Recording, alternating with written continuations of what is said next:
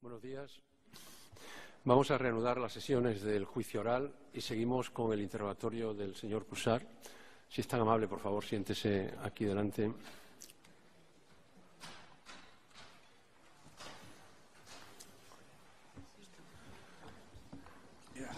Sus circunstancias personales ya constan en la causa. Eh, ya ha sido usted también testigo de lo que hemos comentado, lo que le he indicado a los demás coacusados. Sabe que tiene usted derecho a no declarar, tiene derecho a seleccionar las preguntas que le formule el Ministerio Fiscal o la acusación particular, la abogacía del Estado. Eh, y, en definitiva, eh, puede usted dar respuesta a aquello que se le pregunte o sencillamente rechazar el interrogatorio. Eh, si es tan amable y si tiene intención de contestar alguna de las acusaciones. Sí, buen día. Voy a responder al Ministerio Fiscal y a mi abogada. Bueno, y al resto de las defensas. ¿La abogacía del Estado? No, no, no, perdón. Bien. Eh, en la representación del Ministerio Fiscal, cuando quiera, puede formular las preguntas. Con la venia, excelentísimo señor presidente. Buenos días, señor Cusat. Buen día. Eh, ¿Era usted el presidente de Omnium Cultural desde diciembre del 2015? Sí, desde el 19 de diciembre. Eh, ¿Recuerda usted que declaró ante el instructor señor Yarena? Sí, declaré, sí, sí, sí, sí. ¿Cuántos socios tiene Omnium Cultural? Bueno, pues mire, Omnium Cultural hoy tiene 140.000 socios, yo soy el socio 36.080 y ya que me lo pregunta también mencionar pues que es eh, motivo de satisfacción que alguno de, los ah, acusados hoy aquí en esta sala, presos políticos como yo, pues han podido decir también que, eso, que son socios cuántos socios tenía, no le he preguntado el otro. Y le estaba respondiendo, sí. Eh, ¿El objeto social de Omnium eh, figuraba la independencia?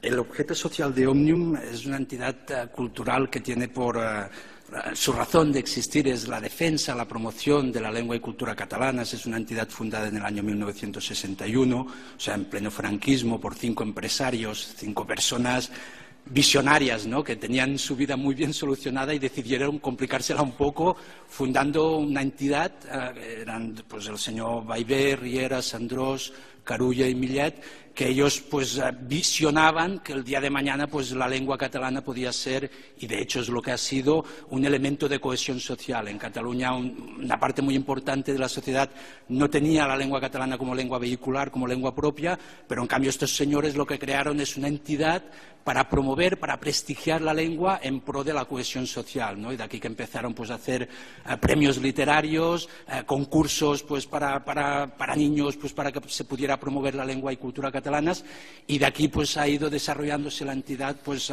siendo una de las principales entidades de Cataluña, la principal entidad cívico-cultural de Cataluña, seguro que también del Estado, y una de las más importantes eh, de Europa, con estos 140.000 socios que ahora estaba comentando y con esta voluntad siempre de trabajar en aquello que nosotros llamamos los grandes acuerdos de país, ¿no? los grandes consensos. O sea, Omnium, ah, lo verán enseguida, no tiene una posición en lo que hace referencia a los temas de política, sino que Omnium dedica sus esfuerzos siempre a intentar generar grandes consensos en lo que hace referencia al hecho migratorio que es estructural en Cataluña, ustedes lo saben muy bien, donde la mayoría de la población pues, tiene sus orígenes también fuera de Cataluña, lo que hace referencia también al modelo de escuela catalana, que para nosotros es aquello que vertebra la sociedad, que hace que todos nuestros niños pues, tengan la igualdad de oportunidades y en todo aquello que haga referencia pues, a los derechos sociales, derechos nacionales, entendiendo pues, que la voluntad esta de omnium cultural, ¿no? Omnium que quiere en latín decir de todos, para todos, y cultural que en catalán, en castellano, en muchas lenguas, pues quiere decir cultura, ¿no? O sea,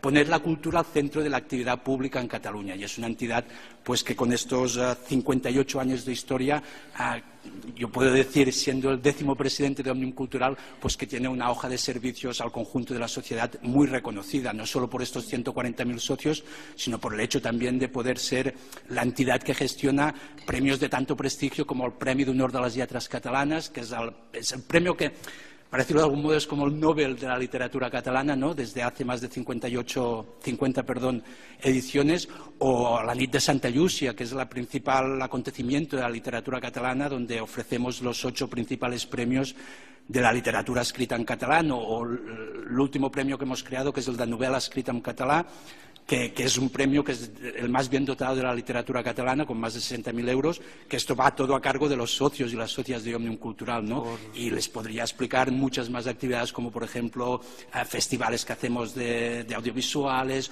o también estamos últimamente promoviendo mucho al Festival Sambori, que es un programa de concursos literarios que, reúne más de 150.000 niños y niñas de los países catalanes. Por centrarnos en los hechos que nos ocupan, eh, ¿Apoyaba Omnium el proceso de independencia de Cataluña?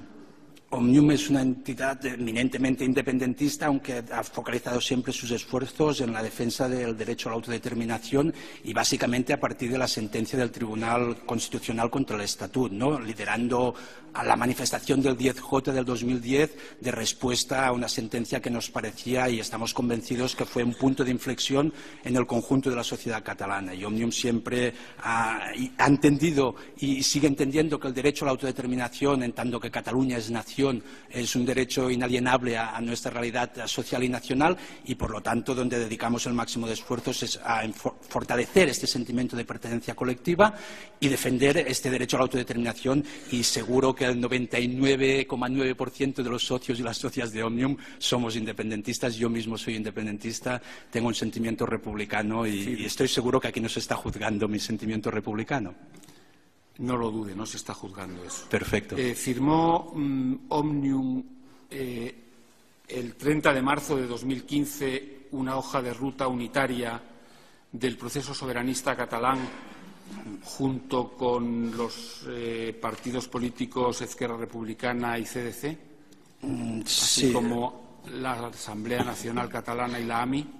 Sí, sí, sí. sí. Recuerda. Sí, sí, Eso obedecía a una eh, estrategia en la que se buscaba la independencia y la asociación aportaba, digamos, la movilización social, la capacidad de movilizar a la sociedad a favor de la independencia? A ver, porque hay un par o tres de preguntas en la misma pregunta. O sea, el 30 de marzo del 2015, y bajo el mandato de Muriel Casals, que fue la presidenta de Unión Cultural, una persona muy querida en, Cataluña y especialmente en, el soberanismo, el independentismo, el 30 de marzo lo que Omnium, viendo el escenario en el que se movía, hizo una cosa relativamente excepcional, porque nunca ha creado ninguna hoja de ruta, ni nunca tampoco hemos firmado ninguna hoja de ruta, a excepción de esta hoja de ruta que fue eh, entendiendo que no había manera de celebrar un referéndum de autodeterminación, a interpelar a las partes para si podía haber un acuerdo. De hecho, la hoja de ruta es una declaración de intenciones. Si la leen al detalle verán que no, es un documento estratégico, no se expone ningún tipo de estrategia más allá de la intención, y es una intención cierta y, además fue pública y notoria, de eh, convertir las elecciones del 27 de septiembre en unas elecciones de carácter plebiscitario. Y el preámbulo de esta hoja de ruta lo marca muy claro, aunque está en catalán, les traduzco literalmente, que dice esta hoja de ruta pretende aglutinar las organizaciones soberanistas que comparten el objetivo que Cataluña inicie un proceso de transición democrática para poder ser un Estado independiente si así lo quiere la mayoría de la ciudadanía de Cataluña este si así lo quiere la mayoría de la ciudadanía de Cataluña, ya denota que no, no, es una estrategia, sino sencillamente lo que denota es que es intentar aglutinar las principales formaciones políticas soberanistas y a convertir el 27 de septiembre en unas elecciones plebiscitarias. A partir de esta hoja de ruta, esta declaración de intenciones, ah, es cierto que, Omnium, pues la, vinculación o sentirse vinculada por esta hoja de ruta no tenía más recorrido. si ustedes ven la, hoja y media que tiene de redactado, pues no tiene mucho más recorrido. No, no, no hay ninguna estrategia a seguir, no hay ningún calendario, no hay, no hay, no hay nada a seguir.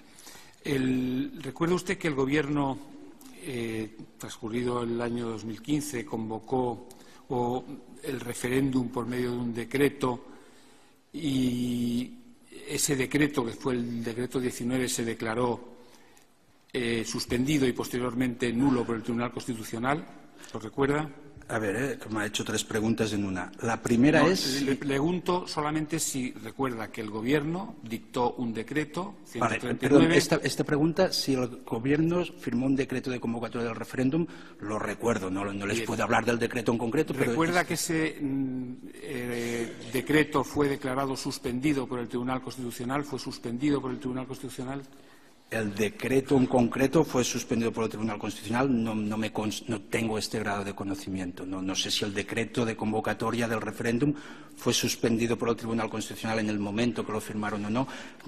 Lamento no poderle responder con mucha ¿Recuerda usted si el Parlamento aprobó una serie de resoluciones, la 1, la 5, la 263, las leyes 19, la ley 20, sobre referéndum, sobre normas complementarias, y todas ellas fueron suspendidas por el Tribunal Constitucional? Es que yo creo que es importante hacer un matiz, y es que yo yo soy un preso político, no soy un político preso. Y, junto con mi compañero Jordi Sánchez, que hemos entrado en la prisión por el hecho de ser activistas sociales y no políticos, la diferencia es que yo, de todo lo que me está hablando el Ministerio Fiscal, no tengo un conocimiento en profundidad del número de las leyes o de las no leyes, pero porque yo no participo de la vida, vida del día a día de la vida parlamentaria. y no es porque si puedo terminar, señor presidente. Sí, sí, sí, termine, y no es porque yo quiera rehuir ningún tipo de información que yo supiera y no la quisiera compartir con este tribunal, porque no es mi objetivo. Mi objetivo es explicarles eh, eh, y, comentarlo todo con el máximo de transparencia posible. Pero, pero yo no puedo hablar de una cosa que no he participado, que no he formado parte. Tengo un conocimiento, pues, como cualquier ciudadano, y sí le reconozco un poco más agudizado en tanto en cuanto soy el presidente de Omnium Cultural y que esto no es menor. Pero yo, el número de leyes que me está diciendo y esto, yo, no le puedo hablar en propiedad porque no. no Lo que le pregunto en definitiva es si sabe que todas las normas eh, que elaboró el Parlamento y los decretos que elaboró el Gobierno fueron eh, declarados suspendidos y declarados inconstitucionales por el Tribunal Constitucional, no en su calidad de experto, sino como ciudadano que estaba. Le, mentiría si le dijera que, perdón que le interrumpa, pero le mentiría si le dijera que sí, que todos fueron suspendidos o no, no fueron suspendidos. Sí, y a mí me consta, el Tribunal Constitucional suspendió el referéndum de autodeterminación de Cataluña y es, no, no hay ningún tipo de duda y seguro que durante este interrogatorio tendremos oportunidad de hablar de ello. Pero le mentiría si le dijera esta fue suspendida, esta no fue suspendida porque no no tengo suficiente conocimiento. El papel de eh, Omnium Cultural en esta eh, hoja de ruta y en el acuerdo con el Gobierno y el Parlamento era movilizar a la sociedad a favor de la independencia. si entiendo bien la pregunta. ¿eh? El papel de Omnium en esta hoja de ruta que le acabo de, de decir. Omnium a favor de la independencia, el papel que jugaba Omnium a favor de la independencia era lograr una gran movilización social? No, pero no es, a, favor de la independencia, no, no. Es que el objetivo de Omnium Cultural es movilizar la sociedad catalana en pro de la cohesión social y si lo que me está preguntando es si defendemos el derecho a la autodeterminación y, hemos presionado, es que es así, es cierto. Nosotros hemos pedido a los políticos catalanes y a los españoles también, a partir de la sentencia del 10J, del Tribunal Constitucional en la manifestación del 10J, nosotros lo que estamos pidiendo a los políticos españoles y a los políticos catalanes que escuchen la voz de la ciudadanía. Es que lo estamos haciendo y lo seguiremos haciendo, que nadie le quede ninguna duda. Y lo estamos haciendo en ejercicio de derechos fundamentales, en este ejercicio de derechos fundamentales en el cual hay la libertad de expresión y el derecho a reunión y a manifestación. Y lo seguiremos haciendo, pero, pero mm, pase lo que pase, porque parece que, bajo su pregunta se esté cuestionando si estábamos movilizando a la gente para manifestarse. Sí, sí, es que seguimos movilizados. si, estaban, si su papel era lograr una alta movilización social a favor de la independencia. Toda, toda aquella entidad, partido político, quien sea que convoca una manifestación, su objetivo es una alta participación en esta movilización. Lo era en el caso de Omnium Cultural junto con la ANC en los 11 de septiembre, lo era en el 10J y lo era la pasada semana cuando la extrema derecha se reunió en Colón con, el Partido Popular y Ciudadanos. Toda la gente que convoca una manifestación tiene por objetivo que la movilización sea masiva. Y este es el objetivo de Omnium y lo ha sido siempre y lo seguirá siendo. Nadie convoca una manifestación con el objetivo que no haya mucha gente. Me parece como una obviedad lo que estoy diciendo, ¿no? Y parece que no tiene nada punible. Al contrario, siempre y cuando, y termino, es el objetivo de Omnium Cultural siempre que la manifestación tenga muy claro cuál es el objetivo de la manifestación y cómo han sido todas las manifestaciones, que no pierda el carácter reivindicativo, pero también festivo y, participativo del máximo de gente posible. ¿Recuerda usted mm, que eh, un documento que se denomina Enfocat, que ha sido eh, visionado en, esto, en estos días en el juicio fue hallado en el, en el registro de José María Llobé. ¿Hace falta que se lo enseñe o cree usted que hace falta que se lo enseñe o, le lee una parte del documento sobre el que le quiero preguntar? Yo quiero mencionar sobre el, informe. No, no, quiero decir que la pregunta es, yo le voy a leer una parte del documento. Vamos a intentar, señor fiscal, si está amable, intentamos hacer la pregunta y a la vista de la pregunta el. Bien, el, documento en el folio 23 dice eh, respecto del momento para la declaración obtener la independencia cuando hay una clara determinación ciudadana a darle apoyo. Estoy leyendo el documento. Luego dice, se ha de comenzar de una manera conservadora, incrementando paulatinamente el nivel de conflictividad según la respuesta del Estado. Mi pregunta es, ¿es cierto que ese camino incluye aumentar la conflictividad en la calle progresivamente y que ese era un papel que se reservaba Omnium Cultural?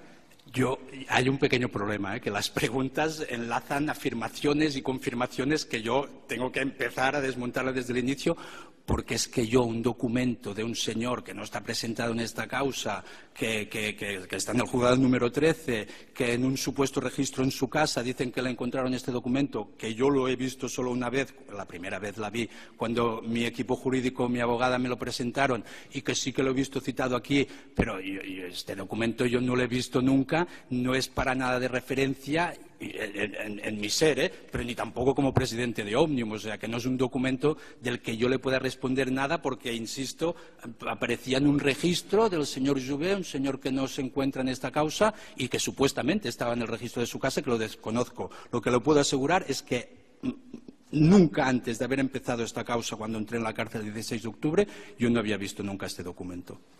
Bien, ¿usted recuerda si en fecha 14 de agosto de 2017 envió un eh, correo electrónico a Marcel Mauri con copia a Oleguer Serra en el que hablaba del presupuesto en relación a la campaña Crida per la Democracia también le tengo que comentar una cosa. En la historia de Omnium ah, han entrado tres veces a registrar nuestra sede del año 63-67 por orden gubernativa del, ministro Fraga Ibarne. La entidad fue, clausurada a partir de unas declaraciones de Batascarré en el diario Le Monde.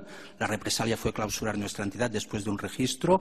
El segundo registro fue por orden del juzgado de instrucción número 13 donde se pidió numerosa información económica y donde se registró toda la entidad también otra vez llevándose móviles de particulares, ordenadores, discos duros y demás. Y la otra vez fue también por orden del juez instructor, el señor Lamela, ay, perdón, el señor Yarena, perdón, que, pidió que se descargaran todos mis correos personales y de, de, la cuenta de Omnium. Me parece que cogieron de mi ordenador personal más de 35.000 correos 35.000 correos que se descargaron. Si usted me habla de un correo electrónico del 14 de agosto, creo que me ha dicho, si no me lo muestra, yo soy incapaz de, hablarle de este correo. El documento K, por favor, el correo número 13. A ver si se le puede enseñar el documento. ¿Lo tiene identificado, por favor? Está identificado como documento número K. Es un informe número 17 de la Guardia Civil sobre los correos de Jordi Cuisart y aparece como correo electrónico número 13 con unas observaciones. Le voy preguntando si quieren. Ese correo dice usted. Bueno, yo, creo que sería mejor ver el correo porque si no nos vamos a hacer un lío. ¿eh? si quiere preguntar, pero yo si no veo el correo no.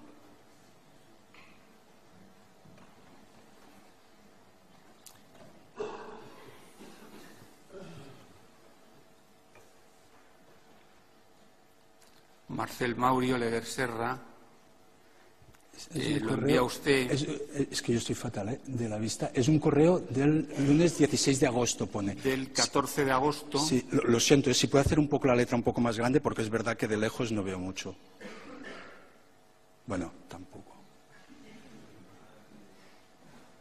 Vale, vale, sí, sí, sí, ya de sobras. ¿Quiénes son Marcel Mauri y Oliver Serra? Sí, Marcel Mauri es el actual vicepresidente de la entidad y portavoz y Ulaguer Serra ha ejercido mucho tiempo las funciones de director y ahora tiene unas funciones más de, de director eh, más responsabilidad que simplemente el director de la entidad. Pero sí, sí, son dos personas vinculadas con Omnium. Marcel Mauri, en tanto que miembro de la Junta Directiva, es un cargo voluntario y Ulaguer Serra es trabajador de Omnium Cultural, sí. Bien, en ese correo se dice que tiene que apostar, o dice usted que cree que se tiene que apostar por una campaña más bestia y potente. A verlo, a verlo. Hostia, no lo veo, ¿eh? Si lo puede ¿sí? Póngase en pie si quiere y se acerca y lo. Póngase en pie. Y se acerca y lo, y lo lee. En el, después de previa, si lo puede leer usted, si. No, pero digo en alto, porque es que. Sí, no, sí, es sí. que no se va a recoger en el micrófono. Léalo y, y luego. Siéntese, por favor, y siga respondiendo, si es tan amable, a las preguntas del Bien, fiscal. Ahí dice usted que se tiene que apostar por una campaña más bestia y potente. Sí, sí. Aconseja dar un nuevo enfoque a la campaña, aumento de presupuesto. Perdón, más- eh, sin, sin interés de. Si, si hace un poco más grande la letra, les hago la traducción al catalán, ay, al castellano y todo. Sí, Este era uno de los motivos por los que pedíamos estar juzgado en un, en un juzgado que fuera competente lingüísticamente para que no hubiera este problema, porque el problema ahora está en que yo tengo que hacer de traductor cuando si Sí. el juzgado fuera competente lingüísticamente y no va en detrimento de ustedes ni mucho menos, no tendría que hacer yo ahora de Ese traductor. argumento se ha hecho costar ya por sus letrados y ya será valorado en su momento por el tribunal. Pero sí, si, si nos podemos centrar eh, en, en la pregunta Sí, que le ha formulado sí, el si fiscal. puede Si tenemos que hacer una campaña más bestia y potente de defensa de la democracia nunca visto. No quiero decir malversar recursos, sino planificar muy bien y trabajar con supuestos de escenarios. Sinceramente, creo que este presupuesto necesita más horas de trabajo y seguro que el origen es el hecho que la crida para la democracia necesita un reenfoque aún más potente. Hem- tenemos que provocar un tsunami en todo el país y sobre todo en las zonas metropolitanas. Posiblemente solo lo podremos hacer a partir de la crida, porque la campaña del sí ya estamos viendo hacia dónde va. ¿no? Sí, es Sí, esto. eh, si podemos seguir bajando un poco más, son comentarios. Comentaris. Més, ambici- más ambición y más abaste de previsión. Sé que, si lo puedo aumentar un poquito más, me hace un favor, un poquito más. Estoy fatal. Un poquito, solo un poquito Sí, más. no, eh, sé que pedirá más tiempo. Bueno, ¿quiere que siga o no? Eh, En el último de los en el penúltimo, donde habla de 500.000, con Vale. eso me vale. Vale, vale. El punto cuarto. Cuando digo previsión, por ejemplo, eh, cuando digo previsión, por ejemplo, pienso en reservar 500.000 euros a Longanizas. Eh, eh, Longanizas es, eh, como conocíamos, una campaña muy potente que teníamos preparada. después del 1 de octubre viene el 12 de octubre. Históricamente en Cataluña el 12 de octubre pues no se celebra, ¿no? El Día de la Raza o el Día de la Hispanidad, aunque sea la fiesta nacional, desde la sociedad civil se intenta no celebrar para denunciar lo que es este genocidio que fue el 12 de octubre o la celebración del 12 de octubre en todo lo que hace referencia en América Latina, a la destrucción de todas las culturas que ahí estaban y- y las longanizas es lo que llamamos las butifarradas, que una butifarrada es pues que se cuecen longanizas, ¿no? butifarras, y en este caso en concreto estos 500.000 euros era pues una campaña muy potente que queríamos hacer después del referéndum pues para visualizar este, bueno, este- esta oposición que tenemos de manera rotunda con todo aquello que supone la celebración del el Día de la Hispanidad. Y los otros 500.000, la campaña esta del 12 de octubre no se llevó a cabo a tenor de, bueno, como, como es conocido por todo el mundo. ¿eh? Ah, los otros 500.000 pone. Ah, sí, 500.000 euros para la campaña de defensa de la Junta Directiva cuando nos quieran meter en la cárcel, que de hecho es lo que pasó. Campaña de, de, es ah, campaña de difusión internacional superpotente. Bueno, en ese correo dice usted que hay que incrementar, que tiene que provocar un tsunami en todo el país. Ya prevé que les puedan meter en prisión y habla de reservar 500.000 euros para longanizas y 500.000 para la campaña de cárcel. ¿No cree usted que esto eh, incluía efectivamente lo que preveía el documento Enfocat, es decir, un aumento de la conflictividad en la calle? A ver, yo creo que tsunami democrático las sociedades están luchando para ser cada día más democráticas, donde se escuche más y mejor la voz de la ciudadanía. Los gobernantes se están esforzando aprobando leyes en los parlamentos para que sean leyes que se adecúen más a las necesidades de la sociedad y que estén más acorde con cada día sociedades más democráticas, más abiertas, más transversales, más, col colaborativas y cooperativas, que resuelvan de verdad los problemas y las necesidades de la ciudadanía recriminarme a mí que quiero hacer un tsunami democrático, ah, pues um, no sé, dónde ve lo punible o lo, que yo tenga que decir de que me retracto, porque es al contrario. Sí, sí, queremos más democracia, sociedades más abiertas, más participativas y donde uno de los objetivos que tenemos que paliar como sociedad, y es que hoy en Cataluña y en el conjunto del Estado español el riesgo de población con exclusión social llega al 23,5%, estoy convencido que este porcentaje de población con riesgo de exclusión social lo podemos aminorizar si somos capaces de hacer sociedades más democráticas y evidentemente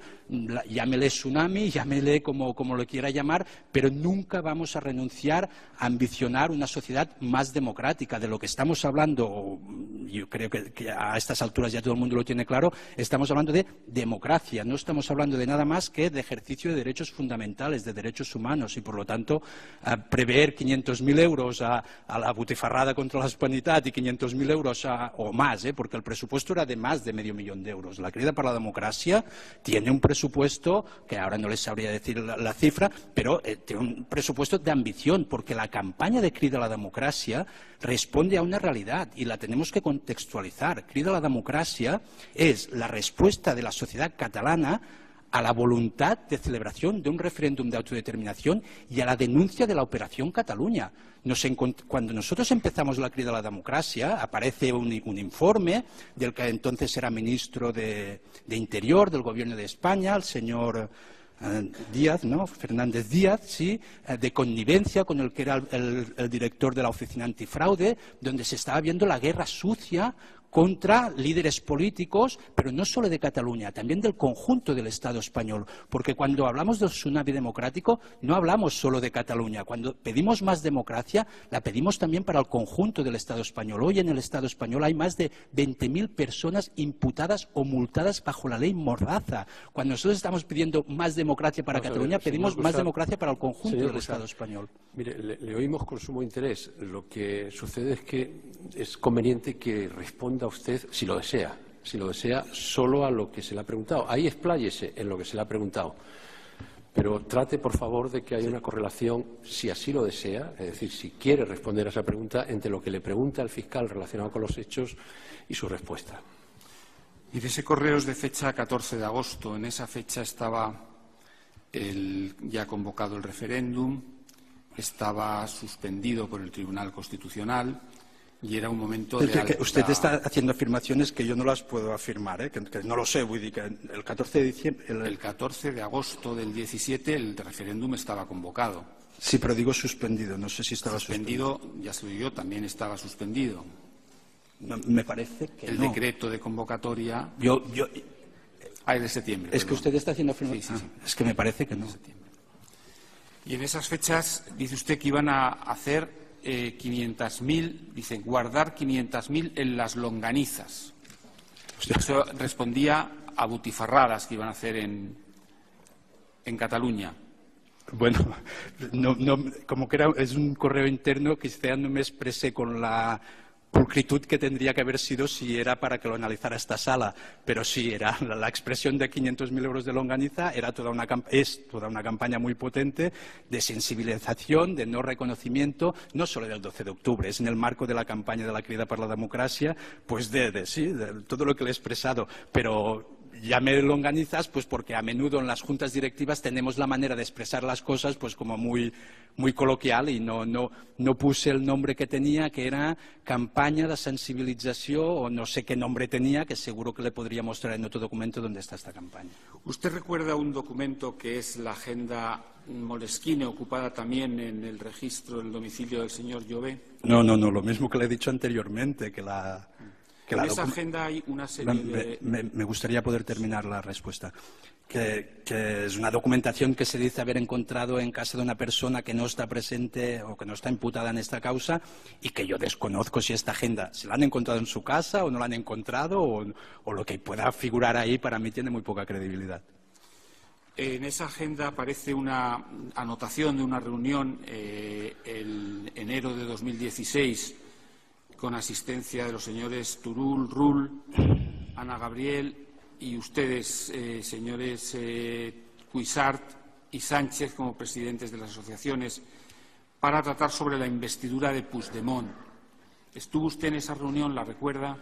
Mm, perdone que le enmiende, pero, pero no era la investidura de Puigdemont, era la investidura del presidente Mas, que no, que no tenía suficientes apoyos y esta reunión que es pública, no, no porque la ponga en la agenda del señor Jouvet, sino que es una reunión que fue pública, que lo dijimos abiertamente. Tiene que pensar usted que todas las actividades que hace Omnium Cultural, todas las actividades no tienen que ser transparentes, sino que lo son. Todas son publicitadas y todas son públicas, porque yo como presidente de Omnium tengo la obligación de de trabajar para preservar la independencia de la entidad. Como responsable de Omnium Cultural tengo que preservar la independencia de la entidad, de instituciones y de partidos políticos. Y, por lo tanto, reuniones que podamos hacer, entrevistas en los medios de comunicación, visitas con quien sea, a no ser que no tengan un interés público y notorio, tengo la obligación de hacerlas público. Y, por lo tanto, esta reunión de la que, me habla usted es, es conocida porque se hizo pública. Y el motivo de la reunión, que no sé si me lo ha preguntado, quizá no. El motivo de la reunión era debatir sobre la investidura del presidente de la Generalitat. Le explico, era el presidente Mas, que estábamos a las puertas de que ya vencía el plazo para que se pudiera elegir presidente de la Generalitat y en aquel caso en concreto nosotros nos ofrecimos y nos parecía que era, y, nos sigue pareciendo, ¿eh? que era importante que hubiera un gobierno en la Generalitat de Cataluña, fruto de las elecciones del 27 de septiembre, y nos ofrecimos como entidad si podíamos ser de alguna utilidad para generar consensos, ¿no? lo que les decía al principio. ¿no? La obsesión de Omnium es esta, la obsesión siempre ha sido intentar ayudar a generar consensos. No tenemos hoja de ruta propia, no tenemos posicionamiento más allá de lo que es estricto en lo que hace referencia a la visión y ambición que tenemos como sociedad, en lo que hace referencia al autogobierno, a la independencia de Cataluña y todo esto, pero sí que es verdad que en la reunión del 7 de enero ah, nos ofrecimos a, pues intentar hacer como de mediadores, ¿no? De, no de relatores, de mediadores, pues, pues de, intentar poner de acuerdo la CUP con los otros partidos políticos y bueno, y de hecho le tengo que decir que no fue muy aceptada nuestra propuesta porque solo hubo esta reunión y no se produjeron más reuniones y de hecho todo el mundo sabe cómo terminó, ¿no? El presidente Puigdemont, el presidente Mas, pues eh, tuvo que renunciar a ser presidente de la Generalitat y propuso al presidente Puigdemont y de todo esto pues Omnium Cultural no, tuvo, nada que ver, pero más allá de, que sí, sí, nuestra intención y nuestra voluntad es que hubiera gobierno en Cataluña, porque lo hemos visto también en las elecciones de ámbito estatal y cualquier elección, que lo, que quiere la ciudadanía pues es que se, puedan constituir los gobiernos cuanto antes, ¿no? Y lo hicimos con esta buena, buena voluntad y buen hacer que tiene la entidad pues, pues desde siempre, de todas nuestras actividades. La web cridademocracia.cat se usó para el 1 de octubre. La web cridalademocracia.cat se usó ah, como un medio de difusión de todas las actividades alrededor de esta campaña que tenía por nombre Crida la Democracia, que era, por un lado, la difusión de la guerra sucia de los poderes del Estado contra el independentismo y también contra otras partes de la sociedad española que no formaban parte del independentismo, y también para difundir al máximo esta voluntad de la sociedad catalana de celebrar un referéndum de autodeterminación. O sea, respondía bajo el epígrafe de Crida la Democracia por estas dos. Estas dos actuaciones principalmente. ¿Permitía incluir en un grupo de WhatsApp a personas? ¿Podían estas eh, acceder a Crida Democracia. Sí, el sistema de, relación y de difusión es muy parecido al que tienen todos los partidos políticos y sindicatos y entidades eh, del tercer sector o otras entidades de carácter ah, solidario, asociativo, y es que tú te suscribes a un canal de WhatsApp, de, Telegram o lo que sea, y mediante esta suscripción pues tú vas recibiendo los mensajes de todo lo que está pasando. ¿no? Es, es un instrumento muy poco genuino o muy poco original, que ya está muy utilizado para por, muchos otros partidos también y entidades y organizaciones. ¿Promovía eh, Omnium eh? No, no, no lo promovia. Òmnium és el responsable de la campanya Crida per la Democràcia. És una campanya de Òmnium Cultural. ¿Sabe quién registró ese dominio? Hostia, no, no. No, no soy, es- me declaro incapaz de decir quién registró el dominio de Crida per la Democràcia. Eh, Pero, ¿sabe- pero, perdone, supongo casi seguro que, que, bueno, no, segurísimo, tiene que ser eh, Omnium, ¿no? Si es una campaña, le estoy diciendo, o sea, es una campaña que responde a un llamamiento desde la sociedad civil, pero que el patrocinador, o el, el que hace la campaña es Omnium Cultural, y por lo tanto, desconozco el- quién hizo el, el dominio, o sea, es que quizá no entiendo bien la pregunta, ¿eh? ¿Quién dio de alta el dominio de la web Crida para la Democracia? Hostia, Si se le pudiera exhibir el documento B, folio 2455. Eh, ¿Sabe usted que registró Oleguer Serra ese eh, dominio? ahora que me está hablando del documento que veremos aquí, del Lo veremos ahora, pero le voy preguntando si sabe usted que ese dominio. lo El dominio registró- Crida per la Democràcia, eh? Sí, Crida per la... democracia.cat. A ver, si el dominio Crida per la Democràcia.cat es el dominio de la campaña Crida per la Democracia, que todo apunta que sí, y si usted me dice que lo hizo Ulogue Serra, es posible, es un, direc- es un, un alto, es el director de, de Omnium y por lo tanto es muy como posible que sea así. domicilio la calle Diputación 276. Ese domicilio es. eh, Eh, Esto es el domicilio de Òmnium Cultural, sí, la, la sede, la, la, la seu nacional está al carrer Diputació, sí. ¿Sabe usted en qué fecha se crea el Perdone, eh, solo para no perder el hilo, eh, ¿ahora estamos mirando algo de este documento o no? Sí. Vale. Las pues si lo preguntas que le hago están aseveradas en ese documento. Es No, un no, no, estudio perfecto. sobre crida por, la democracia. Ese es el folio. eh, necesito ver el folio. eh,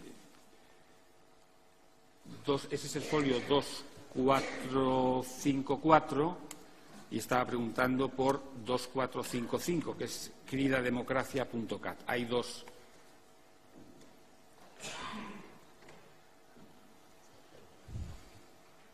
Hay dos páginas o dos dominios, uno es cridademocracia.cat y otro es cridaperlademocracia.cat. Entonces, La pregunta exactamente cuál es. la pregunta es, eh, ¿se registró o sabe usted en qué fecha se registra ese dominio cridademocracia.cat? Si yo sé la fecha cuando se registró el dominio Crida per la Democracia.cat, ¿eh? es esto. Además es imposible que Bien, yo sepa. ahí se hace esto. constar. ¿Es cierto que fue el 4 de julio del 17? Es que no es que no le quiera responder por eludir ningún tipo de, de- de responsabilidad, pero es que... ¿Preveían ustedes ya el 4 de julio del 17 que iba a ser necesaria una gran movilización a través de Crida Democracia? Sí, sí, no lo dude. No, no, no, anterior. O sea, a ver, a ver. Es que yo me parece que no me estoy explicando bien. O sea, el objetivo de Omnium Cultural es fortalecer la democracia en Cataluña y, si pudiera ser en todo el mundo, ¿eh? pero, pero, o sea, la crida para la democracia no sale de manera espontánea. Las campañas de Omnium se programan y, se preparan con tiempo, porque Omnium ha hecho, pues, en su historia o en la historia más reciente, pues, como siete o ocho campañas, desde Volem un país normal, la campaña Un país normal, en el 2014, Lara es l'hora, una campaña que hicimos juntamente con, con la Asamblea Nacional Catalana en este ámbito de actuación de entidad hermana que tenemos conjunta de movilización en la calle, la campaña Lluitas Compartidas, Luchas Compartidas, una campaña que lo que hicimos en el año 2016 es poner en valor este sentimiento que les estaba mencionando anteriormente de pertenencia colectiva en Cataluña, un país que se ha hecho fruto de la inmigración, del esfuerzo de las clases populares, pero también de los trabajadores y también de los empresarios, y ponerlo en valor y que la gente, eh, pues, pues tenga este sentimiento de autoestima. Eh, Esto es lo que hace Omnium.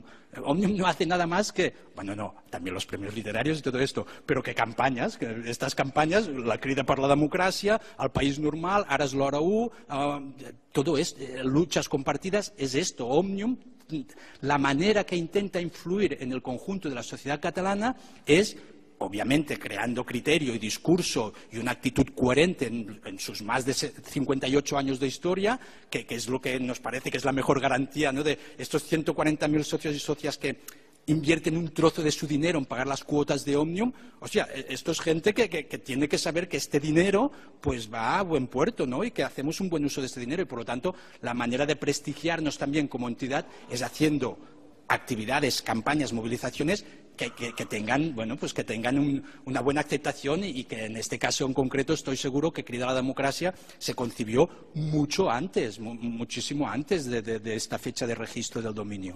Bueno, cridademocracia.cat aparece mm, registrado el 4 de julio y Crida per la Democracia el 6 de julio. Es decir, tres meses antes del 1 de octubre y las dos aparecen modificadas el 29 de julio.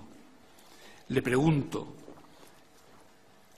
¿esa crida democracia o ese dominio esa página se usó para las convocatorias del 1 de octubre para llamar a la gente a los colegios? Vale, vamos eh, punto a punto. Las fechas que usted ha dicho de creación. Están en el documento, es un estudio. Yo le, hago confianza, para decirlo de algún modo, las desconozco. No le puede afirmar que sean estas fechas y, por lo tanto, si usted lo dice y aquí pone lo mismo, pues seguro que es así lo que hace referencia a las fechas. Lo que hace referencia a la modificación de los dominios, crida por la democracia.cat, es, y entiendo que, así lo pone aquí también, son los dominios de la campaña Crida por la Democracia.cat. Ningún otro dominio se puede haber utilizado para nada más que no sea para las actividades propias de Omnium. O sea, tanto si es crida per la democràcia o crida de la democràcia o crida cap a la democràcia o crida cap a no sé qué que pueda tener un parecido, son las páginas web que se acostumbran a utilizar porque cuando los usuarios, si no ponen bien el, URL, pues que no se pierda y que no puedan dejar de visitar la página web, sino cuando se dice crida per la democràcia o crida de la democràcia, es, hostia, que el tío que quiera visitar la página web esté seguro que la va a poder visitar bien, pero no hay más misterio, o sea, Quizá hay más dominios registrados de crida para la democracia, de la democracia o que para la democracia, no lo sé, pero no hay más misterio. ¿Fue a través de, ese dominio como se llamó a los votantes a participar en la jornada del 1 de octubre? Uy, no, no, yo creo que usted, y con todo el respeto del Ministerio Fiscal, yo creo que aquí hay un. se está haciendo un lío, porque no tiene nada que ver una cosa con la otra. O sea, los dominios de las páginas web del referéndum que organizó la Generalitat de Cataluña no, no, tiene nada que ver. Ya digo ustedes, eh, Omnium Cultural, cuando llaman a las personas a, acudir a los colegios el 1 de octubre, si utilizaron pues creo que se está igualmente este canal por el WhatsApp para que fueran personas. Tenemos que centrar un poco esto. Ah, o sea, una cosa es al canal de WhatsApp. Una cosa son los mensajes que se mandan por WhatsApp que no beben de ninguna URL de Internet. Y otra cosa es el dominio URL de Internet de, yo no soy experto en todo esto, o sea que puedo cometer alguna incongruencia en alguna explicación, pero una cosa es el canal de WhatsApp, que en el canal de WhatsApp nosotros sistemáticamente vamos mandando mensajes a la población, a menudo, porque si mandas muchos se dan de baja y el objetivo es que no se den de baja, que sigan conectados, permanentemente conectados en este escenario de movilización permanente del cual aún estamos hoy pues haciendo también movilización permanente, que estoy convencido que esta sala no está cuestionando la movilización permanente o me gustaría creer que esta sala no está cuestionando la movilización permanente. Y una cosa es el canal de Crida per la Democracia y otra cosa es la página web de Crida per la Democracia no tiene nada que ver una cosa con la otra en el aspecto de, la función que hacía, que es en la misma campaña, pero desde la página web de Crida para la Democracia tú podías acceder a toda esta información. Pero los mensajes de la ciudadanía se mandan por el canal de WhatsApp. Y espero haberle respondido como usted se merece, porque no sé si le he respondido la pregunta. Sí, sí, sí, sí, le ha respondido. Y lo que le pregunto ahora es, eh, tres meses antes del 1 de octubre crean esa página, el 4 de julio y la modifican el 27 de septiembre, es decir, tres o cuatro días antes del 1 de octubre. Pero esta modificación de qué es? Es que claro. Es la modificación que constaba en la. Pues la podemos ver, por favor. bueno, se hace constar en la página que hemos enseñado antes que está modificado en esas fechas. Pero en base a qué, cuál modificación, eh, claro, yo que le entiendo a usted y, y, sus preguntas, pero si usted me habla, no, que se hizo una modificación en la página web, hostia, soy el presidente de Omnium Cultural and BD. ¿Cómo voy a saber yo las fechas de una modificación de una página web? Pues, hostia, vamos a centrar un poco esto porque si no, o, me, enseña dónde está la fecha de la modificación y qué modificación fue. Es que si no vamos a... ¿Usted sabe... ¿Tiene el fiscal, perdón, tiene el fiscal la referencia documentada o sobre la Ya se ha enseñado antes, es una modificación... ¿No le consta a usted eh, esa modificación? O... No, pero es que la modificación que es... No, no, no me consta seguro, pero que es terminológica de, la IP, de, de qué? Es que no sé de qué modificación habla, porque ya le digo, yo creo que estamos hablando de una cuestión técnica y no política, que es de lo que se habla en este juicio de política. Y, es que estamos hablando de una cuestión técnica muy pequeña. ¿Quiere hacer el fiscal alguna otra pregunta sobre alguna otra pregunta sobre el tema de la modificación? Este tema ¿Sabe usted eh, qué eh, empresa otorgó eh, ese dominio, dónde radicaba esa empresa? A ver, si lo entiendo bien. La empresa que dio el dominio a Omnium Cultural. No, no, es que vamos para facilitar también. ¿eh? o sea, cuestiones técnicas de la empresa que daba de alta. O sea, insisto, el presidente de Omnium Cultural, yo no, es que lo que sería sorprendente es que yo supiera y dijera, sí, sí, era nominalia o era, hostia, Julio este tío. No puede ser, yo no lo sé. Y, lo digo con todo el respeto, no puede, yo no puedo saber esto. lo digo porque vamos a ver. Perdón, señor, fiscal, señor fiscal, vamos a intentar las interjecciones coloquiales, vamos a reprimirlas. Se trata simplemente de expresarse como usted sabe perfectamente, evitando esas interjecciones que no, no son propias. Gracias. Mire, en el folio 2454 se hace constar que ha sido otorgado ese dominio por la empresa Black Knight Internet Solutions. Esa empresa tiene domicilio social en Irlanda. ¿Recuerda usted ese dato? No, no, no, no. No. La pregunta sería por qué eh,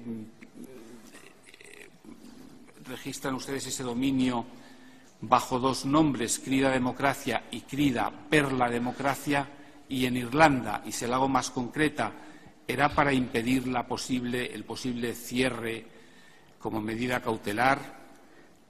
Mire, yo, soy empresario y en un mundo globalizado ah, mi actividad principal es la exportación y voy a responder la pregunta. ¿eh? Mi actividad principal es la exportación y lo que quiere decir es que si mis máquinas se pueden vender en cualquier lugar del mundo es porque en el libre mercado, por una cuestión de oferta y demanda y de competitividad de precio, pues estoy convencidísimo y se lo agradezco mucho que el señor director o el técnico de Omnium que decidió comprar el dominio en esta empresa es porque competitivamente hablando y económicamente hablando era mucho más competitivo y para su tranquilidad también le puedo decir que no se preocupe, porque compres el dominio donde lo compres, nosotros en vigilias del 20 de septiembre ya nos clausuraron esta página web, porque en España al 20 de septiembre y anterior al 20 de septiembre se clausuraban páginas web como pasa en Turquía sin ningún tipo de orden judicial. La página web de Omnium Cultural fue clausurada sin ningún tipo de orden judicial, por lo tanto, fuera inscrita en Irlanda, fuera inscrita donde sea, no fue ningún impedimento porque la clausuraran. Pusieron el dibujito del, del dibujo del escudo de la Guardia Civil y clausuraron cientos de páginas en Cataluña en las vigilias del, 20 de septiembre y del 1 de octubre. Por lo tanto, si el objetivo supuesto, según usted, de comprar un dominio en Irlanda, que forma parte de la Unión Europea, y por lo tanto, las leyes, ¿no? Una, ley justa en España tiene que ser también una ley justa en el resto de la Unión Europea, ¿no? O una persona que es libre en, vamos a suponer, Alemania o Bélgica, pues también lo tiene que ser en España, ¿no? Y por lo tanto, yo lo que le digo a usted, que no entiendo que el hecho de que se compre el dominio en Irlanda lleva a la conclusión de que comprar el dominio en Irlanda no permite que se cierre la página web. Me parece que esto no va por aquí. ¿Usted recuerda que la ley 19 de referéndum fue suspendida al día siguiente, el día 7 de septiembre? No, es que si le respondiera no, sería cierto porque no lo sé cuándo se suspendió. No, no, sé con la. Yo sí que sé que la ley del referéndum se suspendió por el Tribunal Constitucional. Bien, ¿le pareció a usted ilegal que se celebrara el referéndum del día 1 con una ley suspendida por el Tribunal Constitucional? Yo le digo a lo que me pertoca como presidente de Omnium Cultural valorar, más que las ilegalidades o no ilegalidades que, que nosotros nunca hemos sido requeridos y por lo tanto nunca hemos incumplido con ninguna ilegalidad, es que ante el dilema, la disyuntiva entre la suspensión del Tribunal Constitucional o el ejercicio de derechos fundamentales, que nadie tenga ninguna duda. Omnium siempre va a ejercer derechos fundamentales, el derecho a manifestación, el derecho a movilización, y lo vamos a hacer como lo hemos hecho siempre, como lo ha hecho el catalanismo, como lo ha hecho el soberanismo, de una manera pacífica, festiva, pero que esto no le quita ni coraje ni ah, dignidad de lo que estuvimos haciendo el 1 de octubre. Nosotros asumimos el papel que tenemos el 1 de octubre como agente movilizador en defensa de derechos fundamentales. La suspensión del Tribunal Constitucional nos plantea el dilema de dejar de ejercer derechos fundamentales y nunca, nunca, nunca vamos a renunciar al ejercicio de derechos fundamentales, entre ellos la libertad de expresión y el derecho a manifestación. En este país, y cuando digo país ahora es España, se ha luchado mucho para poder preservar derechos fundamentales. Y lo decía Marcelino Camacho, el derecho de huelga se gana haciendo huelga, el derecho de manifestación se gana manifestándonos. Pues nosotros decimos que el derecho a votar en Cataluña se gana votando. Y no tenemos ningún tipo de duda que lo que hicimos el 1 de octubre es un ejercicio de dignidad colectiva. Recuerda que el día 19, 20, 21 hubo varios registros actuaciones judiciales de registros en domicilios y en despachos y si eh, Omnium Cultural convocó alguna manifestación de protesta contra estas eh, actuaciones judiciales? Está hablando del 19 o del 20. De todos esos días. Vale. A ver, el, 19, eh, si no recuerdo mal, hubo una entrada o registro, dentro de una entrada y registro en un semanario, en un diario que se llamaba El Bayán. La, fecha creo que es el día 19. ¿eh? Y eh, otra vez, ¿no? Lo que decíamos de las páginas web que se clausuran sin orden judicial, pues también la entrada en, diarios, ¿no? En una sociedad democrática consolidada, pues entró en el diario El Bayán, ¿no? Lo, que decíamos de Turquía, y, nosotros como Omnium no convoquemos al 19 de, septiembre eh, porque fue la, población de una manera espontánea, pues que en ejercicio de sus derechos fundamentales, pues que se concentró delante de, la, sede de, este diario y, estoy seguro y espero y así lo deseo que había muchos socios de Omnium ¿eh? también, pero, pero, que no todo empieza ni acaba con Omnium ni con la ANC. La sociedad catalana es mucho más madura como para no solo seguir las consignas de la entidad, sino también tomar posesión, tomar partido ¿no? cuando se cree que se están vulnerando derechos fundamentales. Y en este sentido, el día 19 hubo esta convocatoria y si de la que usted me quiere hablar es de la del 20 de septiembre, eh, fue por generación espontánea. La convocatoria del 20 de septiembre fue la reacción de la población que estaba ahí concentrada y, de hecho, quien mejor lo publicitó, curiosamente también, fue el diario El Mundo, ¿no? que mucho antes que se conociera la información de la concentración delante de vicepresidencia, pues ellos ya hicieron una foto, ¿no? parecía que acompañaban a la Guardia Civil al registro, una cosa que también es muy sorprendente, y a partir de aquí pues sí que se generó una convocatoria que nosotros asumimos plenamente, pero que el origen es, espontáneo y creo que el señor Sánchez también lo explicó con todo lujo de detalle. Es decir, la concentración ante la mm, sede de vicepresidencia de Rambla fue convocada por, por Omnium Cultural, por usted. No, usted dice convocar, y perdone que le, rectifique, pero la, convocatoria se generó de manera espontánea. O sea, a primera hora de la mañana, pues le digo, no uno de los principales canales de difusión, en este caso en concreto fue el diario El Mundo, pues que manda una foto, ¿no?, donde se ve que entra la policía en la sede de la vicepresidencia sede de la vicepresidencia y de manera espontánea pues se empieza a, poner delante de la sede la gente que estaba en el bar, el bar que permaneció abierto durante toda la jornada del 20 de septiembre. ¿eh? Ese bar, el bar que hay delante, permaneció abierto durante toda la jornada. Pues la gente que estaba en aquel bar pues, pues empezó a, protestar, sí, a protestar contra esta convocatoria, contra esta entrada y registro y luego cuando lleguemos cuando yo llegué también, pues sí, sí, obviamente, al ver que se estaba congregando una cantidad de gente muy importante, pues dijimos, como un ejercicio de responsabilidad una vez más, y junto, como lo explicó muy bien el señor Sánchez del otro día, pues asumimos plenamente la convocatoria para garantizar precisamente esto, que en la primera vez de los últimos diez años del soberanismo que estábamos viendo una actitud que rompía con el guion original de la respuesta del Estado a la voluntad del pueblo de Cataluña de celebrar un referéndum de autodeterminación, porque Si no somos capaces de ubicar bien el 20 de septiembre, no vamos a entender nada. Y lo digo con todo el respeto hacia el Ministerio Fiscal y hacia toda esta sala y, hacia todo el mundo. O sea, el 20 de septiembre en Cataluña se producen unos hechos que es un punto de inflexión. Hay 17 detenciones de altos directivos de la Generalitat, más de 40 entradas y registros en domicilios particulares de estas personas y en sedes también de la Generalitat de Cataluña. Aquel mismo día hay 750 alcaldes que están siendo investigados por la Fiscalía, que están imputados. Aquel mismo día hay 30 alcaldes que van a declarar ante la Fiscalía. Aquel mismo día, la sede de la CUP ve como ocho furgonetas de la Policía Nacional están intentando hacer un registro que no tienen orden para hacer este registro, pero están intentando llevar a cabo un registro que, por cierto, ahora se está investigando en un tribunal que pasó con aquel intento de registro sin orden judicial, el comportamiento cívico y pacífico, pero también de resistencia no violenta de la población no permitió que la policía provocara a los manifestantes y se tuvieron que ir sin poder registrar una sede para la que no tenían orden judicial.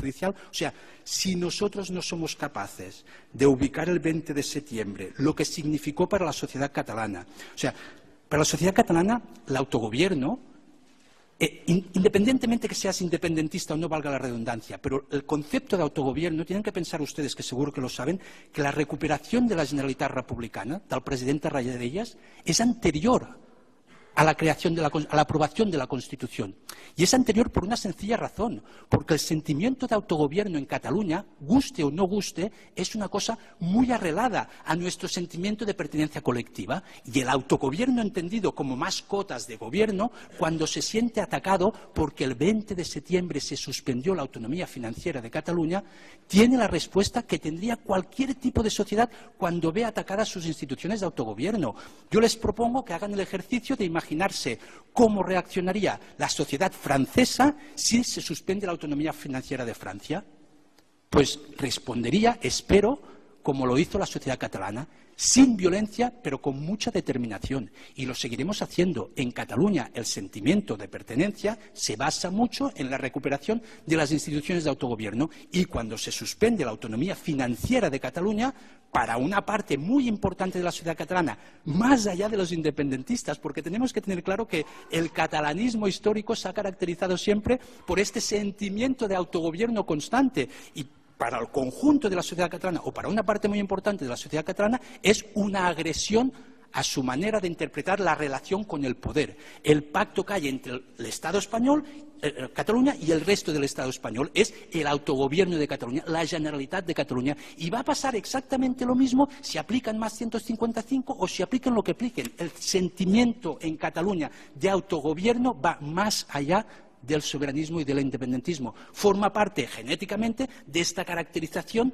del imaginario colectivo que tenemos como país y, por lo tanto, el 20 de septiembre, si no somos capaces de ubicarlo en este marco mental de una parte muy importante de la sociedad catalana, no entenderemos el porqué de una reacción que en ningún caso, insisto, en ningún caso, el comportamiento de la gente el 20 de septiembre ni el 1 de octubre fue violento. No hubo violencia. Pero no lo digo yo, lo dicen todos los medios de comunicación el día después del 20 de septiembre. Nosotros tenemos una pericial que no sé si ha aceptado o no, o, si queda como documental o, como queda, pero donde se explica muy bien el resumen de los medios de comunicación el día después del 20 de septiembre. El Mundo, la ABC, La Vanguardia, el periódico, el diario Ara, y explican que hubo una concentración muy grande, pero el concepto violencia que interesadamente alguien ha intentado poner encima de la mesa no existe, no existía el día 21 de septiembre. Jordi Sánchez y yo éramos dos perfectos desconocidos para la sociedad catalana, perdón, española. La sociedad catalana, el sector más soberanista, sí que nos reconoce una autoridad, una autoridad moral,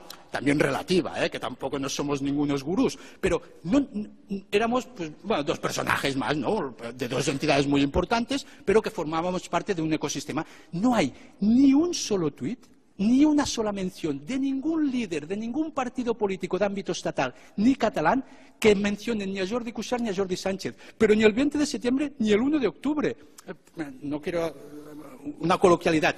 Pasaban de nosotros, pero, pero porque, no porque pasaran, que no les dábamos importancia, porque éramos unos perfectos desconocidos. Hay otra pericial que habla de las búsquedas del nombre Jordi Sánchez y Jordi Cuixart en Twitter, en Google, donde sea. Cero inexistente, no pintamos nada.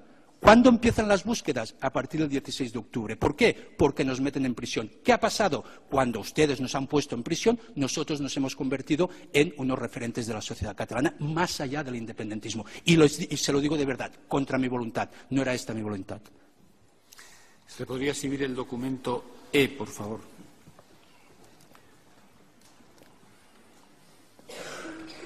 ¿Cuál es el contenido de ese documento? Son los eh, mensajes de Twitter sobre el 20 de septiembre hechos por el acusado y así por igualmente por la asociación Omnium Cultural.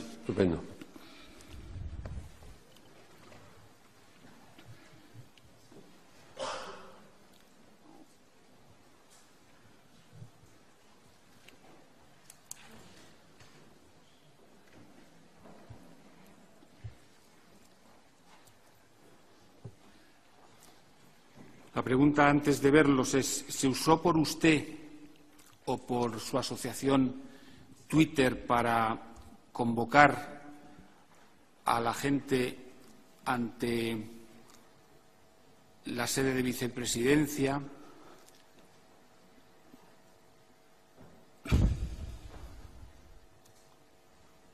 Le pregunto eso. ¿Se, usó por, usted. Sí, sí, sí, perdón. Sí, sí, sí, sí. Sí, es, obvio, sí, sí, sí. sí, eh, se dio un Twitter por eh, Omnium Cultural para ir a las cuatro consejerías que iban a ser registradas. La calle Rambla, Exteriores, Familia, Gobernación. No, le explico, le explico. O sea, eh, como he mencionado anteriormente, el 20 de septiembre no es una convocatoria premeditada como lo han sido todas las anteriores, sino que a partir de una convocatoria espontánea ¿no? por parte de la población, a Omnium y la Asamblea asumimos, asumimos la responsabilidad de canalizar esta, esta protesta. ¿no? Es una protesta y, nosotros centramos toda nuestra actividad en Rambla, con Gran Vía y, es ahí donde concentramos y donde pedimos a toda la gente. ¿Puedo terminar? ¿Puedo terminar, señor presidente? Que termine la pregunta tal y como se la ha formulado. Pero vale. a la pregunta, si es tan amable. Vale. a la pregunta.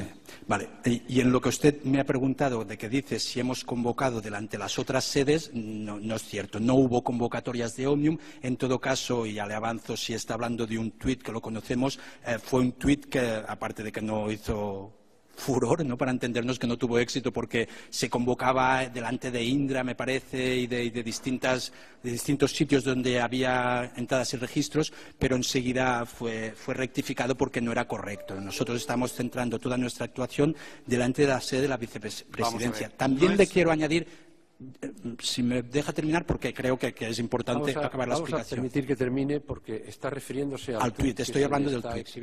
Y por lo tanto, también lo que le quiero decir, si usted me está preguntando por el comportamiento de la ciudadanía de Cataluña delante de los otros sitios donde hubo movilizaciones el día 20 de septiembre, lo que sí yo le puedo decir, que hasta el punto que yo tengo información y he visto muchísimos vídeos que hay en esta causa y que también había fuera de esta causa, lo que sí que le puedo decir perdón, muchos vídeos que ha presentado el Ministerio Fiscal y los que ha presentado también mi defensa, lo que sí le puedo decir es que mayoritariamente en el 99,9% del comportamiento de la sociedad catalana que se movilizó muy masivamente, el comportamiento es un comportamiento de ejercicio de derechos fundamentales, derecho a manifestación, derecho a libertad de expresión y derecho a la movilización.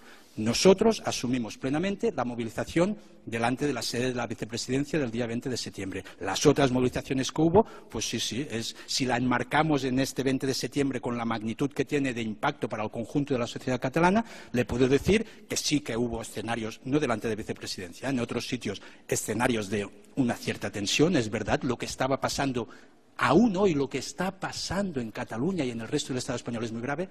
Vamos a ver, la pregunta que todavía queda por, responder. Es muy sencilla. Es Omnium Cultural lanzó un tuit convocando ante las cuatro consejerías para protestar. Ese tuit, luego usted dice que se paró, que tal. ¿Se lanzó ese tuit? Si podemos ver el tuit en concreto, hablaremos con mayor propiedad documento E2.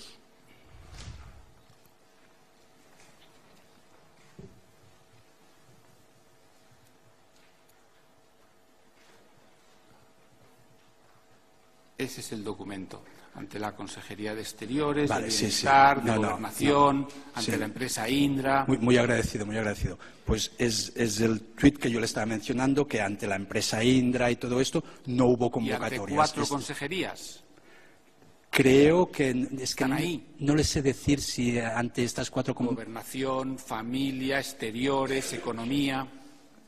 pams. A dir, no les sé decir si ante estas cuatro consejerías hubo convocatorias, es, muy sinceramente. Lo único que sí que le digo es que este mensaje nuestro no, es que no sé ni si se terminó mandando, es que creo que al final se canceló, ¿eh? que, no, llegó al receptor, que se creó el mensaje pero no se mandó. En el caso de que se mandara, no tuvo éxito de convocatoria, no se siguieron. Pero, pero ya le digo, y sin asumir las convocatorias, que la única que hicimos fue la de vicepresidencia como Omnium junto con la NC, en las otras, hasta el día de hoy, lo que yo he visto ha sido un comportamiento de cierto, de un clima de tensión, es obvio lo que se estaba produciendo unos hechos muy graves, pero no hay ningún clima, tipo de estoy violencia. preguntando si ese tuit se mandó. Ya, ya le he respondido que no le puedo decir si este tuit se mandó. Me parece que ¿No se creó y al final no sí se mandó. se mandó. Le estoy diciendo que me parece que al final se canceló, pero si, pues si se mandó, pues, pues, pues sí, sí, se mandó, ya está. Sí, sí, es que no, es que le soy sincero, que tal usted Es que se piensa que no, pero... Ha pero declarado sí. usted eh, ante el instructor, si quiere vemos su declaración, que ese tuit fue hecho por una persona de OC. Bueno, bueno, aquí hay un tema que yo quiero dejar claro, ¿eh? porque si no nos vamos a andar con equívocos. Mis declaraciones delante del juez instructor estaban vinculadas a una voluntad de salir de la prisión al precio que fuera. Y esta ya no es mi prioridad. Yo soy un preso político. Después de 500 días de cárcel, mi prioridad no es salir de prisión. Mi prioridad es poder denunciar el ataque y la vulneración que hay de derechos y libertades en Cataluña y en el conjunto del Estado español. Mi declaración delante del juez instructor fue condicionada al impacto emocional, que es muy grande cuando entras en prisión y cuando estás convencido de tu inocencia, como lo sigo estando hoy. Pero les insisto que mi prioridad es la absolución, obviamente, pero mi prioridad es la resolución del conflicto político entre Cataluña y España y la recuperación de derechos y libertades en el conjunto del Estado español. Mi prioridad ya no es salir de la cárcel como lo era anteriormente.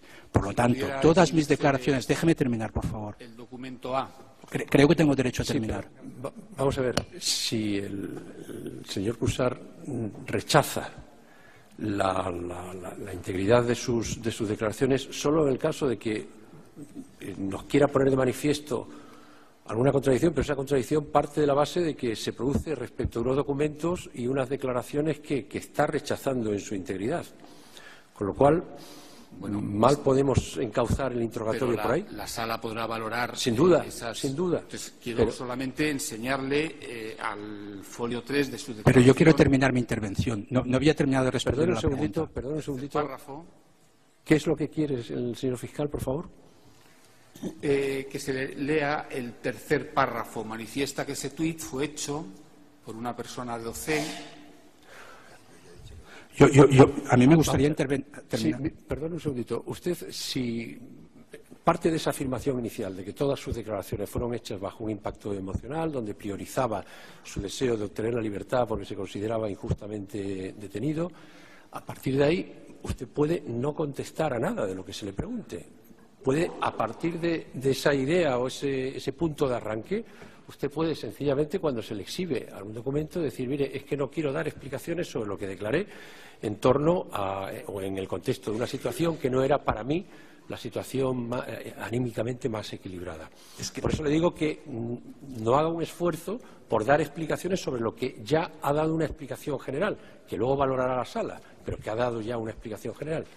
Dígame. Gracias, señor presidente. No, lo que le quería decir es que no he terminado mi, primera intervención a la pregunta sobre que me estaba haciendo sobre las declaratorias que hice delante del juez, declaraciones que hice delante del juez instructor, porque yo lo que quiero comentar es que lo que quiero terminar de ah, explicar en mi respuesta es que ah, lo que sí que tengo claro en todo aquello que hace referencia a la violencia de la cual se nos acusaba y que yo negaba y sigo negando rotundamente la única violencia del, 20 del 1 de octubre, pero el 20 de septiembre no hubo ningún tipo de violencia, es la que ejercieron la Policía Nacional y la Guardia Civil el 1 de octubre. Sigo negando que desde la sociedad civil se ejerciera ningún tipo de violencia. Y en aquello que es nuclear de la declaración delante del juez instructor que hace referencia a la violencia, como no puede ser de otra manera, sí que me reconozco plenamente. Y, y, quiero que quede claro que no, que no se van a lo ha dicho aquí, lo ha dicho aquí, lo hemos oído. Ah, ya lo había dicho. Ah, Pero, perfecto. Vale, perfecto.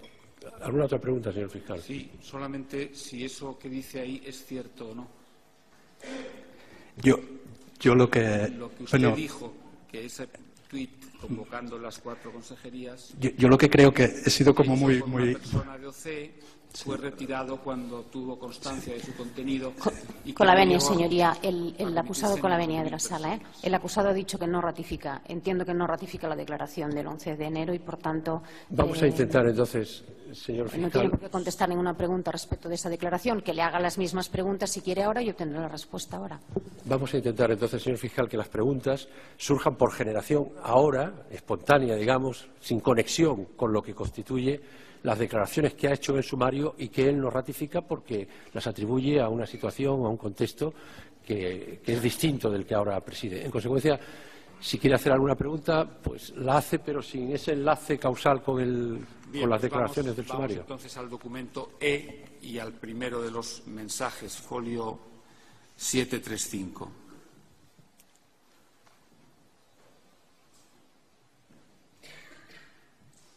Documento e, folio 735, es el mensaje 2. A ver el mensaje ese, por favor.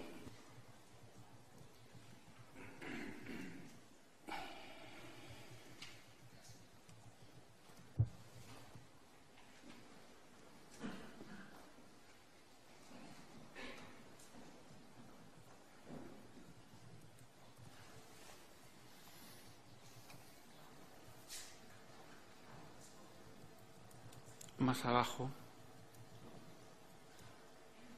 Este es el 1, es el mensaje 2, un poco más abajo. Esto del mensaje está ahí ya. Es un mensaje que le pregunto si es un mensaje lanzado desde su tweet a las 8 y 28 del día 20 de septiembre. El Estado asalta las instituciones propias y llegará hasta donde le dejemos. Ese tuit lo reconoce? L'Estat assalta les institucions pròpies i arribarà fins on li deixem viure en democràcia a Catalunya a les nostres mans. Sí, la pregunta? ¿Es suyo? Sí, sí, sí, sí, está mandada desde la cuenta Cuando de dice llegará hasta donde le dejemos, ¿eso era un acto de protesta o era un acto para impedir o aturar, como se decía en otros mensajes, no, la yo, actuación? Yo estoy convencido, yo estoy convencido que los poderes del Estado escuchan la ciudadanía cuando se manifiesta y cuando cientos de miles de personas salen a la calle a manifestarse, estoy seguro que los poderes del Estado y los políticos en general escuchan la voz de la ciudadanía y cuando yo escribo aquí vivir en democracia en Cataluña está en nuestras manos es porque tengo el convencimiento de que aunque el dictador se murió en la cama, la recuperación de la democracia es por la tenacidad de los ciudadanos del conjunto del Estado español que salieron a la calle a defender la democracia y los valores democráticos. Y estoy convencido que, igual que nadie cuestionaría aquello, nadie está cuestionando en Cataluña que vivir en democracia en Cataluña está en manos de la ciudadanía de Cataluña.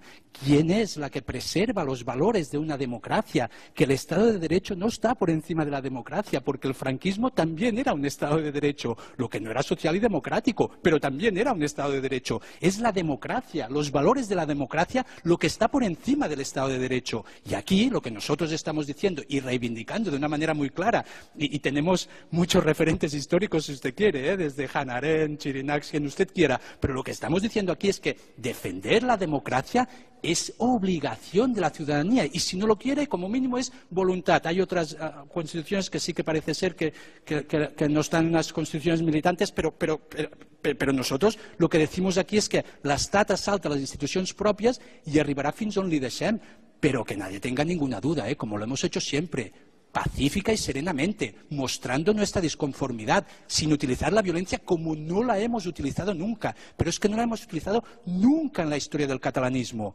catalanismo moderno. Y por lo tanto, lo que vamos a hacer nosotros aquí, una vez más, es defender las instituciones de autogobierno, defender la democracia, pero como lo hemos hecho siempre, mostrando nuestra disconformidad ante una actuación de la Policía Nacional y de la Guardia Civil, que, insisto, los señores funcionarios de la Guardia Civil y de la Policía Nacional, ellos cumplen órdenes. esta gente está cumpliendo unas órdenes de unos, de unos responsables de dispositivo y de unos políticos y de unos poderes del Estado. Los responsables de la violencia del 1 de octubre no son también los ejecutores, pero los responsables son los mandos operativos. Y en este caso en concreto, nosotros que estamos hablando del 20 de septiembre, estamos hablando de mostrar nuestra disconformidad ante unos poderes del Estado que sí asaltan, asaltan e intentaban asediar la sede de un partido político legalmente constituido. Y es un asalto porque estamos hablando de más de 40 entradas y registros en sedes y en casas particulares de directivos de la Generalitat de Cataluña, de, altos cargos directivos, y estamos hablando también de lo que les decía,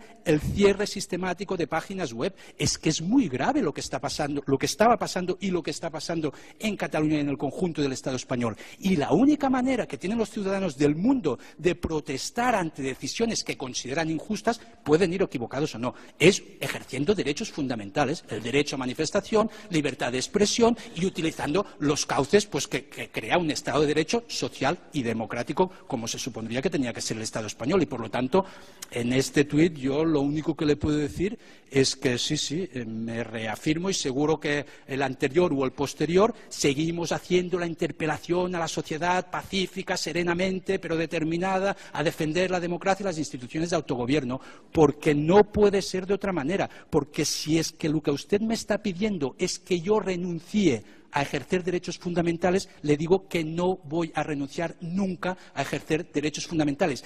Y, parafraseando a un presidente del Gobierno, ni quiero ni puedo. Y yo no voy a renunciar nunca a ejercer estos derechos fundamentales.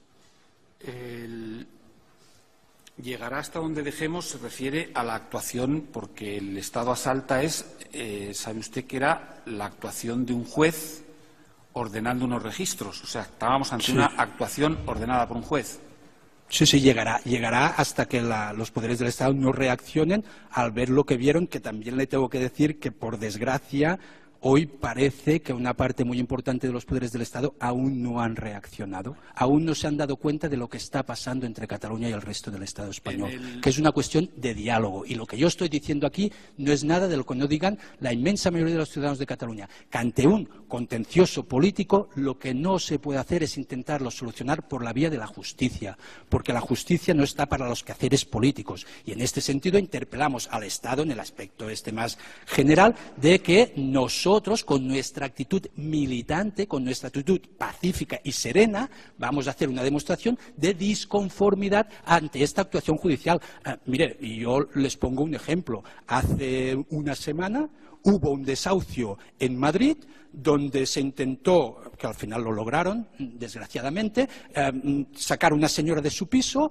y los ciudadanos, los vecinos de aquella señora, para mostrar su disconformidad ante esta decisión judicial, bajaron a la calle y se pusieron delante de la policía para mostrar su disconformidad. O sea, no, e, era lo otro el objetivo, mostrar su disconformidad. El desalojo se produjo igualmente, el desahucio, pero sí que es verdad que utilizaron sus cuerpos para mostrar esta oposición, distinto al 20 de septiembre porque no utilicemos ningún cuerpo porque no hubo confrontación con la policía. Pero sí que es verdad que la señora mm, portavoz del Gobierno español lo que dijo es, en este caso, la política ha llegado tarde. Pues si en el caso del desahucio de Madrid de hace una semana la política ha llegado tarde, en el, caso de Cataluña no, no ha llegado tarde, no, es que aún no está, porque estamos hablando de política y lo que nosotros hacemos aquí es hablar de política y los políticos tienen la obligación de afrontar los retos que se les plantea.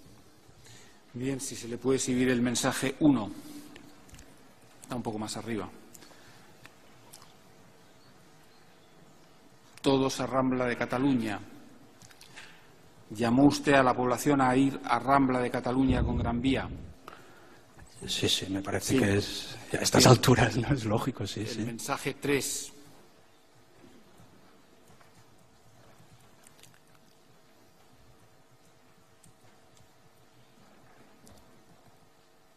Todos a Rambla Cataluña con Gran Vía, aislemos cualquier actitud violenta, seguimos únicamente indicaciones de fuentes oficiales.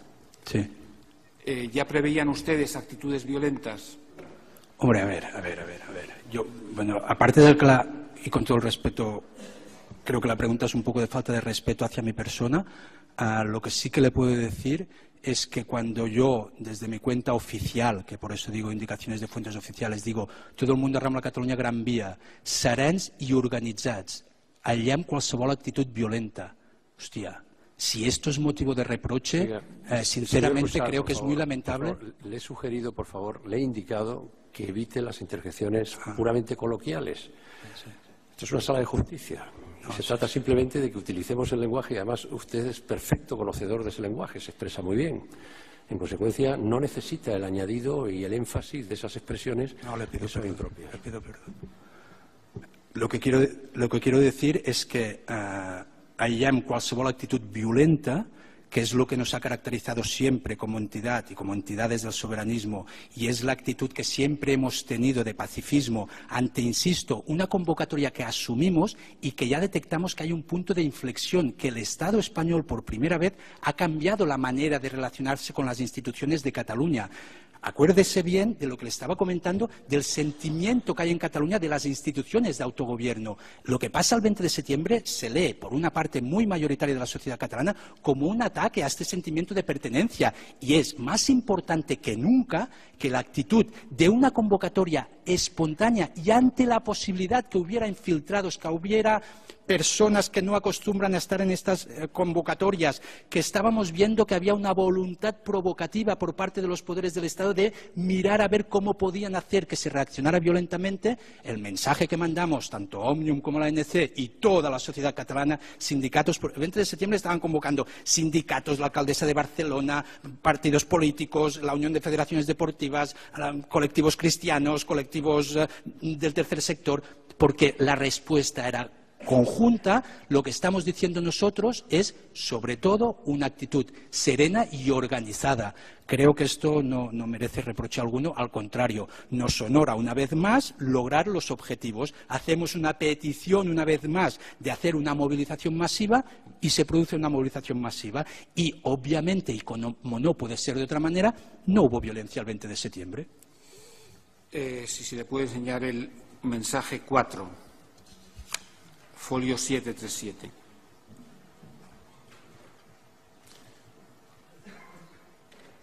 Es un mensaje a las tres prácticamente y media, a las 3.28. Dice que ninguno se marche de la concentración de Rambla Gran Vía, en breve llegará habituallamiento. ¿Es suyo ese tuit? Sí, sí, sí, sí, sí. sí, sí. Eh, no sé, lo, leemos si quiere, pero ¿se lo puede hacer un poquito más grande?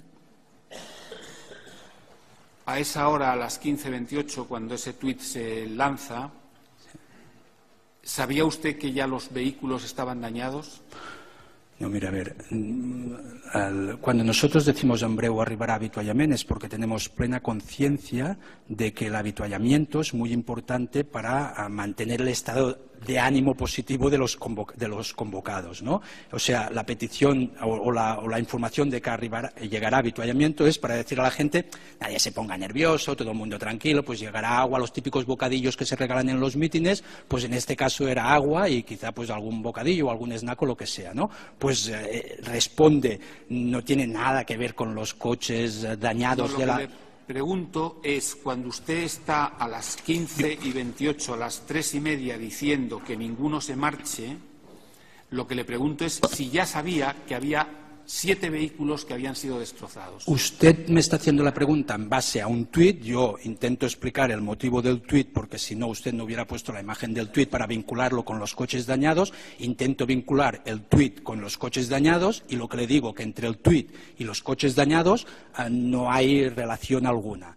Segundo lugar, dejo del tuit de banda y usted me pregunta si yo era consciente del daño que tenían los vehículos. Y yo le explico complemento lo que dijo el señor Sánchez, cuando llegué yo a primera hora de la mañana, a las 10 o así, yo creo, yo ya vi corresponsales, no sé si era a partir de las 12, quizá, yo ya vi corresponsales que estaban encima de los coches de la Guardia Civil.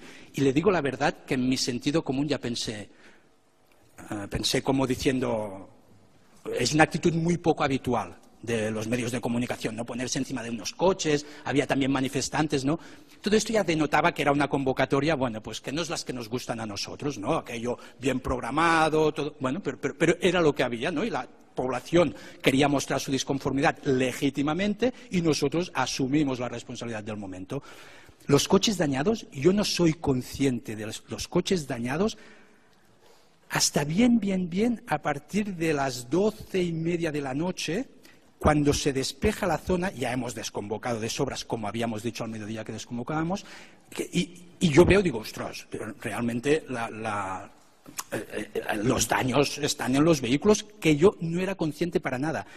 Pero era meramente anecdótico, y lo digo con todo respeto respeto hacia el mobiliario urbano, hacia los colegios electorales que se destrozaron el 1 de octubre y hacia los vehículos de, los coches de la Guardia Civil. Yo tengo un principio de, actuación de máxima austeridad y que se rompa algo, lo que sea, me molesta, me, molesta porque soy así y porque no me gusta que se rompan las cosas, sean no sean mías, y le, añado que tengo un, sentido de, lo público muy amplio como para considerar también que los coches de la Guardia Civil también son en parte de, parte de la sociedad catalana. Y le puedo garantizar que no me satisface ver daños en ninguna parte, tampoco los policías del 1 de octubre destrozando las puertas de un colegio para quitar unas cajas de plástico. Dicho esto, lo que yo vi a las 12 de la noche, creo más o menos, pues sí, sí, eran unos coches que estaban dañados, es que no, y lo lamenté, lo lamenté públicamente en la sexta, ya, lo dije, lo dije y lo vuelvo a repetir, lamento mucho que se puedan producir este tipo de daños, una, porque lo explicaba también muy bien Jordi Sánchez el otro día, no responde a la actitud de, los manifestantes del movimiento soberanista, no se destroza nunca nada. Y la otra, porque con el paso de los días se utilizó aquello que no era meramente anecdótico, pero que era un hecho menor, porque lo importante era, insisto, ¿eh? 750 alcaldes imputados. Nadie se pregunta nada en el resto del Estado español cuando 750 alcaldes están imputados. Aquí está pasando algo, ¿no? Pues todo esto ha quedado ocultado por unos vehículos que sí, sí, que es, muy lamentable, pero que por mucho más que lo repitamos, ni serán más coches ni serán menos daños. Es unos coches en unos vehículos de una actitud que no la comparto, que es una ruptura de la disciplina no violenta que ha caracterizado el movimiento soberanista, pues que no, no, no, no. Pero no lo comparto yo y no lo comparte los cientos de miles de catalanes que se manifiestan siempre. Fue degenerando en una actitud que no es propia de lo que es el civismo del movimiento soberanista. Eh, ¿Usted sabe si la Comisión Judicial pudo hacer correctamente su trabajo, si se alteró esencialmente el desarrollo del acto judicial? Sí, a mí me consta que, la Comisión Judicial creo que terminó sus labores a partir de las 11 de la noche, diez y media, once, no lo sé, y que sí que pudo desarrollar su actividad en plena normalidad. ¿Sabe usted que no se pudo meter a tres de los detenidos a presenciar el registro? Yo, esto, lo que me consta del mediodía, al mediodía hicimos un acto en la Plaza San Jaume con todas las entidades firmantes del Pacto Nacional para el Referéndum, o la mayoría de ellas, junto con la alcaldesa Colau y, donde hicimos este llamamiento también a, la, movilización ciudadana en defensa de las instituciones propias. al mediodía yo ya escuché que, los, que tenían que estar presentes en el, en el registro habían renunciado a estar presentes en el registro y por lo tanto, de, todos modos, creo que quedó muy bien explicado todo lo que hace referencia en el pasillo que se realizó con los voluntarios de la Asamblea y, creo que todo quedó muy bien explicado, pero, pero, pero no, no, no sé si le voy a poder ayudar con muchos más detalles de, lo que hace referencia al 20S. ¿Supo usted que la Comisión Judicial no tuvo posibilidad de salir a comer, no tenía libertad de movimientos. esto no es cierto. que no tenga libertad de movimientos no es cierto. Se creó un pasillo expresamente para que pudiera entrar y salir todo aquel que quisiera salir del Departamento de Economía. Y de hecho salió muchísima gente. Entraban, salían y no se les pedía ningún tipo de autorización porque cuando llegaban a la puerta, en el exterior había durante todo el día y parte de la noche hasta las 12 de la noche una pareja de policía de Guardia Civil y de policía de los Mossos de Escuadra que estaban en la parte de exterior, que estuvieron todo el día y que a su criterio dejaban entrar o no dejaban entrar a la gente. Pero estaban, insisto, en la parte exterior de vicepresidencia durante todo el día. Y ellos eran los que iban diciendo, tú entras, tú no entras. Y por lo tanto estoy convencido que si quisieron salir las personas que quisieran salir, lo pudieron hacer. Sí que es verdad pues que había mucha gente, pues bueno, el, pasillo era un pasillo que podían pasar tres y cuatro personas en paralelo y, bueno, pues, pues sí, había una multitud de manifestantes, pero que no se les impedía bajo ningún concepto segurísimo. El pasillo al que se refiere es el pasillo que vimos en las fotos, un pasillo estrecho con custodiado por los propios manifestantes, no policial, y por ahí le parece a usted, de verdad, bueno, que, que era posible que saliera alguien de la Comisión Judicial. No, no, no, le, varias matizaciones. Una por un lado, cuando se inicia el registro, la Guardia Civil no toma ningún tipo de precauciones habituales. El día que entraron en la sede de la Guardia Civil, hay de Omnium la Guardia Civil, cortaron la calle. La Guardia Civil corta la calle. Cuando hace un registro, corta la calle y se quedan tan anchos. ¿Por qué? Porque están haciendo un registro. No dejan coches con armas dentro, delante de la puerta. No lo hacen. Cortan la calle y ejercen el registro. Eso. Le estoy preguntando otra cosa. Le estoy preguntando si usted el pasillo que vio le parece que por ahí puede pasar alguien que sea de la comisión judicial. Bueno, yo, yo pasé. Pasé Usted no era de la comisión judicial. No, no, soy el presidente de Omnium, sí, sí. No, no era de la comisión judicial, por eso digo, o sea, pero alguien que hubiera sido la protesta contra las personas que están realizando ese acto, ¿usted le parece de verdad serio pensar que esas personas pueden salir Yo le fuera aquel pasillo, por ese pasillo? Perdón, que le he interrumpido. ¿Cree de verdad que pueden salir por ese pasillo? Ya está, ¿eh? Yo le digo, por aquel pasillo pasó una multitud de gente para arriba y para abajo, quien quisiera y como quisiera, porque es que no había ningún tipo de control. Y a la pregunta en concreto de si podían, sí, sí, es que se podía, se podía andar, se podía andar, se podía entrar, se podía salir. Es más, hay un vídeo donde ah, se ve perfectamente que estamos tres personas en paralelo, que estamos andando tres personas, porque a veces sí que se estrechaba un poco o se dejaba de estrechar, pero, pero, era un pasillo que se podía pasar perfectamente. Y por lo tanto, no tengo ningún tipo de duda. Y mi mención que le estaba haciendo antes era el cuestionamiento de cómo se hace una entrada y registro sin ningún tipo de protocolo de actuación. O sea, ¿Alguien en su sano juicio se cree que se puede entrar en la sede de la vicepresidencia de la Generalitat, habiendo clausurado páginas web, habiendo suspendido la autonomía financiera y no tomar un mínimo de medidas para que se pueda desarrollar en mejor, que los profesionales lo puedan hacer en, mejores circunstancias? Yo le reconozco que es aparatoso, hombre, para un profesional que normalmente entra y sale de un sitio sin ninguna persona en el exterior, pues le reconozco que es aparatoso, pero es que también era aparatoso para la gente que no pudo ir a trabajar el 20 de septiembre porque se estaba manifestando en defensa de sus derechos fundamentales. Y es una corresponsabilidad. La policía hacía su trabajo, los funcionarios hacían su trabajo y la ciudadanía hacía su trabajo, que muchos de ellos no fueron a trabajar para defender aquello que creen que legítimamente tienen que defender. Son derechos fundamentales y el derecho a la autodeterminación, en aquel caso el derecho al autogobierno. Y por lo tanto, sí, e-, era todo, pues, pues sí, más aparatoso pero no cuestionaría la buena voluntad de los que hicieron el, pasillo, ¿no? en este caso los voluntarios que estuvieron ahí todo el día aguantando, y no cuestionaría bajo ningún concepto la finalidad del pasillo, que no era otra, que pudiera entrar y salir todo aquel que quisiera. Para, eso se crea el pasillo. Nosotros no teníamos otra finalidad que crear un pasillo que la hicimos con buena voluntad, e insisto, el señor Sánchez lo explicó con mucho más detalle. ¿Supo que la comisión no pudo salir a comer y que una mozo de escuadra les compró cinco bocadillos para 20 miembros de la comisión judicial que estaban allí? A ver, eh, si ellos pidieron unos bocadillos a un mozo de escuadra. Fue un mozo de escuadra quien, viendo la situación, les llevó unos bocadillos. A ver, a ver, a ver. O sea, si.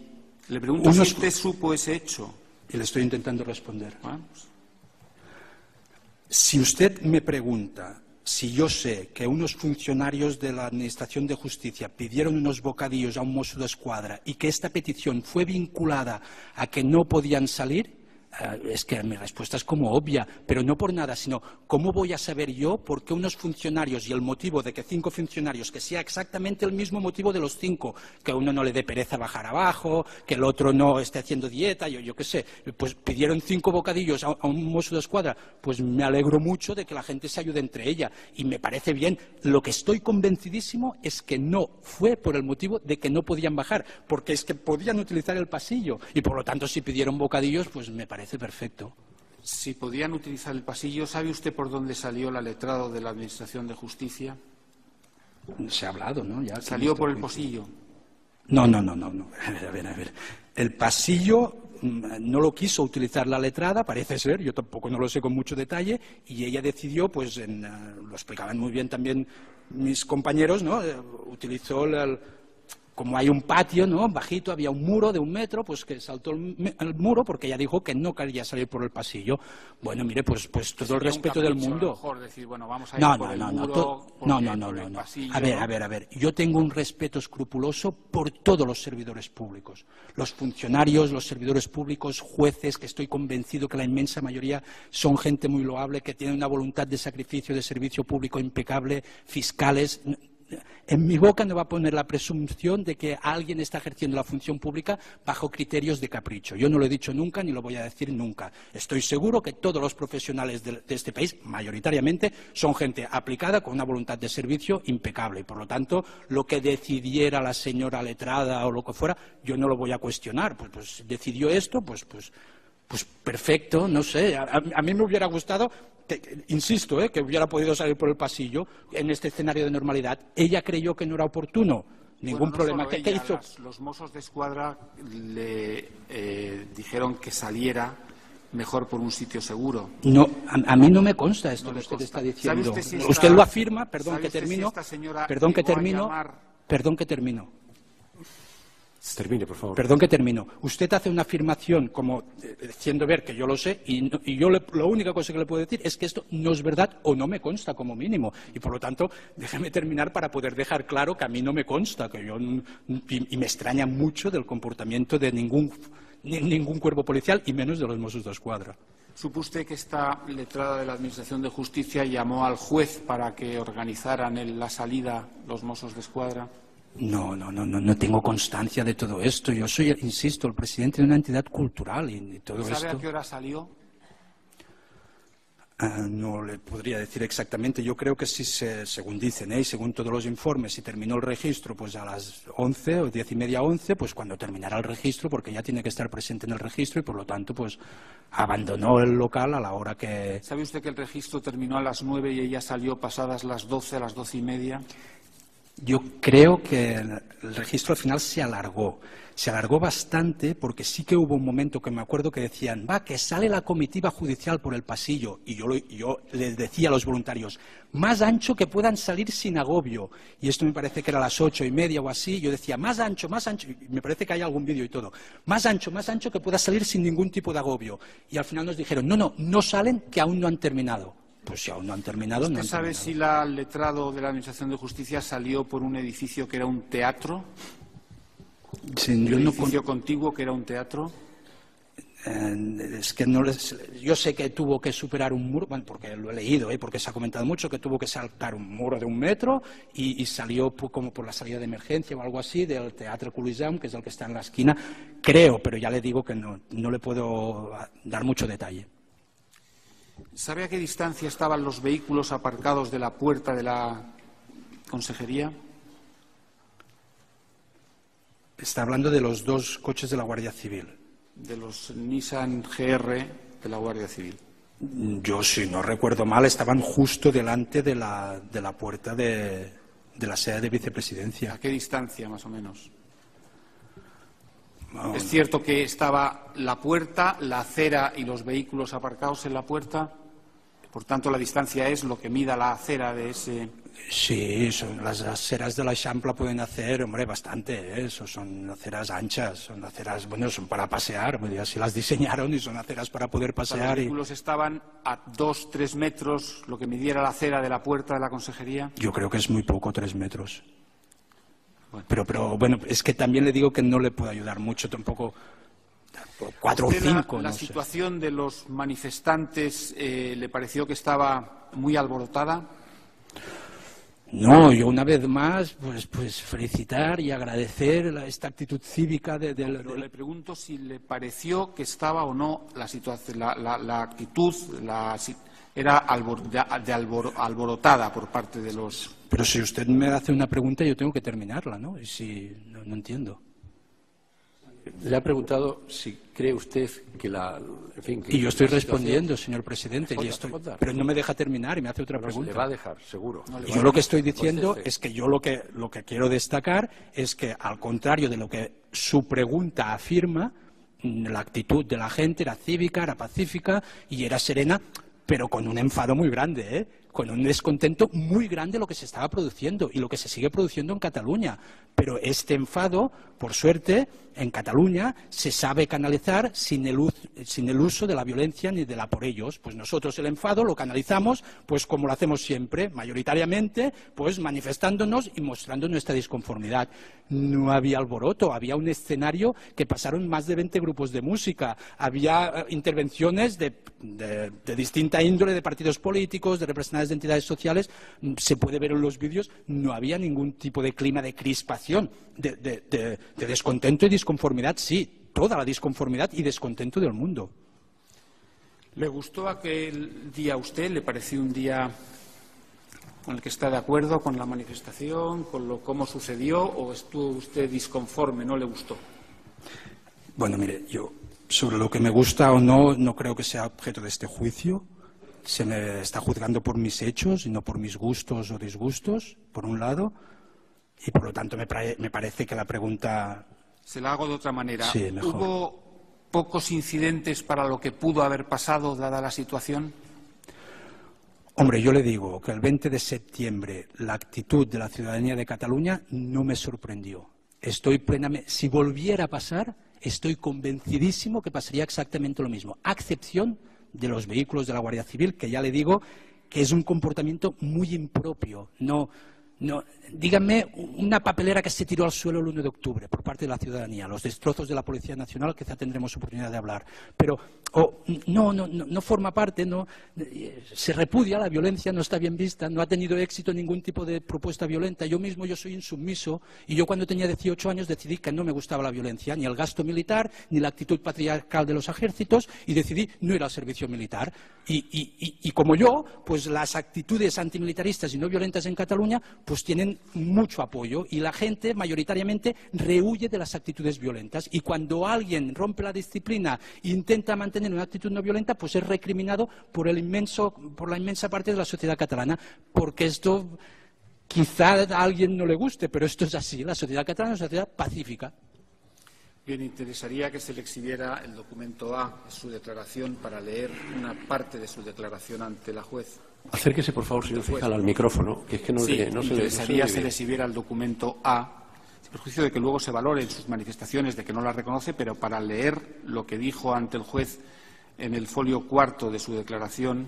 Pero, señor fiscal, ha descalificado íntegramente la declaración que ha practicado o que se practicó ante el juez. En consecuencia, yo creo que en, el contenido material del derecho que le asiste en este momento está el refutar esa declaración sin perjuicio de que sí, pero eh, en esa declaración la sala valore, valore luego una, serie de cosas que yo quiero que la sala valore y entonces por eso mm, interesa que se lea esa declaración y que él manifieste si existe no, o no pero lo que va a valorar la sala es el rechazo integral que hace el señor Cusar a, lo que fueron sus respuestas en el interrogatorio por la afirmación de que estaba en un clima de, en fin, de, que era un clima contrario a lo que constituía su serenidad de ánimo y lo que era su claridad a la hora de, expresarse. En consecuencia, partimos de esa base, pero no pidamos contradicciones, valorar contradicciones a partir de la idea de que él ni siquiera esas contradicciones considera que se pudieron ajustar a lo que él verdaderamente quería decir en aquel momento. Entonces, yo creo que es mejor, señor fiscal, que desde, desde eh, lo que constituye ahora el interrogatorio nos limitemos exclusivamente a constatar que él todo lo que manifestó ante el instructor no lo, no lo acepta, no lo admite. Bien, pero puedo preguntar sobre eso, sobre... Pregunte sin vincularlo a eso. Pregúntelo sin vincularlo a eso. preguntar por qué aquel día dijo usted aquel día ante el instructor. No, pero no lo está vinculando. No, pero pues sobre lo que dijo, formula usted la pregunta. ¿No le parece a usted que ese día podía haber pasado mucho más de lo que pasó? Mm, le respondo, por parte de los manifestantes estoy plenamente convencido de que lo que pasó es lo que volvería a pasar a, exclusión, insisto, de los vehículos, porque no entiendo, no entendería que la sociedad catalana por mucho que empeorara la situación en lo que hace referencia al autogobierno el recorte de derechos y libertades en Cataluña y el conjunto del Estado español, actuara de otra manera. Piense que cuando estaba vivo el dictador, pues, nos defendíamos de la misma manera que estamos haciendo ahora, ¿no? Ejerciendo derechos fundamentales, democracia, libertad de expresión y, por lo tanto, estoy convencido que, mm, aunque hubiera un escenario que no lo deseo, pero de mayor represión hasta hacia el conjunto de la sociedad catalana o hacia las instituciones catalanas, pues que la actitud del pueblo de Cataluña va a ser la misma. Y no sé, uno de mis compañeros lo decía, ¿no? Somos el país de Pau Casals, ¿no? Pues, pues sí, yo añado, somos el país de Pau Casals, de Muriel Casals, de Arcadio Oliveras y de tantos otros pacifistas que nos han legado pues esta actitud no violenta, porque forma parte de nuestro ADN, porque somos así y porque nunca aceptaremos la violencia como instrumento de diálogo y nunca lo hemos aceptado. Y por lo tanto, estoy convencido que, que nunca, nunca, nunca, nunca vamos a entender que la violencia es un instrumento para comunicarnos con el Estado. ¿En algún momento hizo usted algún intento de desconvocar la manifestación antes de que ésta finalizara? No, nunca. No. No. ¿Usted comunicó o su asociación comunicó a la autoridad gubernativa la celebración de esta manifestación? Sí, permíteme que, que, quería complementar la pregunta anterior cuando he dicho no nunca, es porque estoy convencido de que no podemos renunciar a nuestro derecho de manifestación, igual que no podemos renunciar al derecho de hacer tweets, igual que no podemos renunciar al derecho de existir como entidad ni como sociedad. Y por lo tanto, termino, termino, por, favor. ya sé que no yo creo, señor presidente, que tengo, tengo derecho a terminar. Termine la pregunta, pero por favor acomódese a, lo, que, a lo que el Ministerio Fiscal quiere saber de, ¿eh? de lo que sucedió. Y yo le digo que no me plantee la desconvocatoria de la manifestación porque es que el objetivo es que la manifestación tuviera mucho éxito de convocatoria y, como ya habíamos dicho a los medios de comunicación, porque lo dijimos durante la mañana y también al mediodía durante la tarde, a las 12 de la noche, como estaba previsto, desconvocar la manifestación. Y lo que hicimos fue a las 11 de la, no, a las diez y media de la noche, pues ya empezar los preparativos de la desconvocatoria haciendo un discurso en el escenario principal y otro encima de los coches de la Guardia Civil. Pero no queríamos desconvocar y no nos lo habíamos planteado porque el objetivo era mostrar la disconformidad hacia aquella actitud, perdón, hacia aquel, hacia aquel registro, hacia aquella entrada y registro en la sede de vicepresidencia. Yo le preguntaba si ante los hechos de encontrarse vehículos dañados, no poder acceder los detenidos, mm, no poder la comisión salir por la puerta, si ante eso, ante esas circunstancias, ustedes no pensaron en algún momento en hacer un llamamiento para rebajar esa situación y desconvocar. A ver, si me explico bien. O sea, los vehículos dañados le he insistido que por la multitud que había ahí congregada hasta las doce y media de la noche no se podían ver. El deterioro de estos vehículos, un deterioro progresivo y, que lamento y lamentaré, ¿eh? que, no, estoy diciendo, ay, no, no, no, no, no, sí, sí, hubo unos daños que hemos lamentado todos los responsables de la convocatoria y creo que, creo que son los vehículos más lamentados a nivel dañino de toda la historia de, la democracia española. ¿eh? Por lo tanto, una cosa son los vehículos dañados, otra cosa es lo que usted afirma en su pregunta, que los detenidos no pudieron entrar. No es cierto, rehusaron a este derecho que tienen. Y, la tercera cosa que usted dice es que no podía entrar o salir la letrada de la Administración de Justicia, cosa que no la comparto. Y, por lo tanto, ni aun así que hubiera sido el derecho de manifestación que tenían aquellos ciudadanos no se puede ver cuestionado. Cuando en una convocatoria hay algún incidente violento, y no le hablo de las del soberanismo porque no lo hay nunca, pues entiendo que los convocantes se reúnen y deciden. Pero si no hay violencia, que no la hubo, ¿qué me obligaba a mí desconvocar aquella convocatoria anteriormente a lo que tenía previsto. Si no había, lo que sería fundamental sería que la convocatoria tuviera algún indicio de violencia, que luego sí que se tiene que tomar una determinación rápida y mirar cómo se arregla aquello y dejarlo en manos de la, de la Guardia Civil, de los Mossos, de la Guardia Urbana, de quien sea. Pero es que no era el caso y, por lo tanto, no tenía, bueno, y, sigo teniendo ningún tipo de duda de que aquello no se tenía que desconvocar hasta que llegó la hora y a las diez y media pues empecemos a desconvocar como nos habíamos comprometido también con los manifestantes. Tenemos que pensar que los manifestantes se habían reunido ahí de mutuo propio, por voluntad propia. Y, si nosotros queremos tener la autoridad que otorga la coherencia del relato, pues nuestra coherencia era, si les habíamos dicho hasta las 12 de la noche, a las 12 de la noche se desconvoca, ni antes ni después, y es lo que hicimos. Le aseguro, si hubiéramos visto algún indicio de que era necesario desconvocarla, no hubiéramos dudado ni dos segundos. Nada, no hubiéramos dudado nada. ¿Comunicaron a la autoridad gubernativa que se celebraba la manifestación? Sí, yo en este sentido es una, es una labor que, que la acostumbra hacer la Asamblea y, el señor Sánchez la explicó con mucho detalle y no les puedo ayudar mucho porque sí que sé que se pidieron los permisos y todo y también ya por la mañana se explicó que la convocatoria terminaba a las 12 de la noche vía correo. Por lo tanto, me consta que sí, que se hizo lo que, lo que se debe hacer en estos casos y por el procedimiento ordinario, habitual y que no hay ningún contratiempo en este sentido. ¿Lo hizo ANC o Omnium Cultural? No, no, lo hicieron los compañeros de la ANC sin ningún tipo de voluntad incriminatoria, porque estoy eh, seguro que me parece que sale en algún tipo de documento donde, donde se explica con detalle. Y, pero, pero ya le digo, la Omnium y la ANC eh, tienen distintas naturalezas de origen como entidad, ¿no?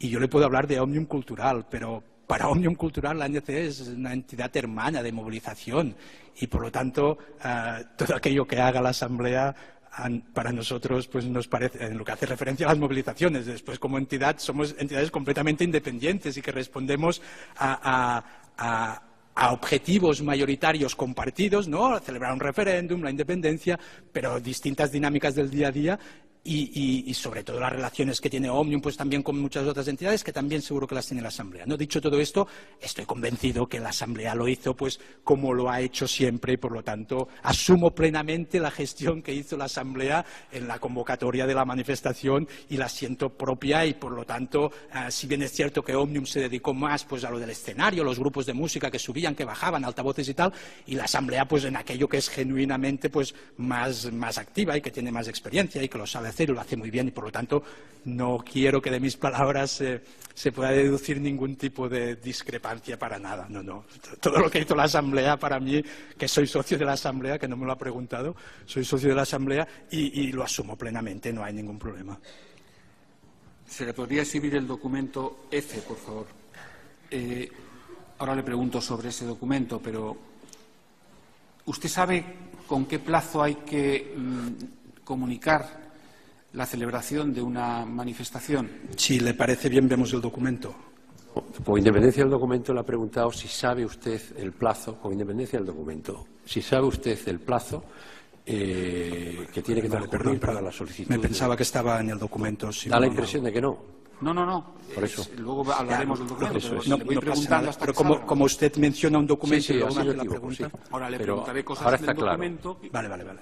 No, ha sido un malentendido. O sea, la pregunta es cuál es el plazo para una. Usted es una persona que me imagino que ha convocado muchas manifestaciones en su calidad de presidente de OC y le pregunto cuál es el plazo que marca la ley, la ley 983 del derecho de reunión para eh, comunicar que se va a celebrar una manifestación. Lamento mucho no poderle ayudar y en este sentido me gustaría saber si el señor eh, Pepe Álvarez o Unai Sordo saben cuál es el plazo que se tiene que pedir una manifestación o cualquier otro líder de entidad eh, social o cultural, si saben en concreto la ley, el plazo que pide la ley y yo soy presidente de una entidad cultural, que convocamos manifestaciones pues de manera, eh, no digo esporádica, pero que, siempre coparticipamos en las manifestaciones que hace la ANC los 11 de septiembre y que una gran manifestación que hicimos fue la del 10J y que si hace falta convocaremos tantas manifestaciones como haga falta para defender nuestro derecho a la manifestación, pero no para reproche de nadie, sino en defensa de la democracia, que estoy seguro que en esta sala todo el mundo quiere defender la democracia, pero le digo que yo en concreto no sé cuál es el periodo con el que se tiene que pedir la convocatoria de una manifestación, porque, insisto, es que esto le corresponde pues, a los técnicos, pero no al presidente de una entidad cultural con 140.000 socios. Son 10 o 30 días y, en caso de extraordinaria y urgente necesidad, 24 horas. Yo, si usted me está hablando a nivel legal o de procedimiento, yo ahora lo que le hablo es del derecho constitucional que tenemos los ciudadanos de este país de manifestarnos en la manera que... Perdón, déjeme terminar. Creo que... No, pare un momentito. Vamos a intentar eh, reconducir el interrogatorio a lo que es pregunta-respuesta. Le ha preguntado al señor Cusar si sabía o no sabía el plazo. Ha contestado que no, y sencillamente porque considera que en su condición de presidente de OC eh, no tenía por qué saberlo porque hay otros órganos u otras personas que asumen el trámite burocrático. A partir de ahí, ¿qué otra La siguiente pregunta? es, con arreglo a ese documento en el que... en relación con... Pero no me conteste a mí, no me conteste a mí. O sea, yo no he hecho ninguna pregunta. Yo me he limitado simplemente... No, es que le quiero comentar que yo estaba terminando diciéndole porque él me ha dicho... Perdón, el señor fiscal me ha dicho que... A ver, eh, vamos a centrarnos un momento me ha dicho que eh, una cosa, yo le estaba explicando que una cosa es el procedimiento habitual de una convocatoria de manifestación y yo lo que le estaba intentando explicar antes de que me interrumpiera es que los ciudadanos del Reino de España tenemos el derecho de ejercer una manifestación. Eso lo sabe también el señor fiscal, no hace falta explicarlo. Pero, lo estaba cuestionando. Sí. Vamos a ver, entonces, en relación con ese documento, si había alguna pregunta, por favor. Sí. Eh, en relación a ese documento, ¿sabe usted a qué hora se recibe eh, por parte de la autoridad gubernativa la comunicación de que se va a celebrar una manifestación el día 20 de septiembre. Ya le insisto, ahora. Si lo lee. Estamos hablando del documento, ¿eh? Sí. Si, lo, lo lee un momento, si le parece.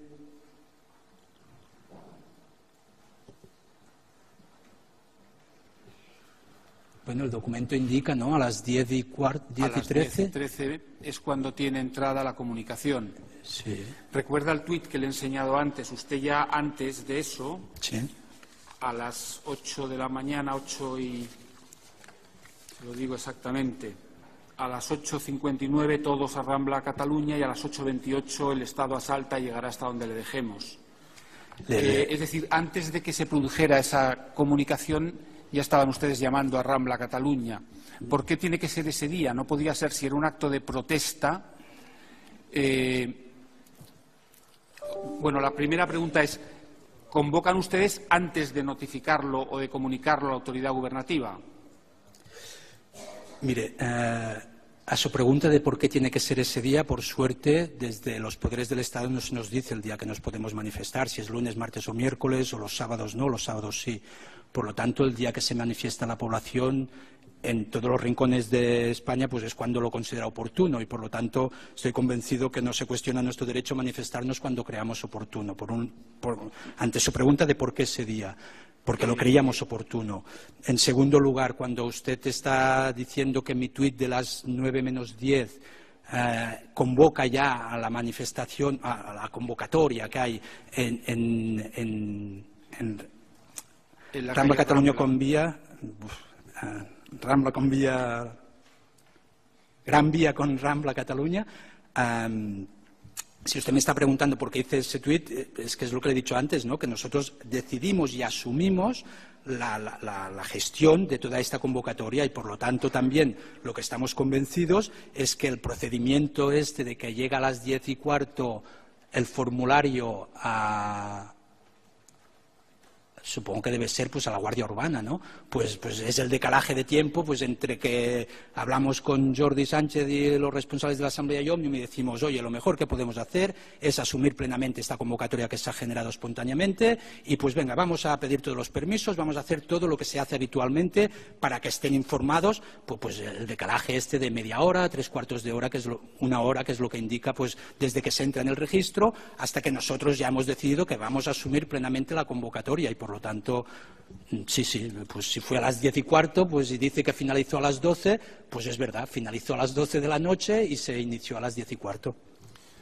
¿Usted recuerda que esa noche a las doce menos veinte usted y Jordi Sánchez, subidos en un vehículo de la Guardia Civil, se dirigieron a la multitud? ¿Lo recuerda? A las once y, poco, a las once y poco, porque el tema es que habíamos desconvocado desde el escenario general y cuando hicimos la desconvocatoria desde el escenario general, ¿no?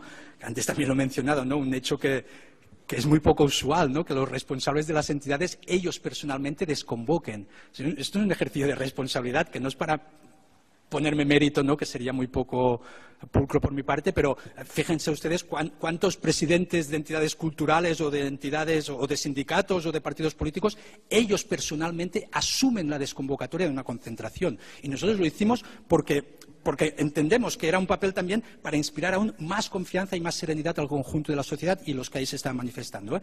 Pues hacemos la desconvocatoria desde el escenario general a las diez y media o algo así y a las 10 y 40 o 10 y 50 cuando bajamos nos empieza a decir mucha gente que lo que hemos dicho en el escenario principal no se oye en los que quedan congregados delante de la puerta de la sede de la vicepresidencia y en el tiempo que nos movemos desde el escenario principal, que está junto, justo en la esquina ¿eh? de, Gran Vía con Rambla Cataluña, el, tiempo de desplazarnos, primero hacemos un primer intento desde abajo de hablar a los concentrados ahí y nos damos cuenta que no, llega nada, no llega la voz y estamos eh, hablando así como gritando, ¿no? Eh, desconvocamos la convocatoria, como habíamos dicho al mediodía y tal, y no llega esta información y al final, pues, pues con Jordi, pues como ustedes ya saben, pues lo hacemos desde encima del vehículo de la Guardia Civil alrededor, yo creo, de las once y media. Nuestra obsesión siempre es con los horarios ser muy estrictos. O sea, si esto de la coherencia es una cosa importante, ¿no? Y si dices que terminas a una hora, tienes que terminar aquella hora. Y más cuando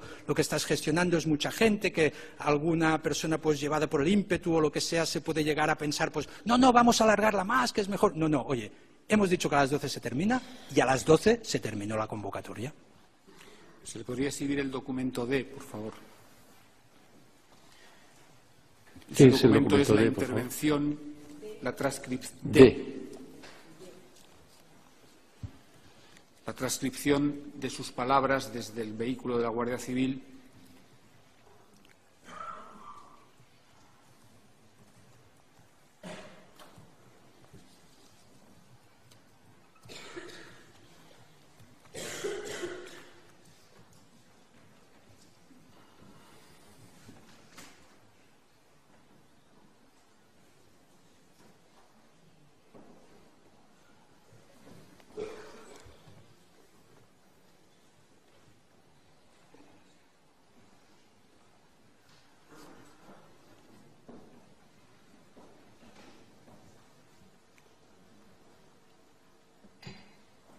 folio 487.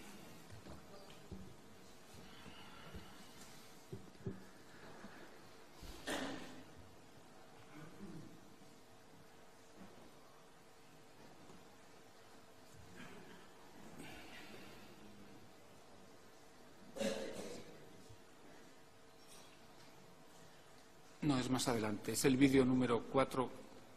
4.1. Más adelante.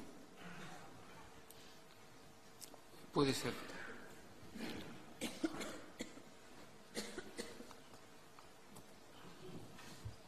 Es aquí.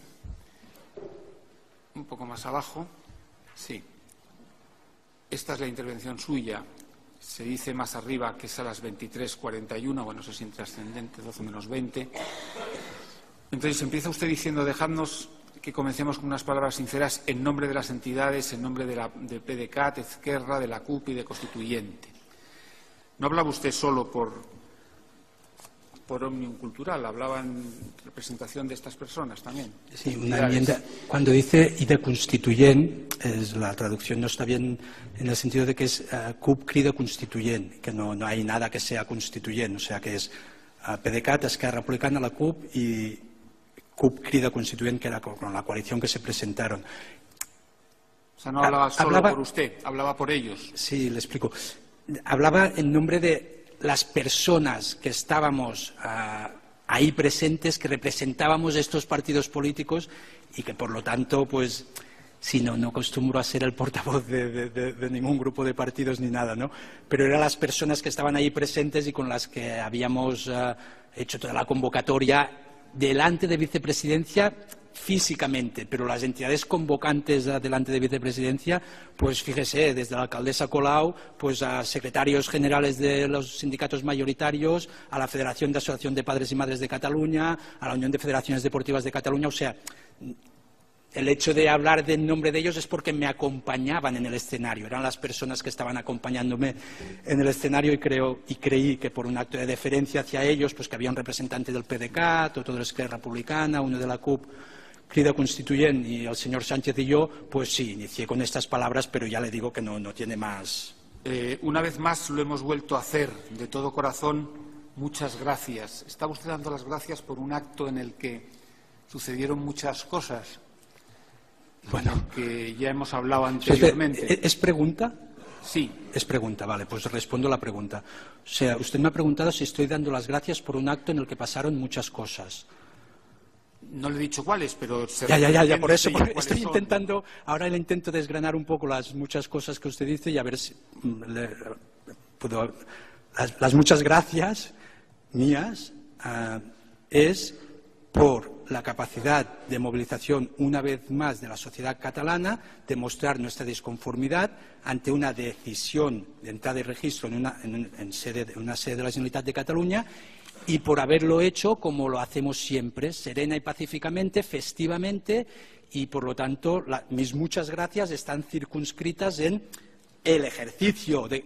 O sea, cuando una persona participa de una manifestación un día entre semana, pues o deja de atender a sus hijos, o, no los deja de atender, pero los dejará con alguien. Es, un ejercicio pues, pues, de militancia democrática y, porque a nadie le apetece un 20 de septiembre, mira, no tengo nada que hacer, me voy a manifestar en defensa de la democracia y de los derechos y libertades de Cataluña y del conjunto del Estado español. Pues no, y a nosotros lo que nos parece es que tenemos que agradecer esta capacidad de movilización y de compromiso. Y estas muchas gracias que usted me pregunta están circunscritas en esto, ¿no? Una vez más mostramos a la sociedad y también a los poderes del Estado nuestra disconformidad ante una decisión que consideramos ilegítima y a partir de aquí, pues, pues sí, sí, también un agradecimiento por el comportamiento de la ciudadanía una vez más. Ser agradecidos ah, lo somos siempre, en cada 11 de septiembre, en cada NIT de Santa Lucia, en, todas las celebraciones que hacemos como Omnium, pues damos las gracias a los asistentes. ¿Puede bajar un poco más la...? perdón, ¿eh? Dice... Bajar un poco más la... la... Eh, Mm, empieza usted diciendo, mirad, desde este altar tan majestuoso, mi amigo Jordi y yo tenemos... ¿Qué altar majestuoso era ese? El escenario. ¿Está usted en el escenario o estaba subido a un coche de la Guardia Civil? Ah, pues no, perdón. Eh, lo dije también, me parece, desde el escenario. Ah, ah, o, no, lo sé, pero, pero altar majestuoso de que los podía ver. no, no tengo nada más que comentar hay bastante de comentar sobre el altar majestuoso, ¿no? Está usted subido a un no, de la Guardia Civil. Ha dicho que no quiere comentar nada sobre el altar majestuoso y aceptemos que no quiere eh, comentar nada. bajar más en el documento.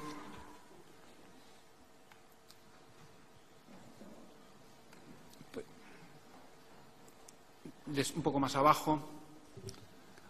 Ahí. Aquí, desde donde estamos hablando encima de un coche de la Guardia Civil, os pedimos que nadie dude de nuestro compromiso. Os dijimos que nos dejaríamos la piel y nos la estamos dejando junto con vosotros, que nadie dude.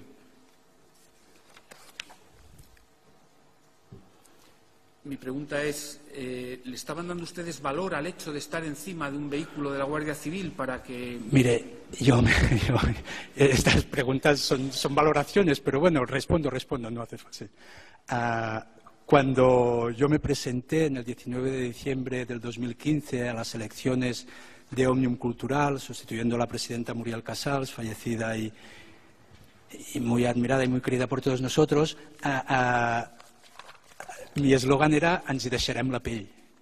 y ens hi deixarem la pell, nos dejaremos la piel, porque la traducción es en catalán ens hi deixarem la pell, es una, actitud, es una expresión coloquial que quiere decir voluntad de sacrificio y de esfuerzo y que no le podría decir el origen de esta afirmación ens hi deixarem la pell, pero que ens hi deixarem lo encontrará en, los entornos obreros, en los trabajadores, en, la, gente que está trabajando a pie de, máquina, diciendo ens hi deixarem como diciendo pues voy a sudar y voy a luchar al máximo pues para lograr nuestro objetivo, que sigue vigente a día de hoy, ¿no? El respeto a las libertades fundamentales y el ejercicio del derecho a la autodeterminación.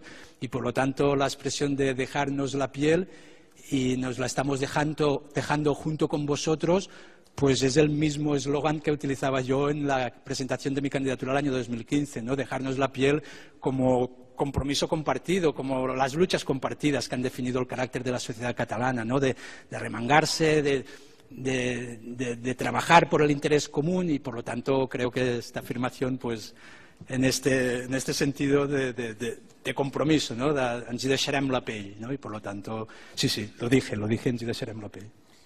Bien, eh, ¿usted sabe que hubo ese mismo día en otros lugares concentraciones, en concreto en el, registro del domicilio de Llobé? ¿Sabe que hubo 300 personas aproximadamente que se concentraron? Sí, en concreto no le puedo detallar dónde hubo concentraciones porque hubo muchísimas, ¿no? Y, demostrar la disconformidad y no sé si en el municipio de el domicilio de Jubelas hubo o no, pero sí que sé que hubo muchas concentraciones esporádicas, espontáneas, sí. Bien, ¿sabe usted si en el, registro eh, de la Consellería de Exteriores, en la vía Layetana, hubo otra concentración y que los eh, concentrados, 200 personas, lograron eh, llegar a asir, a acoger al detenido Xavier Puig para sustraerlo del control de los agentes? A ver, eh, ¿Tuvo usted conocimiento de ese hecho? En la pregunta hay una afirmación que no la puedo compartir, esto de asir, ¿no? Si, entiendo es que quiere decir impedir, ¿no? Cogerlo. ¿O cogerlo? cogerlo para intentar no, sustraerlo No lo comparto, al contrario, en el vídeo que yo he podido ver se ve como el, detenido tiene la voluntad de entrar en el vehículo y, el detenido lo que quiere es entrar en el vehículo. Le quería hacer una previa a, lo que usted también me ha preguntado y es que eh, la convocatoria de Vía Layetana es el sindicato Comisiones Obreras Nacionales de Cataluña, que es vecino de, la sede de la vicepresidencia, quien hace la convocatoria, quien eh, lidera la convocatoria, pero que ya le digo, eh, que también con una participación muy masiva de mucha gente, y en este sentido lo que yo he podido ver, y es verdad, son unas imágenes de un clima de, intensidad, de protesta y de protesta activa, o sea, no es una protesta en silencio, no, no, eh, donde hay pues una actitud de, mostrar la disconformidad y, de una cierta tensión y de unos manifestantes pues que con la mano abierta, y es verdad, con la mano abierta, zarandean el vehículo del detenido, que se puede marchar, no tranquilamente, pero, pero, que sí que puede abandonar las diligencias con impedimentos. Es lo que decíamos de, lo de los desahucios, sí, eh, con una cierta incomodidad. Es la manera de llamar la atención de la comunidad internacional y de los propios poderes del Estado, sobre todo el poder político, ¿no? de, decir, no estamos de acuerdo con lo que está pasando y yo quiero poner en valor la actitud que vi de una serie de manifestantes que se pusieron sentados delante del vehículo. O sea, una persona que se sienta delante de un vehículo de la Guardia Civil o que en aquel caso no estaba rotulado, que lleva un detenido, a mí me recuerda al señor de la Plaza Tiananmen, con menos intensidad, delante de un tanque. Yo no sé si me sentaría culo suelo eh, delante de un vehículo que quiere abandonar. Esto es una actitud de resistencia no violenta o de mostrar la disconformidad.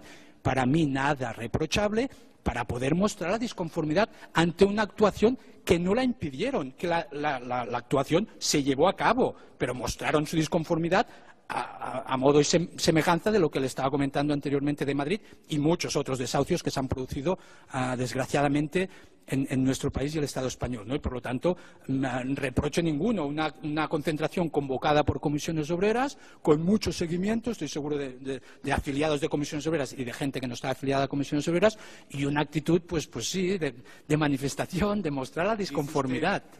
Eh, convocada por comisiones obreras. Bueno, eh, eh, antes hemos visto, pero Omnium Cultural también tenía un tuit en el que convocaba a cuatro consejerías y una era esta. Sí, es que le digo que no rehuyo de aquello que, del comportamiento de los manifestantes que pudieran tener, pero que por mucho que usted quiera no la convocó Omnium Cultural, pero es que no quiero debatir mucho sobre esto que ya le he dicho anteriormente, porque la actitud de los manifestantes no merece para mí reproche alguno, a no ser que haya habido alguna actitud que yo no conozco por las imágenes, pero por las imágenes que he visto es un ejercicio de manifestación, de libertad de expresión, de derecho a reunión, y por lo tanto no la convocó convocó Omnium, porque no le puedo decir que la convocó Omnium. ¿Sabe si en el registro de las naves de la urbanización Can Barris el letrado de la Administración de Justicia llegó a pedir una prenda para ocultar el rostro y se lanzaron botes y piedras contra ocho vehículos? No, no. policiales. Yo, si, veo las imágenes, yo le puedo hacer valoraciones de las imágenes.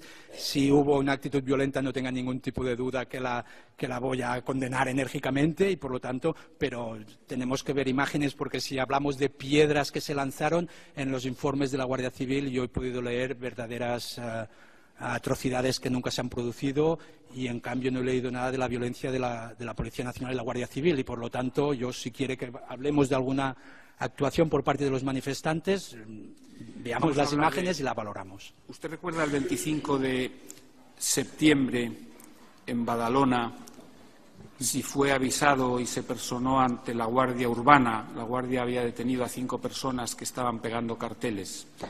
¿Detenido a cinco personas? Habían eh, requisado carteles a, cinco personas. Yo le, explico bien. Eh, si usted está hablando del acto del 25 de septiembre en Badalona, yo salía de un acto con la alcaldesa de Badalona, de un acto de crida por la democracia, donde poníamos en valor una sociedad como la badalonesa, de luchas compartidas, donde se han asfaltado ellos mismos plazas y calles con la voluntad, la tenacidad de, de ser un solo pueblo y, y tirar hacia adelante como comunidad, pues hacíamos este acto de reconocimiento hacia estos ciudadanos y también de petición de celebración del referéndum de autodeterminación a los poderes del Estado y a los políticos y también al, Congreso y al Parlamento de Cataluña. Y al salir de este acto yo me fui a comer a la Plaza de la Vila del Ayuntamiento de Badalona a cenar y estábamos comiendo algo y justo cuando ya habíamos terminado de comer bajaron un grupillo de cinco o seis personas y me dijeron que dos calles más arriba había un grupo de manifestantes, no, de manifestantes, de activistas, de ocho o diez activistas, que estaban conversando con la Guardia Urbana, que la Guardia Urbana les había requisado unos carteles, unas sillas, unos cubos y, y tal, ¿no? Y que estaban ahí hablando y yo dije, bueno, pues no sé, estamos aquí cerca, pues me avanzo, voy a mirar a ver qué está pasando y, y a ver si podemos colaborar de algún modo. Y así fue. Fuimos uh, con dos compañeros más que estábamos allí y cuando lleguemos en el coche la actitud era un, una actitud, se pueden ver vídeos. Y me parece que esto ha sido ya juzgado en, el en un juzgado, no me haga decir el número, pero en un juzgado ordinario, ya tiene, con, ya tiene la sentencia y todo, ¿eh? pero me parece que hay vídeos. No sé si están presentados en esta causa. Y si lo están, pues los podríamos ver. Uh, y cuando llegamos ahí, pues eh, sencillamente yo me intereso un poco qué es lo que pasa. Eh, hablo muy tranquilamente, además yo tienen que pensar que estaba agotado, estaba muy cansado. Hablo de manera muy coloquial y muy correctos los guardias urbanos también ¿eh? conmigo. Y hablo con ellos, les digo, ¿qué, ha pasado? No, tenemos una orden de, sí, ¿no? del Tribunal Superior de Justicia de Cataluña, donde tenemos que requisar todo el material del referéndum. Y yo les digo, hombre, pero, pero el material del referéndum de la Generalitat, ¿no? Ellos son representantes de una entidad y por lo tanto es una entidad privada que no ha recibido ningún requerimiento, están colgando carteles y no pasa nada, ¿no? Y yo le digo a los agentes, a ver los carteles, ¿no? Mira, el agente, mira, ves este cartel. Y yo le digo, sí, pone, pone Hola Europa. Y yo le digo, pone Hola Europa. dice, sí, sí, pero es del referéndum. Digo, no, señor agente, pone Hola Europa. Bueno, bueno, bueno. Bueno, vale, muy bien. ¿no?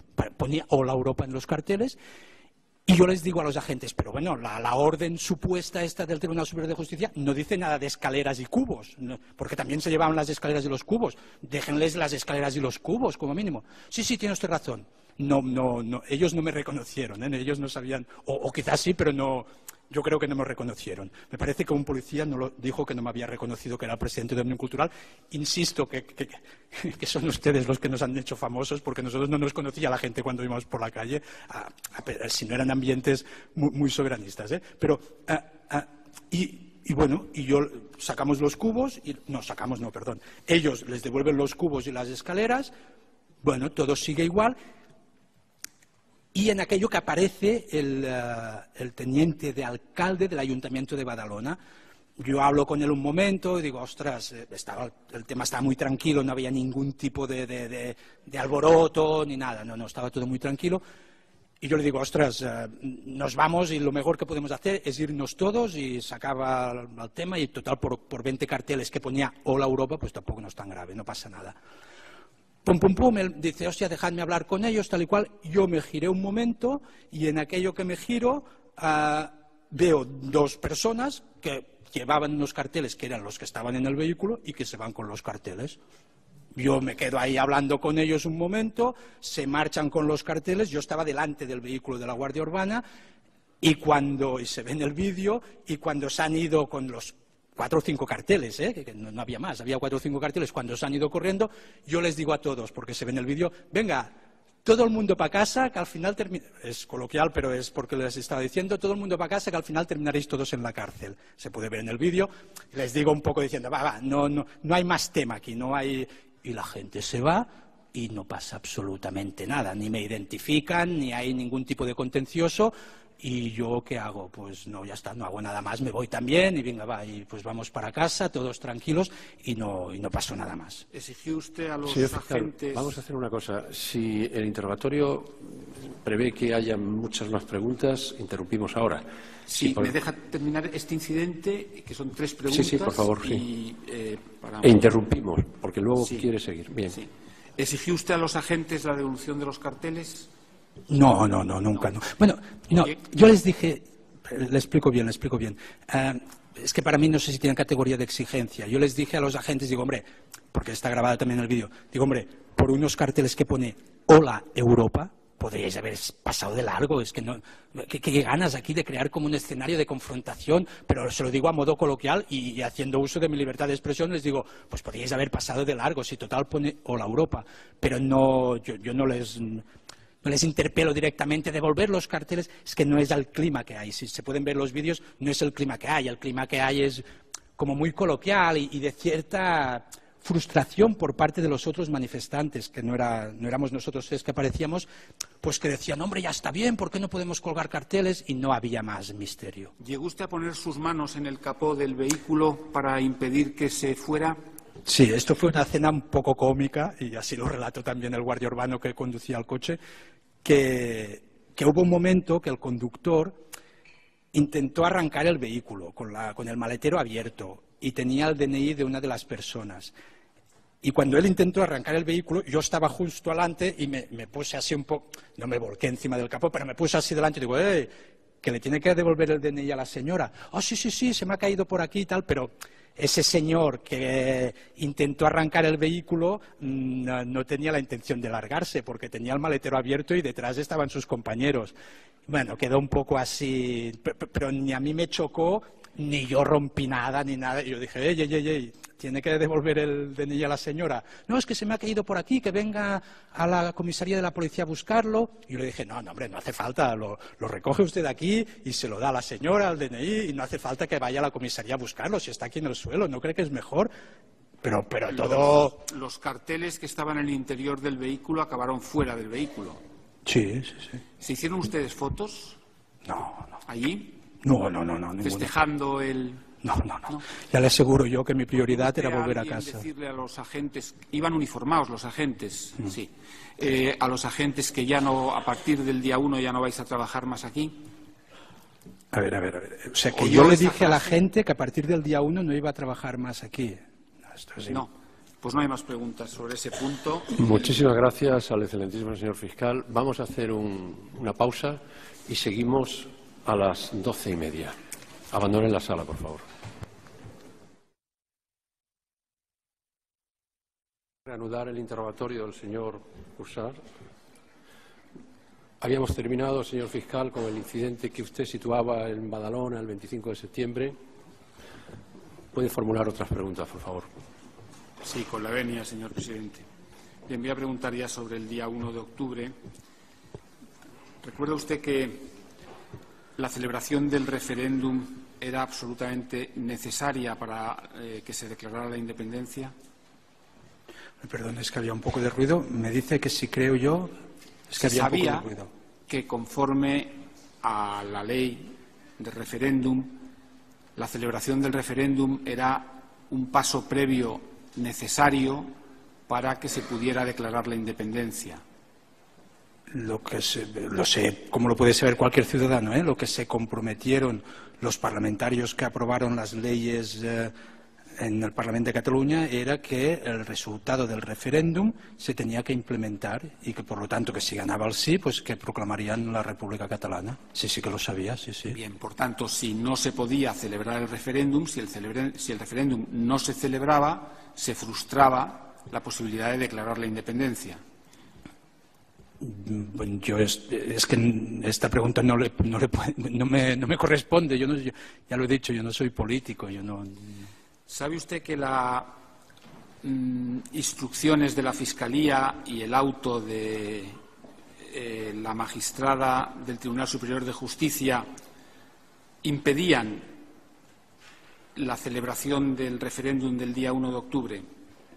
Mm, yo lo que tengo muy claro que es el Tribunal Constitucional el que suspende la celebración del referéndum de autodeterminación y luego que el, Tribunal, Superior de Justicia de Cataluña también hace una nota, pues también suspendiéndolo. Sí, sí. En todo caso, nuestra referencia, para decirlo de alguna manera, es el Tribunal Superior de Justicia de Cataluña y el Tribunal Constitucional que suspenden la ley del referéndum, la suspenden, sí. No, pero la magistrada instructora hace más, dicta un auto eh, ordenando a las fuerzas y cuerpos de seguridad que clausuren los locales, que impidan que se abran, que requisen material.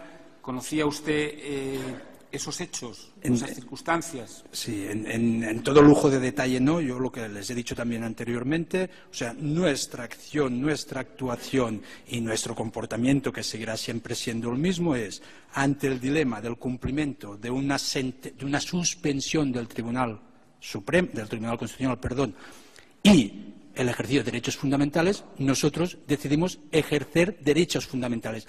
Entre otras cosas porque estas decisiones de los tribunales, tanto el Tribunal Superior de Justicia de Cataluña como el Tribunal Constitucional, en ninguna parte interpela a la sociedad catalana. De hecho, hay un tribunal ahora en Barcelona que lo está diciendo, que los ciudadanos que participaron del referéndum de autodeterminación lo hacen por iniciativa propia y, por lo tanto, nunca ningún tribunal interpeló a los ciudadanos de a pie a que no participaran de ningún tipo de acontecimiento, sea un referéndum o de las actividades previas que hubo. ¿no? por lo tanto, nosotros, ante este dilema de la suspensión del Tribunal Constitucional o el ejercicio de derechos fundamentales, hicimos lo que vamos a hacer siempre que creamos que hay una decisión injusta bajo el principio de la no violencia actuar con los parámetros de la desobediencia civil. ¿Y cuáles son los parámetros de la desobediencia civil?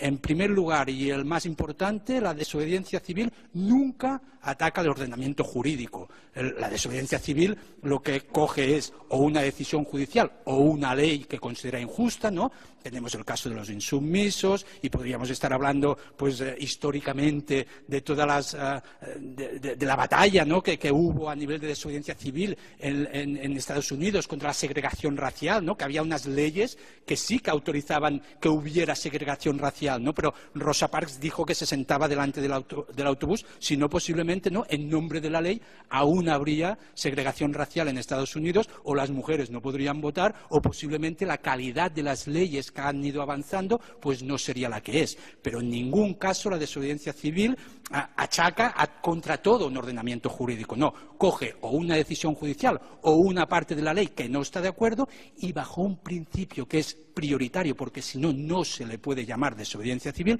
que es el principio de la no violencia, asume plenamente las consecuencias. El principio que teoriza muy bien Hannah Arendt y, también Gandhi, Martin Luther King son unos grandes referentes en este sentido de la desobediencia civil, lo que dice es, por un lado, asumir plenamente las consecuencias de este acto de desobediencia civil, que es lo que hago yo ante este tribunal hoy. En segundo lugar, asumir plenamente la decisión de no responder con violencia, aunque haya violencia, en este caso por parte de la Policía Nacional y la Guardia Civil. O sea, el principio de la no violencia es nuclear en la desobediencia civil. Y, en tercer lugar, reconocer que no se desacata todo un ordenamiento jurídico, no, lo que una suspensión, una suspensión de un tribunal constitucional, que no es una sentencia, sino una suspensión, la única manera que teníamos los ciudadanos de Cataluña de mostrar nuestra disconformidad era ejerciendo el derecho a manifestación y dentro de este ejercicio de derecho a la manifestación y a la libertad de expresión y de reunión, asumiendo plenamente la desobediencia civil. Pero añado otro punto más, es que esta propia sala, este propio tribunal, ha dicho en numerosas ocasiones que el ejercicio de la desobediencia civil es un síntoma de buen estado de salud de una democracia. No lo ha dicho Omnium, no lo ha dicho la ANC, no lo han dicho los, partidos políticos independentistas, lo ha dicho esta sala. O sea, bienvenidas las sentencias y resoluciones de esta sala que defienden la desobediencia civil como instrumento para mejorar y progresar la sociedad. Y nosotros lo que hacemos el 1 de octubre, y si me permiten la expresión, quizá con, mm, con no tanta conciencia como nos hemos dado cuenta a posteriori, es un ejercicio de desobediencia civil ante una suspensión que seguimos considerando ilegítima e injusta. Y, por lo tanto, esta desobediencia civil, que no es punible, o en todo caso seguro que no lo es, de, 500 días de prisión y, tampoco de una petición de fiscalía de 17 años de cárcel o los 50 que pide la extrema derecha, pues eh, yo lo que estoy convencido que, que este tribunal pues tiene bien que la desobediencia civil es un instrumento que tienen las sociedades para progresar socialmente. ¿Llamó usted eh, a ocupar los colegios el día 1 de octubre? Nosotros, en el marco de, la crida para la democracia, lo que vimos muy. Enseguida nos dimos cuenta, nosotros tenemos un principio de actuación, es que nunca hacer nada que otra persona o otra entidad ya esté haciendo. Y vimos con, eh, con mucha felicidad la, creación de la iniciativa de Escoles Obertes. Escoles Obertes era, era un espacio que se creó por parte de la comunidad educativa, docentes, padres, madres de alumnos y profesionales, maestros, alrededor de las escuelas que lo que hicieron es mm, actividades el fin de semana para poder facilitar al máximo que no se cerrara el colegio. Hace poco hubo un ejemplo muy claro de lo que es este ejercicio de, también de, manifestaciones de sociedad civil en el caso que pasó en, Holanda. ¿no? Una familia que tenía una petición de, extradición por parte del gobierno holandés, pues la comunidad religiosa de aquel pueblo pues decidió que iban a empezar una misa y como cuando hay misa no puede intervenir la policía, pues hicieron una misa de 900 horas, ¿no? una, celebración religiosa con la familia dentro, con lo que impedía que la policía pudiera ah, quitar la familia y la expulsar y al cabo de 900 horas, pues los poderes, y en este caso pues supongo que fue em, el gobierno holandés, decidió que tenían que escuchar la voz de la ciudadanía y lo que, lo que hicieron ha sido cambiar la legislación o una propuesta de cambio de legislación. Esta familia de una petición de extradición se le ha cambiado a una petición de asilo, la familia sigue viviendo en Holanda donde vivía gracias a apoyo de la comunidad religiosa de aquel, de aquel pueblo ciudad y, de hecho, no se han quedado aquí, sino que el gobierno se ha planteado muchas otras también peticiones de extradición porque era gente que tenía que ir a. vamos, vamos, a centrarnos en, el, en, lo que estamos enjuiciando. Dejamos aparte la experiencia holandesa. Y por favor, señor fiscal. Sí, yo lo que le preguntaba es si él, mm, por tuit, llamó a la ciudadanía a ocupar los colegios. Era mi pregunta. Sí, no lo recuerdo exactamente si utilizaba estos términos, si me puede mostrar el tuit. El concepto ocupar. Estoy seguro que nosotros hemos hecho llamamientos a la población a que participara de, la celebración del referéndum del 1 de octubre. Estoy convencidísimo y, también pues, me siento un privilegiado de haberlo poder hacer en nombre de, la entidad que presidió Omnium Cultural. Por lo tanto, no sé si el término ocupar era el que, el que utilizábamos, lo desconozco. Si se pudiera exhibir el documento G, folio 755.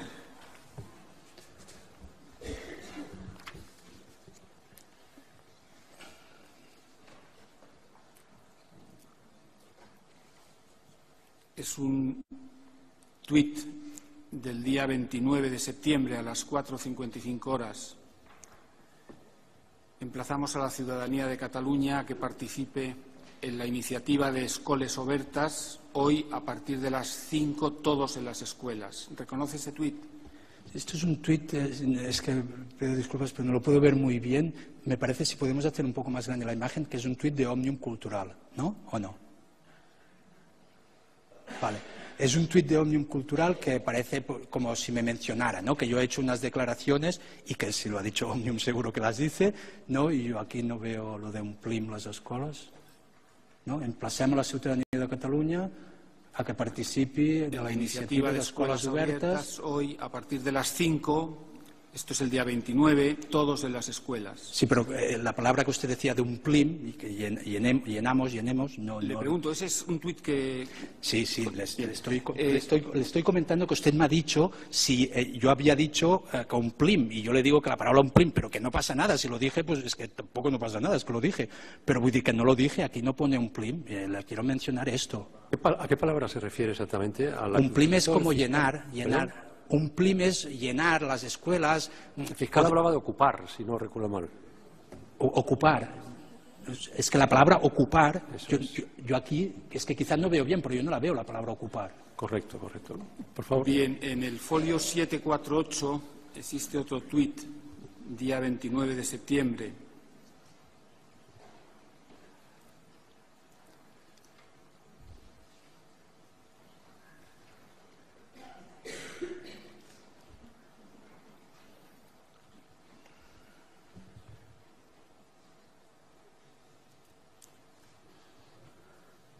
somos miles de semillas de democracia, todo el mundo a defender, no es a ocupar, es a defender pacíficamente los colegios electorales. ¿Ese tuit lo reconoce? Sí, creo que le he argumentado mi concepto de cómo se defiende pacíficamente la democracia y es ejerciendo derechos fundamentales. no, no, le pregunto si lo reconoce el, tuit. Le complemento que... Eh, si es suyo, vamos. Es que pone Jordi Cuixart y al lado hay el símbolo azul de Twitter. Es que es, mío. Vamos a ver, señor Cuixart. Es que yo no me hacía los... Fiscal, perdone, el fiscal le pregunta si lo reconoce. Entonces, lo reconoce y ahora usted da una explicación. O sea, no, simplemente le está exigiendo un monosílabo. Usted le pregunta si le reconoce, usted responde afirmativa o negativamente y a continuación hace una aclaración. Pero la pregunta es si lo reconoce. Sí, sí, gracias. Eh, la respuesta es que sí, sí que lo reconozco y, hago la explicación de decir que el concepto de FANSA pacíficamente pacíficamente los colegios electorales, pues responde a este llamamiento a la población de actuar ejerciendo derechos fundamentales, que es como en una democracia consolidada, madura y que no tiene miedo de la ciudadanía, pues se expresa la población y se expresa manifestándose. Por lo tanto, mi comentario o mi añadido de complementariedad a la respuesta es que Jordi Cuixart con el membrete azul quiere decir cuenta oficial de Omnium, hay de Jordi, y que sí, sí, seguro que es mi tuit. Seguro que es mi tuit. Si pudiera exhibirse el folio 749, un tuit del día 30 de septiembre a las 15.24.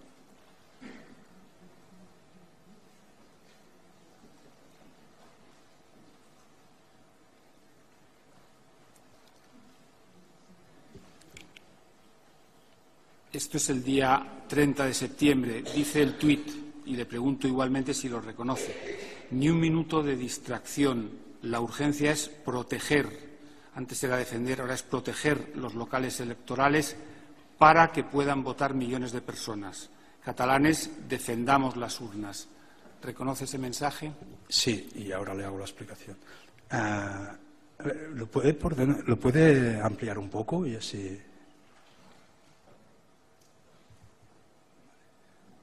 Mm, vale, a ver. Ni un minuto de distracción, protegidos.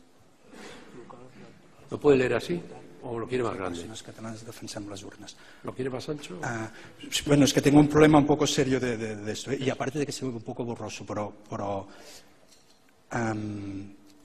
Distracció, urgències... Vale, sí, o sea, entiendo que se refiere al proteger a los locales. Sí, sí, estamos protegiendo la democracia con nuestro ejercicio de derechos fundamentales. Proteger, defender la democracia, promoverla, eh, el adjetivo que usted quiera, pero, pero sí, sí, sí. Cuando, y, y en urgencia, imagínese la urgencia que había, que tenemos y teníamos plena conciencia que cuanta más gente hubiera en los colegios electorales, y esto lo tuvimos conciencia el 1 de octubre, más fácil era que lo que logremos entre todos llegara antes. Porque ¿qué pasó? Que con la presencia de ciudadanos en los colegios y ante el uso desproporcionado de la violencia de la policía, la comunidad internacional, dígase el plenario de la Asamblea del Consejo de Europa, dígase Intermon Oxfam, Amnistía Internacional, la Organización Mundial contra la Tortura, el relator de las Naciones Unidas, Defensa de los Derechos Humanos y el de Libertad de Expresión. O sea, cuanta más gente había,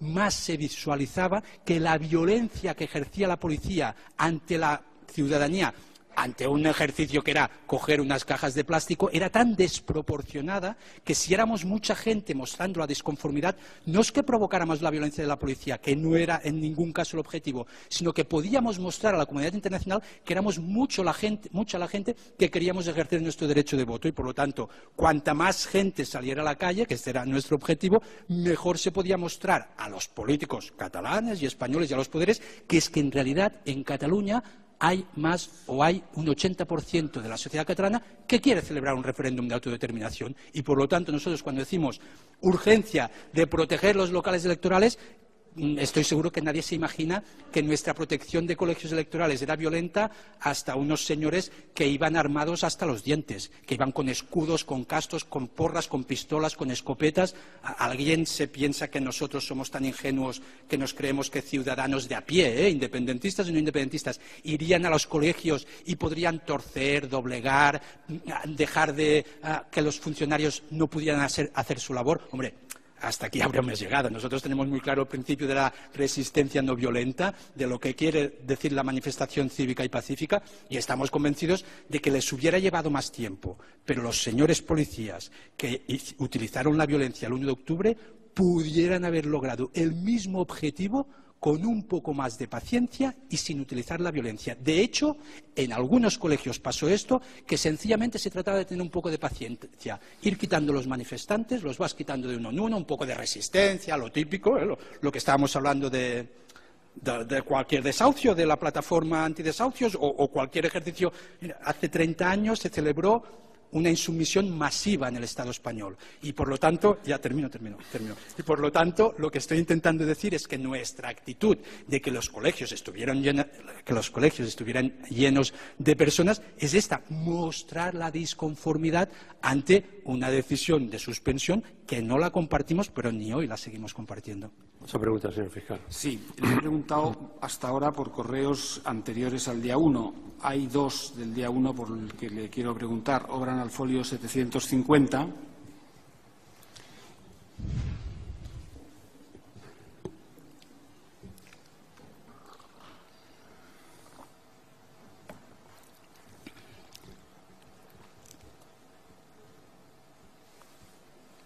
El primero es a las 8.52 del día 1.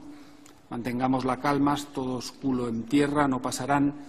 Y luego añade todo el mundo que pueda en el IES Balmes de Barcelona. Y el segundo es eh, del mismo día, unos minutos después, el otro era a las 8.52, este es a las 9 y cuatro minutos, resistencia pacífica, todo el que pueda también a la escuela Ramón Llull de Barcelona. Lo que le pregunto es, ¿a través de correos está usted mandando a gente a determinados colegios porque era necesario la presencia de más o menos gente en función de los movimientos policiales? A ver, es que vuelve a haber un poco más de pregunta, más que es más que una pregunta. La, primera que le hago es, ¿reconoce esos eh, tweets? Sí, sí, sí, seguro, sí, sí. ¿Está usted mandando gente a colegios específicos? Vale, sería muy presuntuoso por mi parte y con 99 retweets que me parece que hay, creerme que yo puedo mover a todas las masas o que yo puedo dirigir al pueblo enardecido y que, como decía también un compañero preso político, decía que los catalanes no somos ovejas. ¿no? Yo le aseguro que tanto en la escuela Balmes como Ramón Llull, em, casi que mi tuit no es que sobrara, pero no hacía falta que yo hiciera muchos tweets porque la congregación de personas ya era muy multitudinaria. De hecho, la violencia por parte de la policía ya se había producido y, de hecho, hoy hay un juzgado de Barcelona que está investigando y ha acusado como imputados a 17 policías, y me parece que ahora ya son más, del uso desproporcionado de la violencia en el Instituto Ramón Llull. Y lo que hace referencia al Instituto Balmes, un juez también ha dicho, ya ha dictaminado sentencia, diciendo que no hay ninguna actitud punible a los ciudadanos que se manifestaron delante del Instituto Balmes, entre otras cosas porque el propio juez dice están ejerciendo derechos fundamentales. Y por si no es suficiente, yo creo que se ha demostrado de manera muy clara que la actitud de la población en todo momento fue pacífica, porque cuando yo digo cula terra, no, bueno, estaba hablando de los tweets que ha quitado, pero da igual, es, uno que hay arriba, no, no pasa nada. No, le estoy preguntando si mandaba gente allí. Cuando yo digo cula terra y resistencia pacífica, no hay mucho margen de duda. Culaterra, que es culo en el suelo, que esto lo entiende todo el mundo, y resistencia pacífica, que también se entiende, la actitud hostil o beligerante con la policía, eh, en dos colegios, insisto, donde ya había habido violencia por parte de la policía, donde aquello que les comentaba anteriormente de que era fácil ¿eh? coger las urnas, vas quitando a los ciudadanos. De hecho, se ven muchos vídeos como los ciudadanos se pasean por detrás. Una vez ya los han arrancado del colegio Ramón Llull o el Instituto Balmes, ¿no? Se ve muy claro que quitan a los ciudadanos y los ciudadanos han hecho hecho su momento de protesta, de, resignación, y luego se pasean por detrás con niños sin ningún tipo de voluntad ni de intento de agredir a nadie. De hecho, una pericial que habíamos presentado que nos ha aceptado hablaba de esto con mucho detalle, ¿no? es una actitud, pues bueno, de resignación, ¿no? Hay otra pregunta, señor Fijano. Sí. ¿Cómo le llegaba a usted la información de los centros electorales donde se necesitaba gente? No, insisto, es que no es que a mí me llegara la información, es que Twitter, que es una red social que es muy activa y aquellos días pues lo era mucho más, pues nosotros éramos conocedores de, información varia que iba viendo y, puntualmente pues yo me parece que hice un par o tres de tweets que podría haber hecho tantos tweets como quisiera, ¿eh? pero hice estos dos tweets que casualmente son los dos eh, centros donde sí que hubo un acarnizamiento de la policía y un uso de la violencia que todas estas entidades que le he comentado lo condenaron, insisto, ah, lo condenaron de manera muy enérgica y también es lo que recogían los titulares de los diarios al día siguiente. tenemos también una parcial que hemos presentado de qué se destacaba al día siguiente de la celebración del referéndum del 1 de octubre en los medios de comunicación más generalistas del Estado, que no son independentistas. Pues lo que se destacaba era la violencia de, de las fuerzas y cuerpos de seguridad del Estado y también se destacaba que a partir del mediodía el Partido Socialista Obrero Español había pedido la dimisión del señor Zoido. Luego todo ha cambiado mucho. Luego se han hecho unos relatos paralelos y, mira cómo hemos terminado en la cárcel. Pero aquel día lo que se destacaba era la actitud de violencia desproporcionada que, asombró a toda Europa y, el resto del mundo con unos titulares que, realmente pues, daban miedo de ver cómo violentamente se estaba agrediendo a ciudadanos que estaban ejerciendo derechos fundamentales. Si se le puede exhibir el folio 757 de este mismo documento.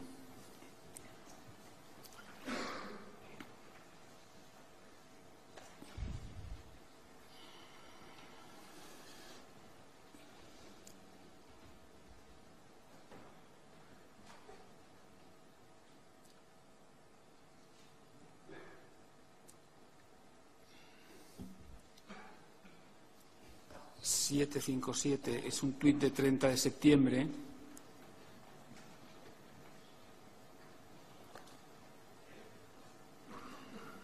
O un poco más abajo. Bueno, ahí se reparte. Ahí es este. Este tuit es de Omnium Cultural, está remitido al, el 30 de septiembre a las 6.42 Dice, se necesita mucha gente en el barrio de Berneda, si no, será imposible cubrir los colegios. Me está preguntando sobre este tuit. ¿eh? Este tuit no es de Omnium, es de David uh, Uvarillac, o es de otro, otro, perfil, no sé quién es, pero no es de Omnium. Y debajo aparece Cuisart, ¿no? ¿Perdón? En respuesta no, este tuit es de un señor que es eh, David, y no veo bien el apellido, y no es de Omnium, es, una, es, un, es, un, es otro señor, no sé. Es un señor que dice esto, ¿no? Se necesita, se necesita mucha gente. Es un mensaje reenviado por la cuenta de Omnium. No, se quiere decir retuiteado. Pues, pues sinceramente, bueno, se tendría, bueno, ahí pone ¿Es retuiteado? ¿no? Sí, sí, pues retuiteado. Es que no, no lo sé, supongo que sí, sí. Pero de hecho, si podemos ver claro lo que dice y yo le digo si, si estoy de acuerdo o, el señor está diciendo una cosa que no estoy de acuerdo. se necesita mucha gente en el barrio. Pero vamos a ver, señor fiscal, en realidad acaba de decir el señor Cusar que ese, ese tuit no es suyo, que se ha limitado a, en fin, es Bueno, pues respuesta tuit- a lo que él. Entonces, pedirle opinión sobre lo que él piensa de solo lo que le estaba pensando si don David. Conoce que es un tuit que retuitea su la asociación de la que es presidente, mandando gente a un barrio, porque si no será imposible cubrir los colegios. Es la pregunta que le hago. Sí. Eh, si lo ha retuiteado Omnium Cultural, lo ha retuiteado Omnium pregunta, Cultural. No hay más que decir. Bien, a su juicio, esta situación eh, era igual que la del 9N. Bueno, es una pregunta muy que abarca mucho esta pregunta. O sea, si la situación del concreto. ¿No cree que, a diferencia del 9N, aquí había una orden de un juez mandando fuerzas y cuerpos de seguridad para impedir que se celebrara la votación? Cosa que no sucedió el 9N. A ver, yo, yo acompañé al señor Mas, a la consejera Ortega y la consejera Rigau al juicio del 6 de febrero del 2017, que, que- donde el Tribunal Superior de Justicia de Cataluña los condenó y el Tribunal de Cuentas también lo está intentando hacer, los condenó por la celebración de la consulta del 9N ah, con inhabilitaciones y ahora con una persecución económica del todo ah, surrealista y por lo tanto ah, creo que, el, el- el 9N también también ha sido o sea, también ha sido recurrido ¿no? legalmente, o no sé la terminología, me van a disculpar, pero que también ha tenido consecuencias a nivel eh, penal para el señor Mas y la señora consejera Ortega y Rigau.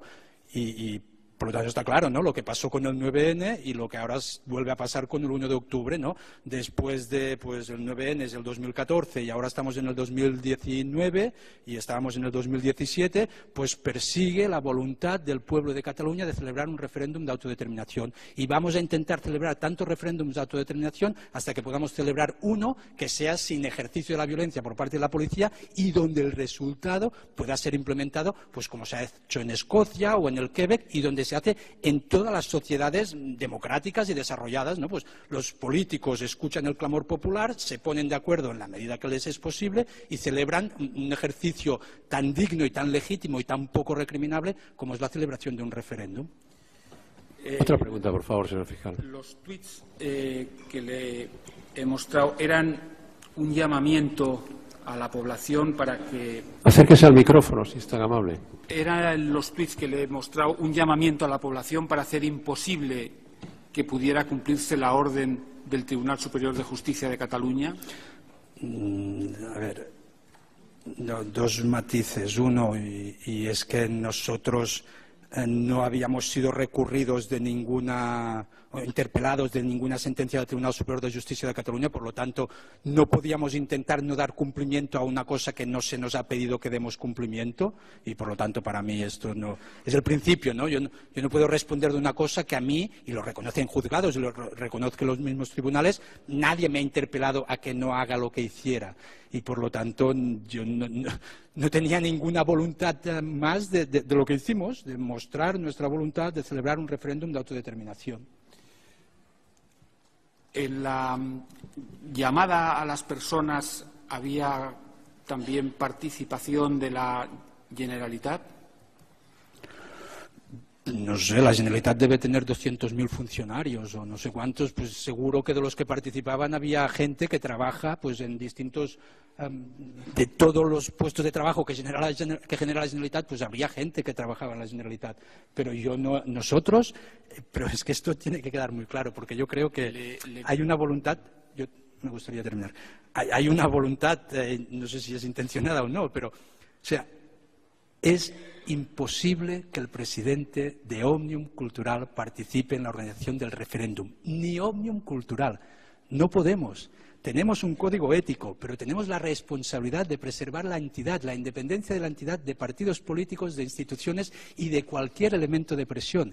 Y ya no solo lo dice Omnium Cultural, sino que después del registro que hizo la Guardia Civil por orden del juzgado de instrucción número 13, donde se llevaron todo lo que se ha comentado anteriormente, teléfonos móviles de gente particular, discos duros, toda la información financiera de la entidad, respondieron con un dictamen de la Guardia Civil, de la Guardia Civil, que, en principio no tiene que ser sospechosa de decir una mentira, ¿no? Pues, en principio, pues eh, lo que decían es que Omnium Cultural no ha participado en la celebración del referéndum, no ha invertido ni un euro, ni un euro, y por lo tanto yo creo que dar muchas vueltas alrededor de esta posible colaboración cuando lo ha dicho la Guardia Civil, y hombre, y lo dice el presidente de la entidad, que estoy seguro que merece todo el prestigio y reconocimiento de esta sala, en tanto en cuanto es una de las entidades más grandes de Europa a nivel cultural y también del Estado español, creo que intentar insinuar o hablar de que hemos organizado un referéndum, ya le digo que no, porque no lo podemos hacer, porque como entidad no lo podemos hacer.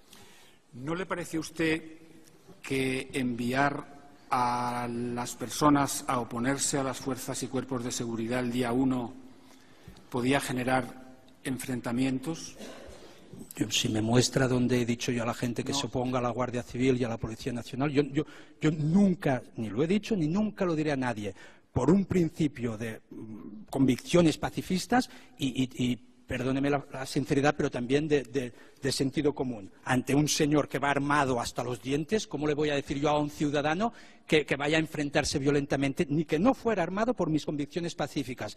pero es que no no lo haría nunca, es que no, eh, ya lo he dicho, la, pues violencia no forma parte del ADN de la sociedad catalana y por lo tanto nunca haríamos ningún llamamiento, y me puede mostrar el tuit, según usted, si yo lo he dicho en algún tuit, en algún correo, en algún sitio, a que alguien se enfrentara a la policía. Nunca lo he dicho y nunca lo diré. Cuando la policía tiene la orden de cerrar los locales y usted está llamando a la población a protegerlos, ¿no cree que está clara la situación de un enfrentamiento entre fuerzas y cuerpos y ciudadanos?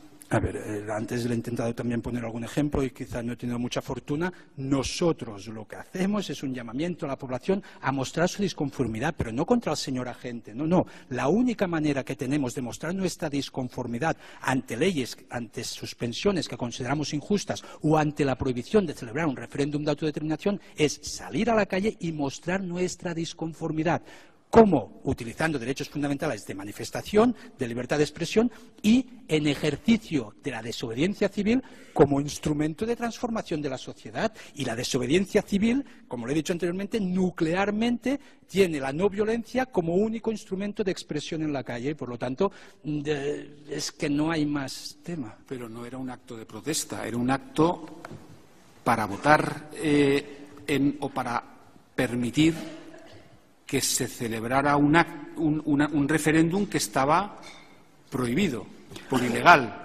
Por tanto, ustedes no estaban haciendo un acto de protesta. Insisto, usted hace afirmaciones que no comparto. Es que hace afirmaciones que no comparto y me da miedo que no las den como buenas. Y no, no, oye, yo no comparto lo que usted está diciendo de que era un acto ilegal. No, nosotros no cometemos ninguna ilegalidad porque no hay ni un solo tribunal que nos interpele directamente como presidente de Omnium o como sociedad o como ciudadanos de a pie de no podéis hacer esto. No se, no se declara el estado de excepción, no se prohíben derechos fundamentales, no se prohíbe el derecho de, manifestación y, por lo tanto, ejercemos estos derechos. Y en este ejercicio de derechos, usted ve un intento mm, como de, escenario de violencia y yo le digo que este ejercicio obviamente de protesta, es de reafirmación de voluntad de celebración de un referéndum de autodeterminación. Que, insisto, la parte bonita de todo esto es que 2.300.000 personas en un rincón de Europa, con toda la ola de xenofobia, de racismo que hay, se solidarizan los unos con los otros, se organizan de manera transversal de abajo hacia arriba para participar de un referéndum, una cosa tan poco delictiva como un referéndum. Es que posiblemente lo que tendríamos que estar orgullosos todos los ciudadanos de España es de que el 1 de octubre es el ejercicio más grande de desobediencia civil que ha habido en Europa. Históricamente no hay un ejercicio igual y tendríamos que estar orgullosos de que los ciudadanos tienen esta capacidad de colaboración, de, de querer una sociedad mejor. Y por lo tanto, eh, yo sí, sí, le, confirmo, era un ejercicio de protesta, de, de mostrar claramente nuestra disconformidad ante una suspensión de un tribunal constitucional mm, muy deslegitimizado desde la sentencia del 2010 y que ya no representa el objetivo al que tiene que, responder, que es la defensa de los intereses de los ciudadanos de Cataluña y del conjunto del Estado. O sea que cuando usted hace esos o, lanza esos Twitter, usted no previó que pudiera haber situaciones de violencia o de enfrentamiento. Mire, le soy muy sincero y en este caso intento no utilizar ningún vocabulario coloquial que no pertoca en esta sala, pero cuando 48 horas antes el secretario general de Estado de Seguridad, el señor Nieto, se reúne a la Junta de Seguridad en Barcelona y en declaraciones suyas junto a Enrique Millo, este señor dice, estoy convencidísimo de que el domingo va a ser una jornada de convivencia, eh, festiva, reivindicativa. El secretario general de, Seguridad, el señor Nieto, dice esto 48 horas antes, cuando todo el mundo sabe, porque todo el mundo es consciente, de que la actitud de la sociedad catalana nunca ha sido violenta. ¿Usted se cree que nosotros podíamos imaginar que hubiera ni ni una milésima parte de la violencia que hubo. El dolor que sentimos nosotros aún hoy, cuando digo nosotros digo el conjunto de la sociedad catalana que la canalizó esta impotencia el 3 de octubre, el dolor que sentimos aún nosotros va a durar generaciones. Aquella violencia de la policía que cumplían órdenes, que eran funcionarios que estaban cumpliendo órdenes, aquella violencia desproporcionada y que estoy seguro que en el resto del Estado también se ha visto cómo se actuaba de una manera sin ningún tipo de sentido, cómo jadeaban a los agentes de la policía cuando dejaban sus lugares de destino, al, al grito de a por ellos, a por quién, a por quién señores iban, a por ciudadanos como nosotros. Yo soy hijo de una murciana, yo también soy medio español. ¿A quién querían pegar esta gente? A gente que estábamos ejerciendo nuestros derechos. No puede ser, esto es un sin sentido. Nos quieren confrontar entre pueblos de España cuando nosotros tenemos muy claro que en Cataluña no nos van a confrontar con los distintos pueblos de España. Son pueblos hermanos y no lograrán confrontarnos ni con el a por ellos ni con leyes injustas. Hemos creado un marco de convivencia en el que nos sentimos cómodos y vamos a seguir trabajando en él. Señor fiscal, ¿tiene alguna otra pregunta? Sí. ¿Supo usted que hubo enfrentamientos físicos en los que resultaron lesionados agentes? Mm, a mí lo que me consta es que del 1 de octubre el resultado, y así lo denunciaron también todas estas entidades, que le he dicho anteriormente, Amnistía Internacional, Organización Mundial contra la Tortura, Human Rights Watch, uh, Intermon Oxfam, el, el, relator de Naciones Unidas de Derechos Humanos y de Libertad de Expresión, la Asamblea del Parlamento Europeo, del Consejo de Europa, perdón, a lo que me consta es que hubo más de mil heridos y unos 90 lesionados también por parte de las fuerzas y cuerpos de seguridad del Estado, que se atribuye mayoritariamente estas lesiones a la virulencia de la actuación que tuvieron. Es que cuando uno actúa con este exceso de, desproporción y de violencia, pues que le venga una capsulitis o que se rompa un dedo, pues no lo justifico, pero es que estaban pegando a la población. Es que hay imágenes, vamos a ver las imágenes donde se ve cómo se está agrediendo a ciudadanos que hacen una sentada en una escalera, que se ponen en posición de resistencia no violenta pacífica delante de que vienen unos policías que no siguen ni el más mínimo protocolo. Que el protocolo lo que dice es que primero tienes que advertir, si no se apartan vamos a pegarles, o que no tendría que ser así, ¿eh? vamos a lograr el objetivo, unas cajas de plástico. En la mayoría de casos se ha ido en Balmes y en Ramón Llull es un claro ejemplo, se fue la policía y se siguió votando. O sea, llegan ahí, pegan a ciudadanos indefensos que están ejerciendo sus derechos fundamentales y no impiden el referéndum, se van y se sigue votando. Bueno, pero ¿de, qué estamos hablando? pero, qué es esto? los ciudadanos se sintieron desprotegidos y luego sale el rey de España el día 3 de octubre y nos dice que qué es lo que hemos hecho los catalanes. Hombre, no, ¿qué es lo que han hecho las fuerzas y cuerpos de seguridad del Estado? Vamos a intentar hacer preguntas que, de alguna manera, eh, no le permitan al, acusado repetir lo que ha repetido en multitud de ocasiones. Si responde a mis preguntas, mm, sean cual sean, y solo a mis preguntas, no habrá un.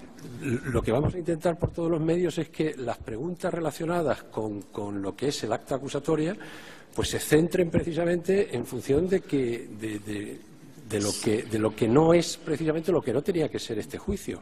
¿Sabe usted si hubo lanzamiento de vallas, de objetos, de sillas, cascos, insultos a agentes por parte de los que estaban en los colegios? Mm, si alguien rompió la disciplina no violenta, ah, lo he lamentado muchísimas veces, no lo quiero atribuir a la frustración de ver cómo están pegando, porque uno tiene que ser lo suficientemente disciplinado como para no tener ninguna actitud violenta. En lo que hace referencia a los insultos, yo no insulto nunca y, me parece que insultar no, lleva a ninguna parte, no es mi manera de actuar, no me gusta insultar. Lo que sí que es verdad, pues que los insultos, pues bueno, pues tenemos que ver para lo que usted son insultos y lo que quizá yo lo que le agradecería y creo que sería muy beneficioso es si podemos ver las imágenes en concreto de cada cosa que usted me pregunta que yo opine, porque si me pregunta sobre imágenes yo le puedo dar respuestas en concreto. Por citar solo un caso, usted llamó por tuit, antes lo hemos visto, a la escuela Ramón Llull. ¿Sabe usted cuántas personas había en esa escuela? ¿Cuántas personas se congregaron? ¿Pero en qué momento del día o durante todo el día o...? Después de su llamada. No, no, bueno, no, no, o sea, soy inca- yo le puedo decir los retweets, he visto ahora eh, de, que había 80 retweets, me parece que... ¿Sabe usted que se lanzaron salvas de advertencia por los agentes ante el hecho de que Mire, estaban bloqueando la entrada? yo lo que sé es que en la escuela Ramón Llull el, el- el padre de mi amigo Biel perdió un ojo y perdió un ojo porque esta fiscalía al inicio del juicio dijo que el motivo es que estaba lanzando una valla al aire. La respuesta del Estado a un señor que lanza una valla al, aire, que, no es una actitud, es vaciarle un ojo con una pelota de goma que está prohibida en el Parlamento de Cataluña. Esto yo sé que ha sido el comportamiento de la policía, que se está investigando también. Tenemos que pensar que en el Ramón Llull hay 17 policías investigados. Me parece que en toda Cataluña, movilizando 2.300.000 personas, ver, hay fiscal, cinco pregunta- personas La pregunta investigadas. exacta, La ¿cuál era? exacta Si conocía o no conocía que se dispararon que salvas. salvas de advertencia. Si usted puede dar respuesta al hecho de si tenía o no conocimiento de esas salvas, eh, nos ahorramos mucho más, porque vi- viene repitiendo y lo estamos escuchando con atención, pero lo repite, lo repite, lo repite y el, y el interrogatorio está careciendo de agilidad y, y- y, en definitiva, de lo, lo- lo que sería la diligencia con la que teníamos que desarrollar el juicio. Entonces, por favor, en la medida en que fuera posible, cuando le pregunte si usted tiene constancia de las salvas, pues sencillamente responde sí, no, si quiere aclarar algo, pero no se extiendan consideraciones que, que- que en principio pues ya hemos oído con anterioridad sobre el carácter pacifista, sobre, en definitiva, que desde su perspectiva no hubo ningún acto ilegítimo, todo lo que ha querido decir en su defensa ya el tribunal ha tomado nota. Entonces, por favor, trate de ser más conciso en las, en la- en las respuestas a las preguntas que le formula el Ministerio Fiscal. A ver, señor fiscal, por favor. Eh, no ha contestado si había salvas. ¿Quiere usted contestar a la pregunta de si Es había que no le salvas? gustan mis respuestas al señor No. fiscal y si no le gustan, pues No, yo- pero- eh, esta es mi respuesta y si le gustan es la respuesta y si no, no tengo otra porque no puedo decirle otra cosa que lo que le he dicho. Efectivamente, eh, usted no está obligado a responder en términos que le guste al Ministerio Fiscal. Eso es incuestionable. Pero lo que sí es indudable es que si usted deriva la respuesta hacia otro tipo de consideraciones que en un momento determinado incluso carecen de relevancia jurídica y pueden tenerla mucha en el plano político, pues estamos perdiendo el tiempo. Esto es lo que le quiero decir. Entonces, en la medida de lo posible, hagamos pregunta del fiscal, usted responde lo que considere oportuno con ocasión de la pregunta, pero no derive hacia, hacia otras afirmaciones que son muy respetables, que el tribunal ha tomado nota de ellas, pero que estamos reiterando una y otra vez, con distintas palabras, pero que estamos reiterando. Entonces, de lo que se trata Mis- fundamentalmente es sobre de conseguir, conseguir más agilidad en el interrogatorio. Son muy concretas. Primera, usted llamó a la, a, a- a la a que sacudiera la escuela Ramón Llull de Barcelona. ¿Es así? Sí. Bien. ¿Sabe usted si había 700 personas bloqueando la entrada? A Es que la afirmación de bloquear no puedo estar de Pues acuerdo. efectivamente, si no está de yo acuerdo no con la afirmación que- de bloquear, usted precisa que había 700 personas, pero que a su No, no, no, no, bloqueaban, perdone, es o que que, yo había no- menos de 700. No, no, perdone, es que 70. no lo sé, perdone, señor presidente, es que yo no sé si había 700 Pues esa es la personas. respuesta, esa es la respuesta. Segundo, ¿sabe usted si hubo salvas de advertencia por parte de la policía? Yo lo que sé es que hubo un disparo de una bala de, go- de una pelota de goma que vació el ojo de un ciudadano. Esa es la respuesta. ¿Sabe Otra usted si fueron lesionados siete policías? Yo lo que sé que hay 17 policías imputados, investigados, acusados de violencia en el Ramón Mi Llull. pregunta, mi pregunta es él si él tiene sabe- derecho a responder Pero mi respuesta es esta. No ha contestado si sabe si siete policías fueron o no lesionados. Que De me esa, diga que no la va a contestar. Señor fiscal, de esa falta de respuesta, el tribunal obtiene una inferencia. Pero lo que no podemos hacer es estar interrogándole hasta que obtenemos la respuesta hasta que la acusación obtiene la respuesta que le... No quiero una respuesta, quiero... Eh, decir, puede decir que no responde, que no lo sabe o que sí lo sabe. Mi pregunta es muy clara. ¿Sabe que había siete policías lesionados? Si resultaron siete policías lesionados, puede decir, no contesto, sí o no. No, y lo que él sabe es lo que ha contestado. Y punto. Formule otra pregunta, señor Sobre fiscal. eso no entiendo que, no lo sabe. No, pero lo que, lo que entienda el fiscal, lo que entienda la sala, lo que entiendan las defensas, tendrá otro momento procesal a raíz del interrogatorio. ¿Lo ocurrido en ese colegio es para usted un acto violento? Por parte de la policía, sí. ¿Por parte de los manifestantes?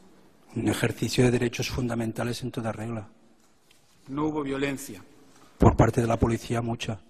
Bien, pues no hay más preguntas. Muchas gracias.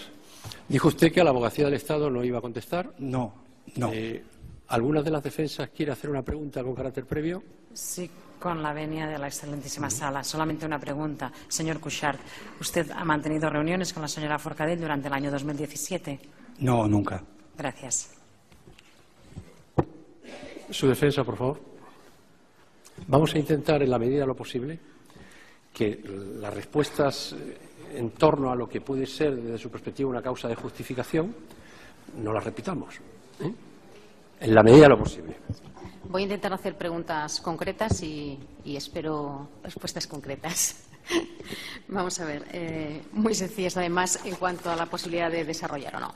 Vamos a ver, el cargo de presidente de Omnium Cultural lo ostentaba usted antes de ingresar en prisión, lo sigue usted ostentando usted actualmente. Sí, sí, soy el presidente de Omnium por voluntad de los socios de Omnium y nadie más que los socios de Omnium van a decir quién es el presidente de Omnium. ¿Se trata de algún cargo, se trata de un cargo remunerado?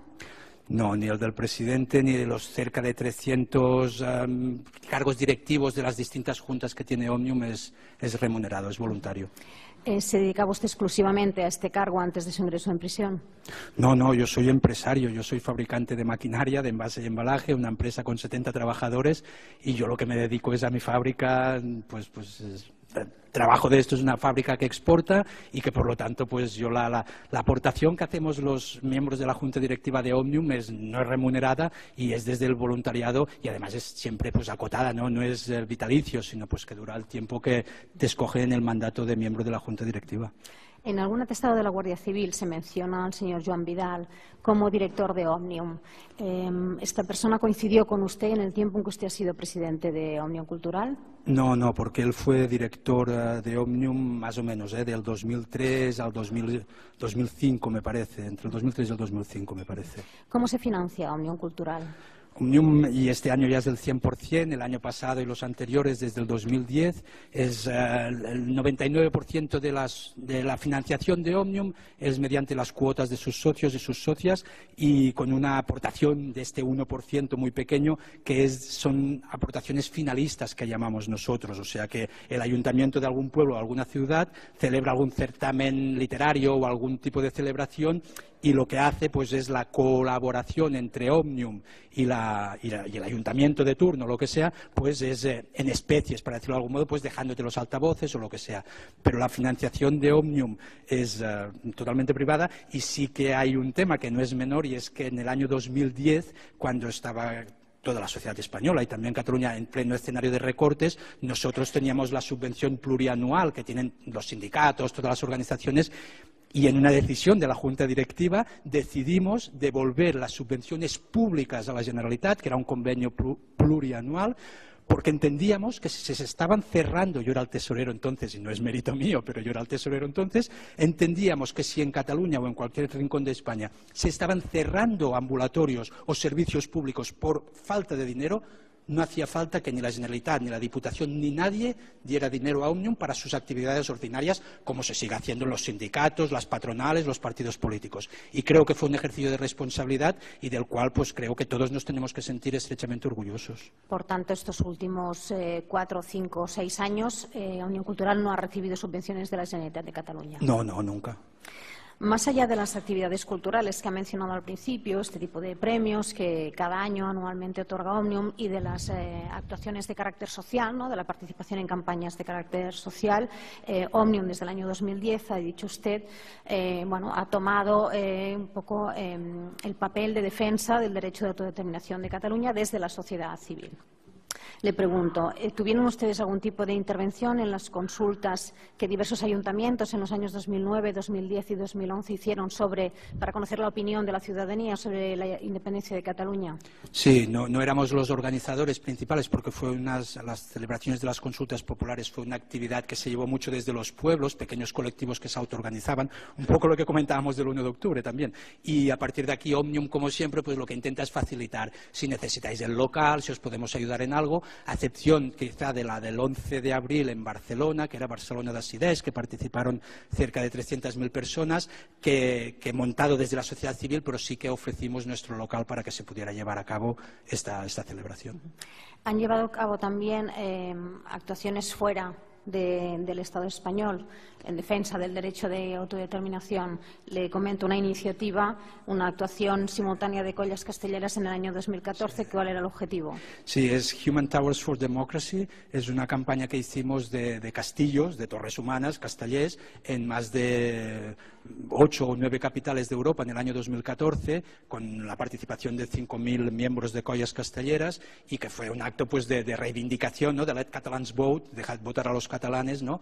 y, de, bueno, utilizando un hecho tan significativo como son los castells en Cataluña, pues utilizando esto para, llamar la atención de la opinión pública internacional. En relación al referéndum de Escocia, eh, ¿tuvo alguna intervención, unión cultural, alguna actuación? Sí, yo mismo eh, fui, yo fui visitante con tres personas más de la Junta Directiva y encabezados por la presidenta Muriel Casals, que tuvimos eh, pues muchos encuentros con eh, miembros que defendían el sí, miembros que defendían el no y cómo entre ellos hacían los debates. ¿no? Y estuvimos los dos días antes de la celebración del referéndum viendo cómo, cómo se promovía la participación popular desde las posiciones del sí y del no. Hicimos numerosas reuniones y, de hecho, hay constancia en la prensa de, esta visita que hicimos un poco como institucional. Ah, respecto de la consulta que se celebró en el 2014, Omnium desarrolló algún tipo de campaña. Bueno, nosotros hicimos una campaña que se llamaba Aras Lora, ahora es el momento, y esta campaña que se dice Aras Lora eh, tenía por objetivo ¿no? interpelar a la sociedad de que participara. Lo que pasa que, paralelamente a la campaña Aras Lora, la, consulta del 9N pidió de la participación de muchos voluntarios desde la Generalitat de Cataluña cuando lo organizaron. Y, yo lo que sí que quiero hacer es un reconocimiento a todos estos voluntarios que hicieron posible la consulta del 9N, ¿no? que, que fue no participó Omnium directamente, pero que sí que es verdad que participó pues mucha gente de Cataluña pues que, intentó organizar los colegios electorales, que todo fuera bien, y de hecho el resultado fue muy positivo porque nadie pone en duda que participaron 2.400.000 personas. Omnium eh, forma parte de una plataforma eh, que se llama Pacta Nacional para el Referéndum. ¿Nos puede explicar brevemente qué consiste esta plataforma? Muy rápidamente, este es un espacio que se creó en el Parlamento de Cataluña por eh, voluntad del presidente de la Generalitat, que estaba encabezado por el señor Joan Ignasi Elena, que había sido alcalde de Vilanova por, por el Partido de los Socialistas de Cataluña y tenía pues como un comité ejecutivo y luego creaba un plenario. En este plenario estaban representadas las 80 principales entidades de la sociedad civil catalana, entre ellas Omnium obviamente, pero UGT, Comisiones Obreras, el Fútbol Club Barcelona, eh, la PIMEC, eh, todas las entidades, eh, la FEDE con, con Cáritas dentro, la Cruz Roja, y este mm, Pacto Nacional para el Referéndum, el objetivo que tenía era hacer una propuesta, a principios del 2017, era una propuesta al Estado español de celebración de referéndum vinculante, obviamente, pero negociado. ¿no? Y a partir de aquí se recogieron más de medio millón de firmas y con la adhesión de 5.000 entidades, me parece, de distinto rango. Y este Pacto Nacional para el Referéndum, la, virtud que tenía, para decirlo de algún modo, y es que su plenario se reunía en sede parlamentaria, en el Parlamento de Cataluña, pero la o sea, la base era de la sociedad civil. Eh, la gestión de la web del Pacto Nacional para Referéndum eh, la asumió eh, Omnium Cultural junto con otras entidades de la sociedad civil. Sí, muy rápidamente también, porque desde el plenario del, plenario del Pacto Nacional para el Referéndum se solicitó que entidades podían hacerse cargo de lo que sería la oficina técnica de este Pacto Nacional para el Referéndum, que hizo multitud de, actos públicos, una visita a Madrid también, haciendo la propuesta de estas entidades que se habían adherido al pacto y de esta propuesta al gobierno de Mariano Rajoy, que por cierto no lo quiso recibir, y, pero esta propuesta del 80% de la sociedad catalana de celebrar este referéndum de autodeterminación y Omnium junto a la Unión de Federaciones Deportivas de Cataluña, al Siemen y la FEDE.cat, que es la Federación de Entidades de Carácter Solidario y Social de Cataluña, se propusieron para ah, hacer esta oficina técnica, ¿no? para, organizar la página web, los actos que había. El día de San Jordi pues, hicimos muchos actos para que la ciudadanía pudiera participar en la recogida de firmas y esta es la función que hizo Omnium Cultural. Todas estas iniciativas en defensa del derecho de autodeterminación fueron públicas y notorias. Sí. Y se iban compaginando con el resto de actividades culturales y sociales de Omnium Cultural. Sí, nosotros siempre tenemos esta obsesión ¿no? de que no se nos altere la celebración del Premio de Honor de las Letras Catalanas, ¿no? 50 años de reconocimiento a personalidades pues, que han dedicado su vida a la lengua y cultura catalanas los países catalans y que esto no altere tampoco pues, a nuestro compromiso a partir del 10J de celebración de un referéndum de autodeterminación. Mire, se le ha preguntado por la hoja de ruta de 30 de marzo de 2015, firmada entre ¿no? ANC, eh, AMI, Omnium Cultural, Convergencia y Esquerra. Ah, y se ha vuelto a insistir por parte de la Fiscalía en que en esta hoja de ruta se habla de movilización o se contempla una movilización. Usted que tiene la hoja de ruta ahí, ¿en esta hoja de ruta se menciona la movilización ciudadana en algún lado? No, no, no. no, Lo que se, no, se habla de elecciones plebiscitarias, de desarrollo del, del proceso y de relaciones institucionales y culminación del proceso, pero no, no, no, no se podía hablar de movilizaciones, de porque no, no no se puede hablar en, este documento que es una declaración de intenciones. en el escrito de, acusación se contemplan las manifestaciones como se habla de un instrumento para doblegar, capitular, coaccionar al Estado para que acepte la independencia de Cataluña. ¿Alguna vez ha planteado usted alguna de las movilizaciones organizadas por Omnium como instrumento de doblegación, de capitulación o de coacción? No, por un lado porque no lo hemos hecho, porque no es nuestro objetivo y porque tampoco no son los términos que nosotros, una entidad que trabaja por la cohesión social, qué imagen daríamos a la sociedad catalana si le dijéramos que para mantener la cohesión social en Cataluña hay que doblegar, sea el Estado o sea la Generalitat. O sea, daríamos un, eh, o sea, trabajar para la cohesión social es la antítesis de intentar doblegar, vulnerar o todos estos adjetivos que usted ha dicho. Eh, mire, el Nueve días antes del 20 de septiembre de 2017, el 11 de septiembre, se produjo eh, una diada organizada por ANC y Omnio Cultural, en que salió más de un millón de personas a la calle. ¿Hubo algún incidente en esta diada con esta multitudinaria concentración? No, no, ninguno, ninguno.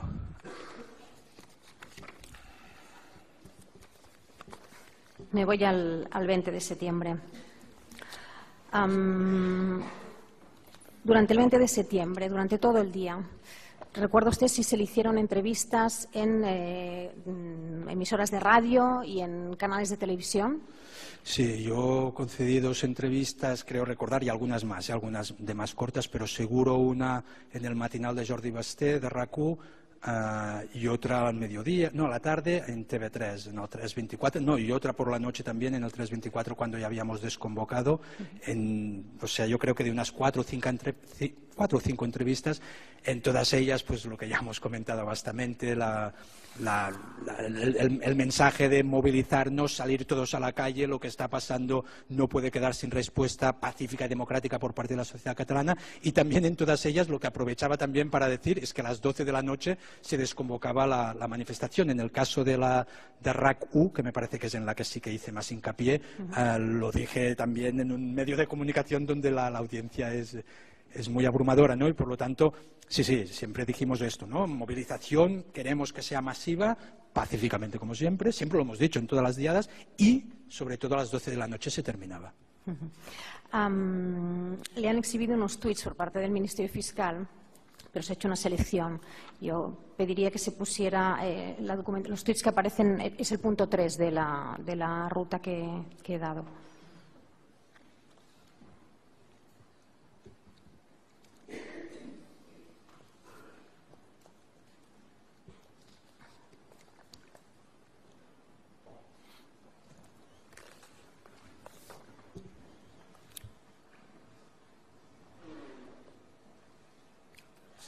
Folio 2306 a 2309 del tomo 5. Si pueden bajar, hay unos cuantos tweets que no han sido mencionados por el Ministerio Fiscal. En todas las eh, ocasiones en que usted se dirigía mediante tweet a los, a los concentrados o en estos llamamientos, las llamadas que se hacían se hacían indicando expresamente que fuera de forma pacífica.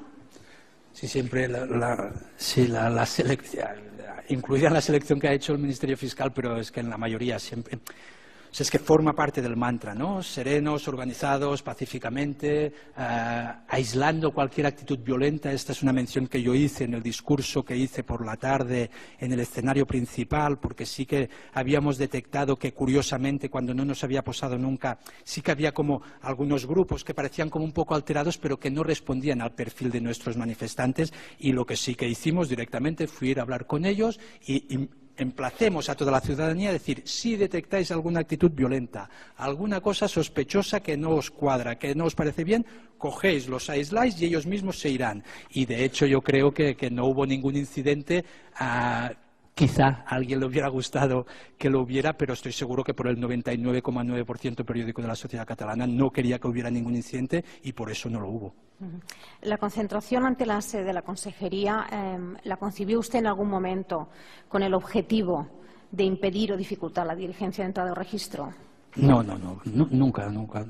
el planteamiento no es este, ni en un inicio ni después. Esta, expresión que usted utilizaba en los tweets y en los discursos de defensa de las instituciones, em, ¿existían otros líderes de otras entidades de la sociedad civil no soberanistas que ese día, durante esa mañana, se estuvieron pronunciando exactamente en los mismos términos de defensa de las instituciones catalanas? Sí, sí, sí. Lo he dicho desde alcaldesas de la capital de Cataluña, la señora Colau, hasta líderes de sindicatos, organizaciones del tercer sector, mayoritariamente presidentes de clubes deportivos.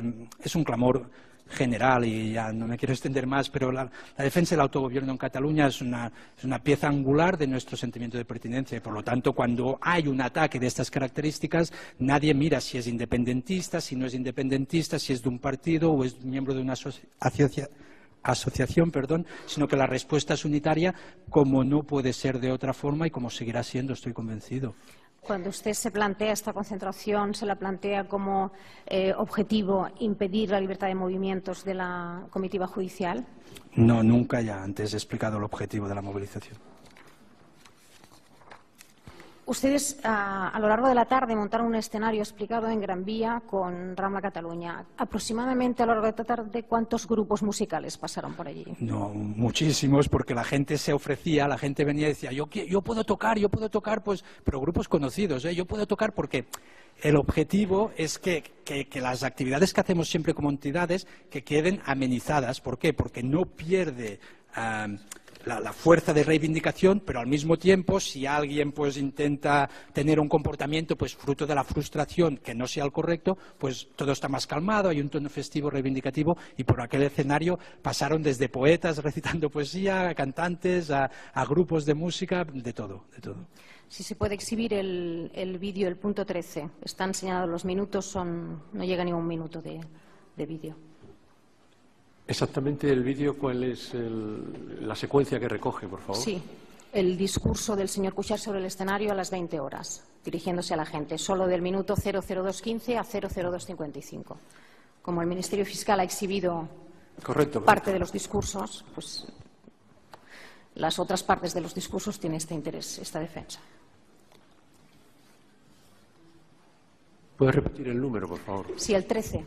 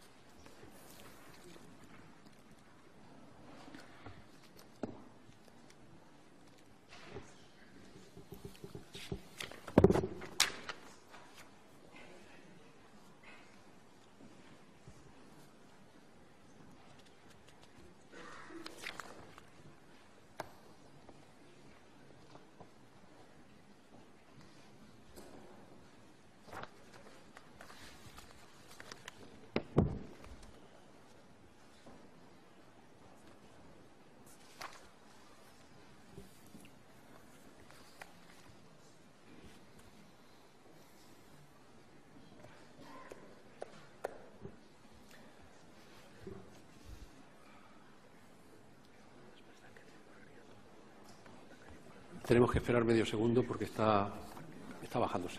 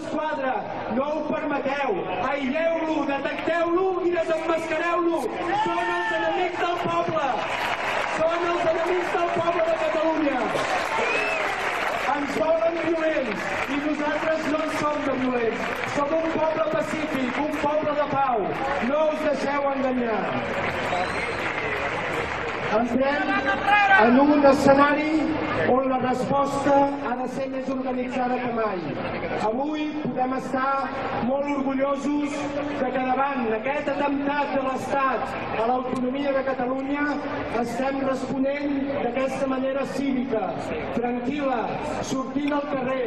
Us donem les gràcies de tot cor, en nom de les entitats. Moltes i moltes gràcies pel vostre exemple. Sou un referent.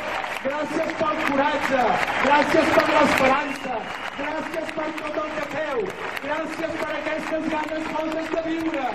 Mai us estarem prou agraïts. Moltes gràcies.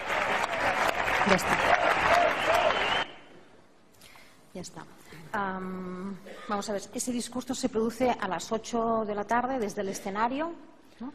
donde había congregadas ya miles de personas. No sé si las 40 que dice la, la Guardia Urbana o ya no sabemos cuántas No, personas. pero mu- había. muchísima gente, da igual, 40 o 70 mil, una persona ya sería importante y 70 mil también lo es, por lo tanto estaba lleno, estaba muchísima gente, muchísima gente. Desde el escenario, durante las eh, actuaciones musicales que hubo durante toda la tarde, la persona que conducía eh, la- las actuaciones, por decirlo así, la presentadora, iba indicando continuamente a la gente que mantuvieran la calma, manos arriba, haciendo comentarios para que la gente siempre mantuviera una actitud festiva durante toda la concentración. Fue un esfuerzo que se hizo durante todo el día. Sí, sí, sí, sí, la- es que es la manera de actuar, sí, sí, es que la respuesta es que sí, para no repetirme. Al- el el vídeo del punto 21. ¿Qué es exactamente lo que recoge, por favor? A última hora de la, de la noche, después de las dos desconvocatorias. discurso también Es un- del- sí, se dirige hacia la ¿Cuánto gente dura, a, pie, a pie de calle. ¿Cuánto dura? ¿Cuánto dura? Unos segundos. No- creo que no llega ni a un minuto. ¿eh? No, no tengo puesto los segundos porque es muy corto.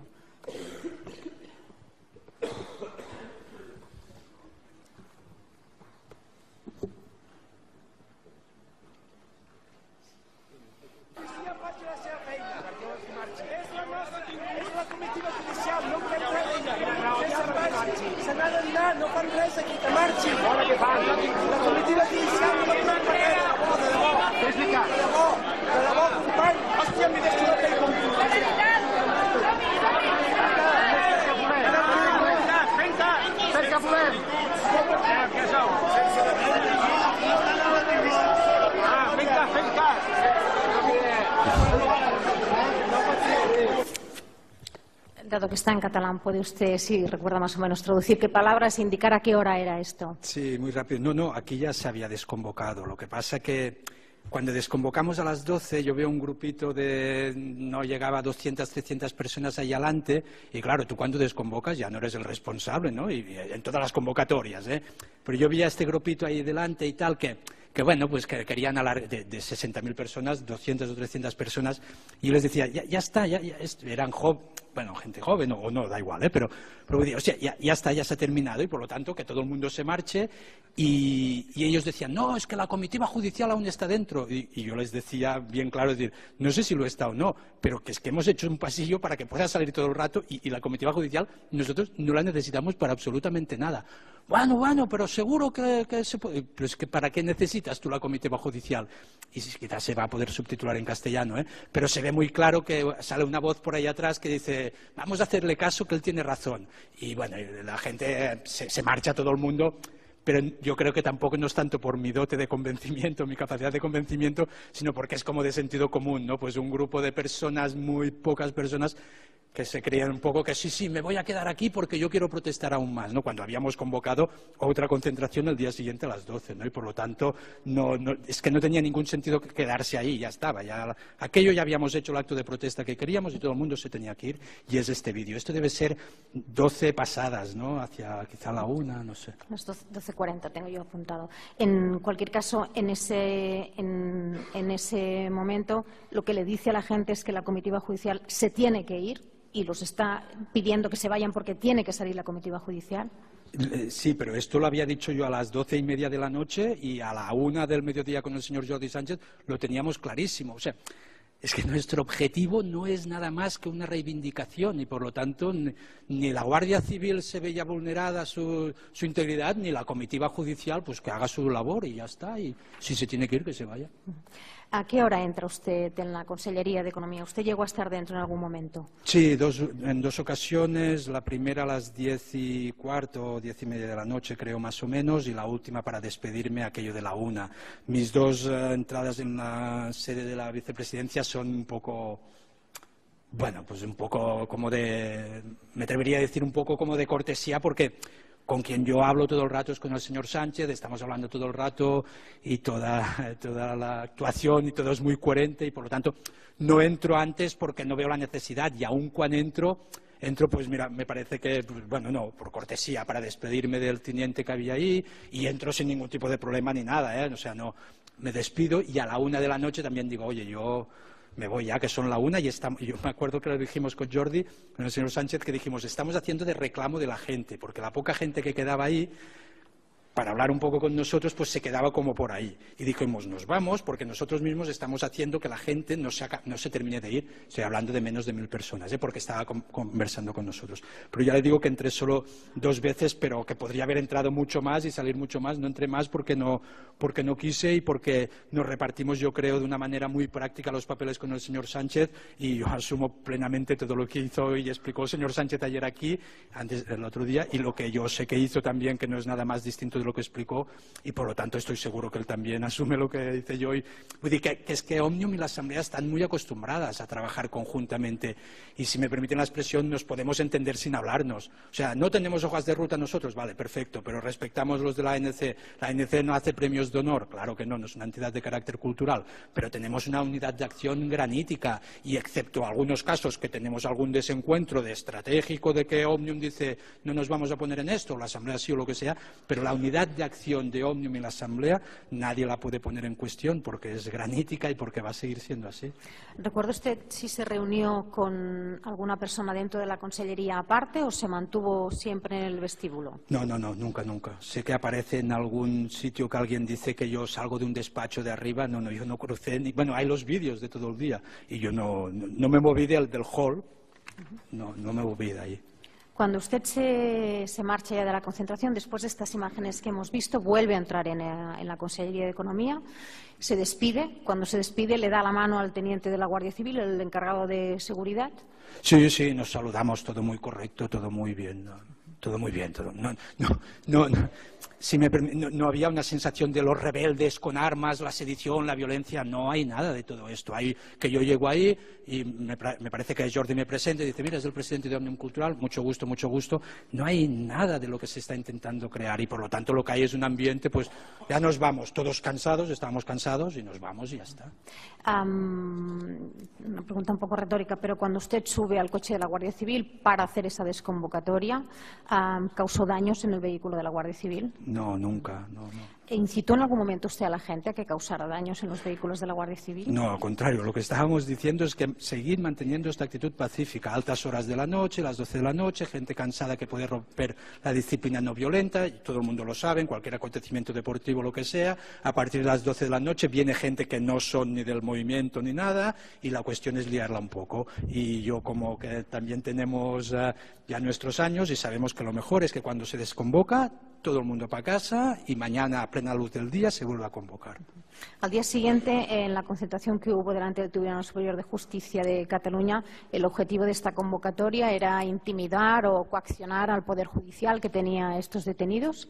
No, es lo mismo que se puede hacer delante de un ERE o cuando hay detenidos después de, después de una huelga general, ¿no? Es mostrar nuestra disconformidad, insisto, ante los hechos excepcionales que se producían en Cataluña y aquel caso en concreto, 17 detenciones de, de, directivo, de directivos, dirigentes de, de, de, la Generalitat de Cataluña y pedíamos su puesta en libertad, como así fue al cabo de dos días. Hubo un escenario también el día 21 de septiembre. Sí, con grupos de música, con actividad todo el día, sí, sí. Vamos a ver, pasó al 25 de septiembre este episodio anecdótico de Badalona. ¿En algún momento se enfrentó usted a la policía local? ¿Les insultó? ¿Les atendió instrucciones que le dieran?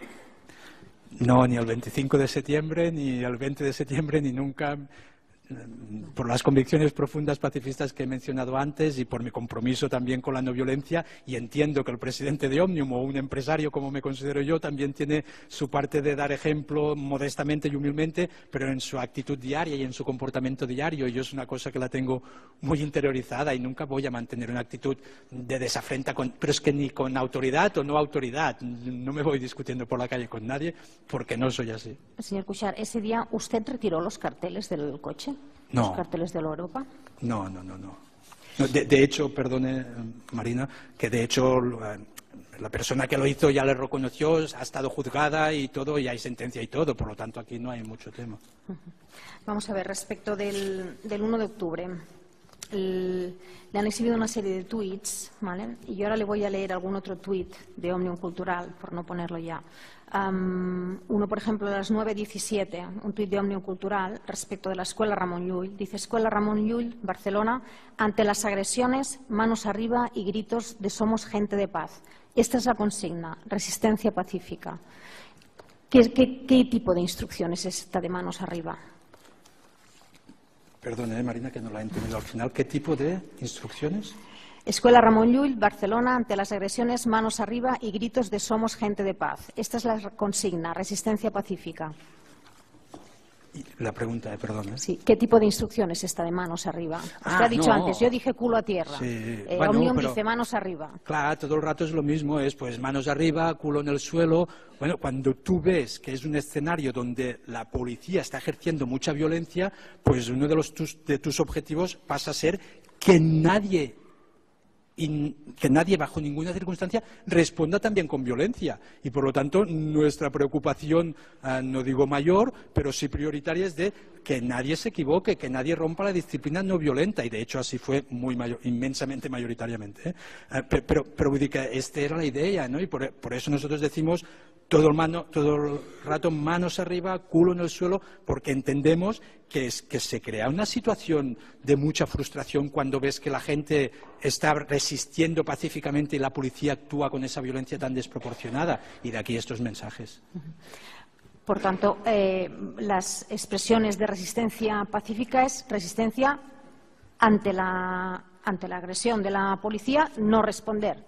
No, la resistencia pacífica responde a este, a este principio. La resistencia pacífica y no violenta no quiere decir pasiva. No, no, y así también lo han explicado, en concreto Hannah Arendt también lo explica muy bien, que resistencia no violenta lo que quiere decir es esto, no violenta, pero no quiere decir pasiva o no quiere decir no hacer nada, no, no, es resistencia. No violenta que responde a una actitud proactiva de oponer, a- en- en- poner la- situarse en una actitud de dignidad, de coraje, de, posición rígida y, en este caso en concreto, mostrar la disconformidad ante la actuación de la policía, pero nunca oponiendo, utilizando la violencia para que la policía no pueda llevar a cabo su actuación. Este es el límite, no utilizar nunca la violencia.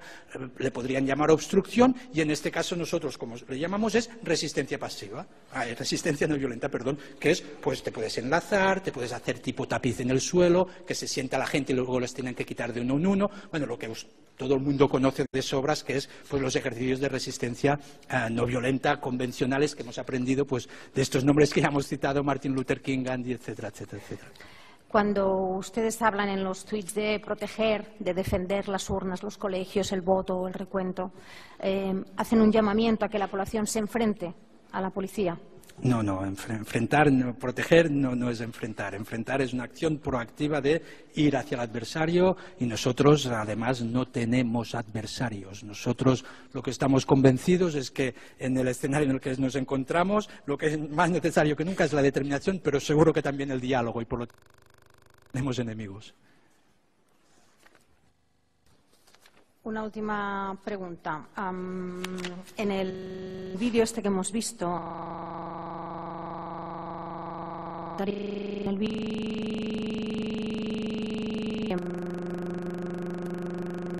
algunos ¿Qué quiere decir usted para usted? ¿Qué significa este lema de no pasarán? Sí, el eslogan de no pasarán y es, un eslogan utilizado siempre en la lucha antifascista y también se utilizó aquí en Madrid y se ha utilizado muchos años en muchos rincones del mundo. Las Pussy Riots cuando salieron de la cárcel en Rusia pues también llevaban la camiseta de no pasarán.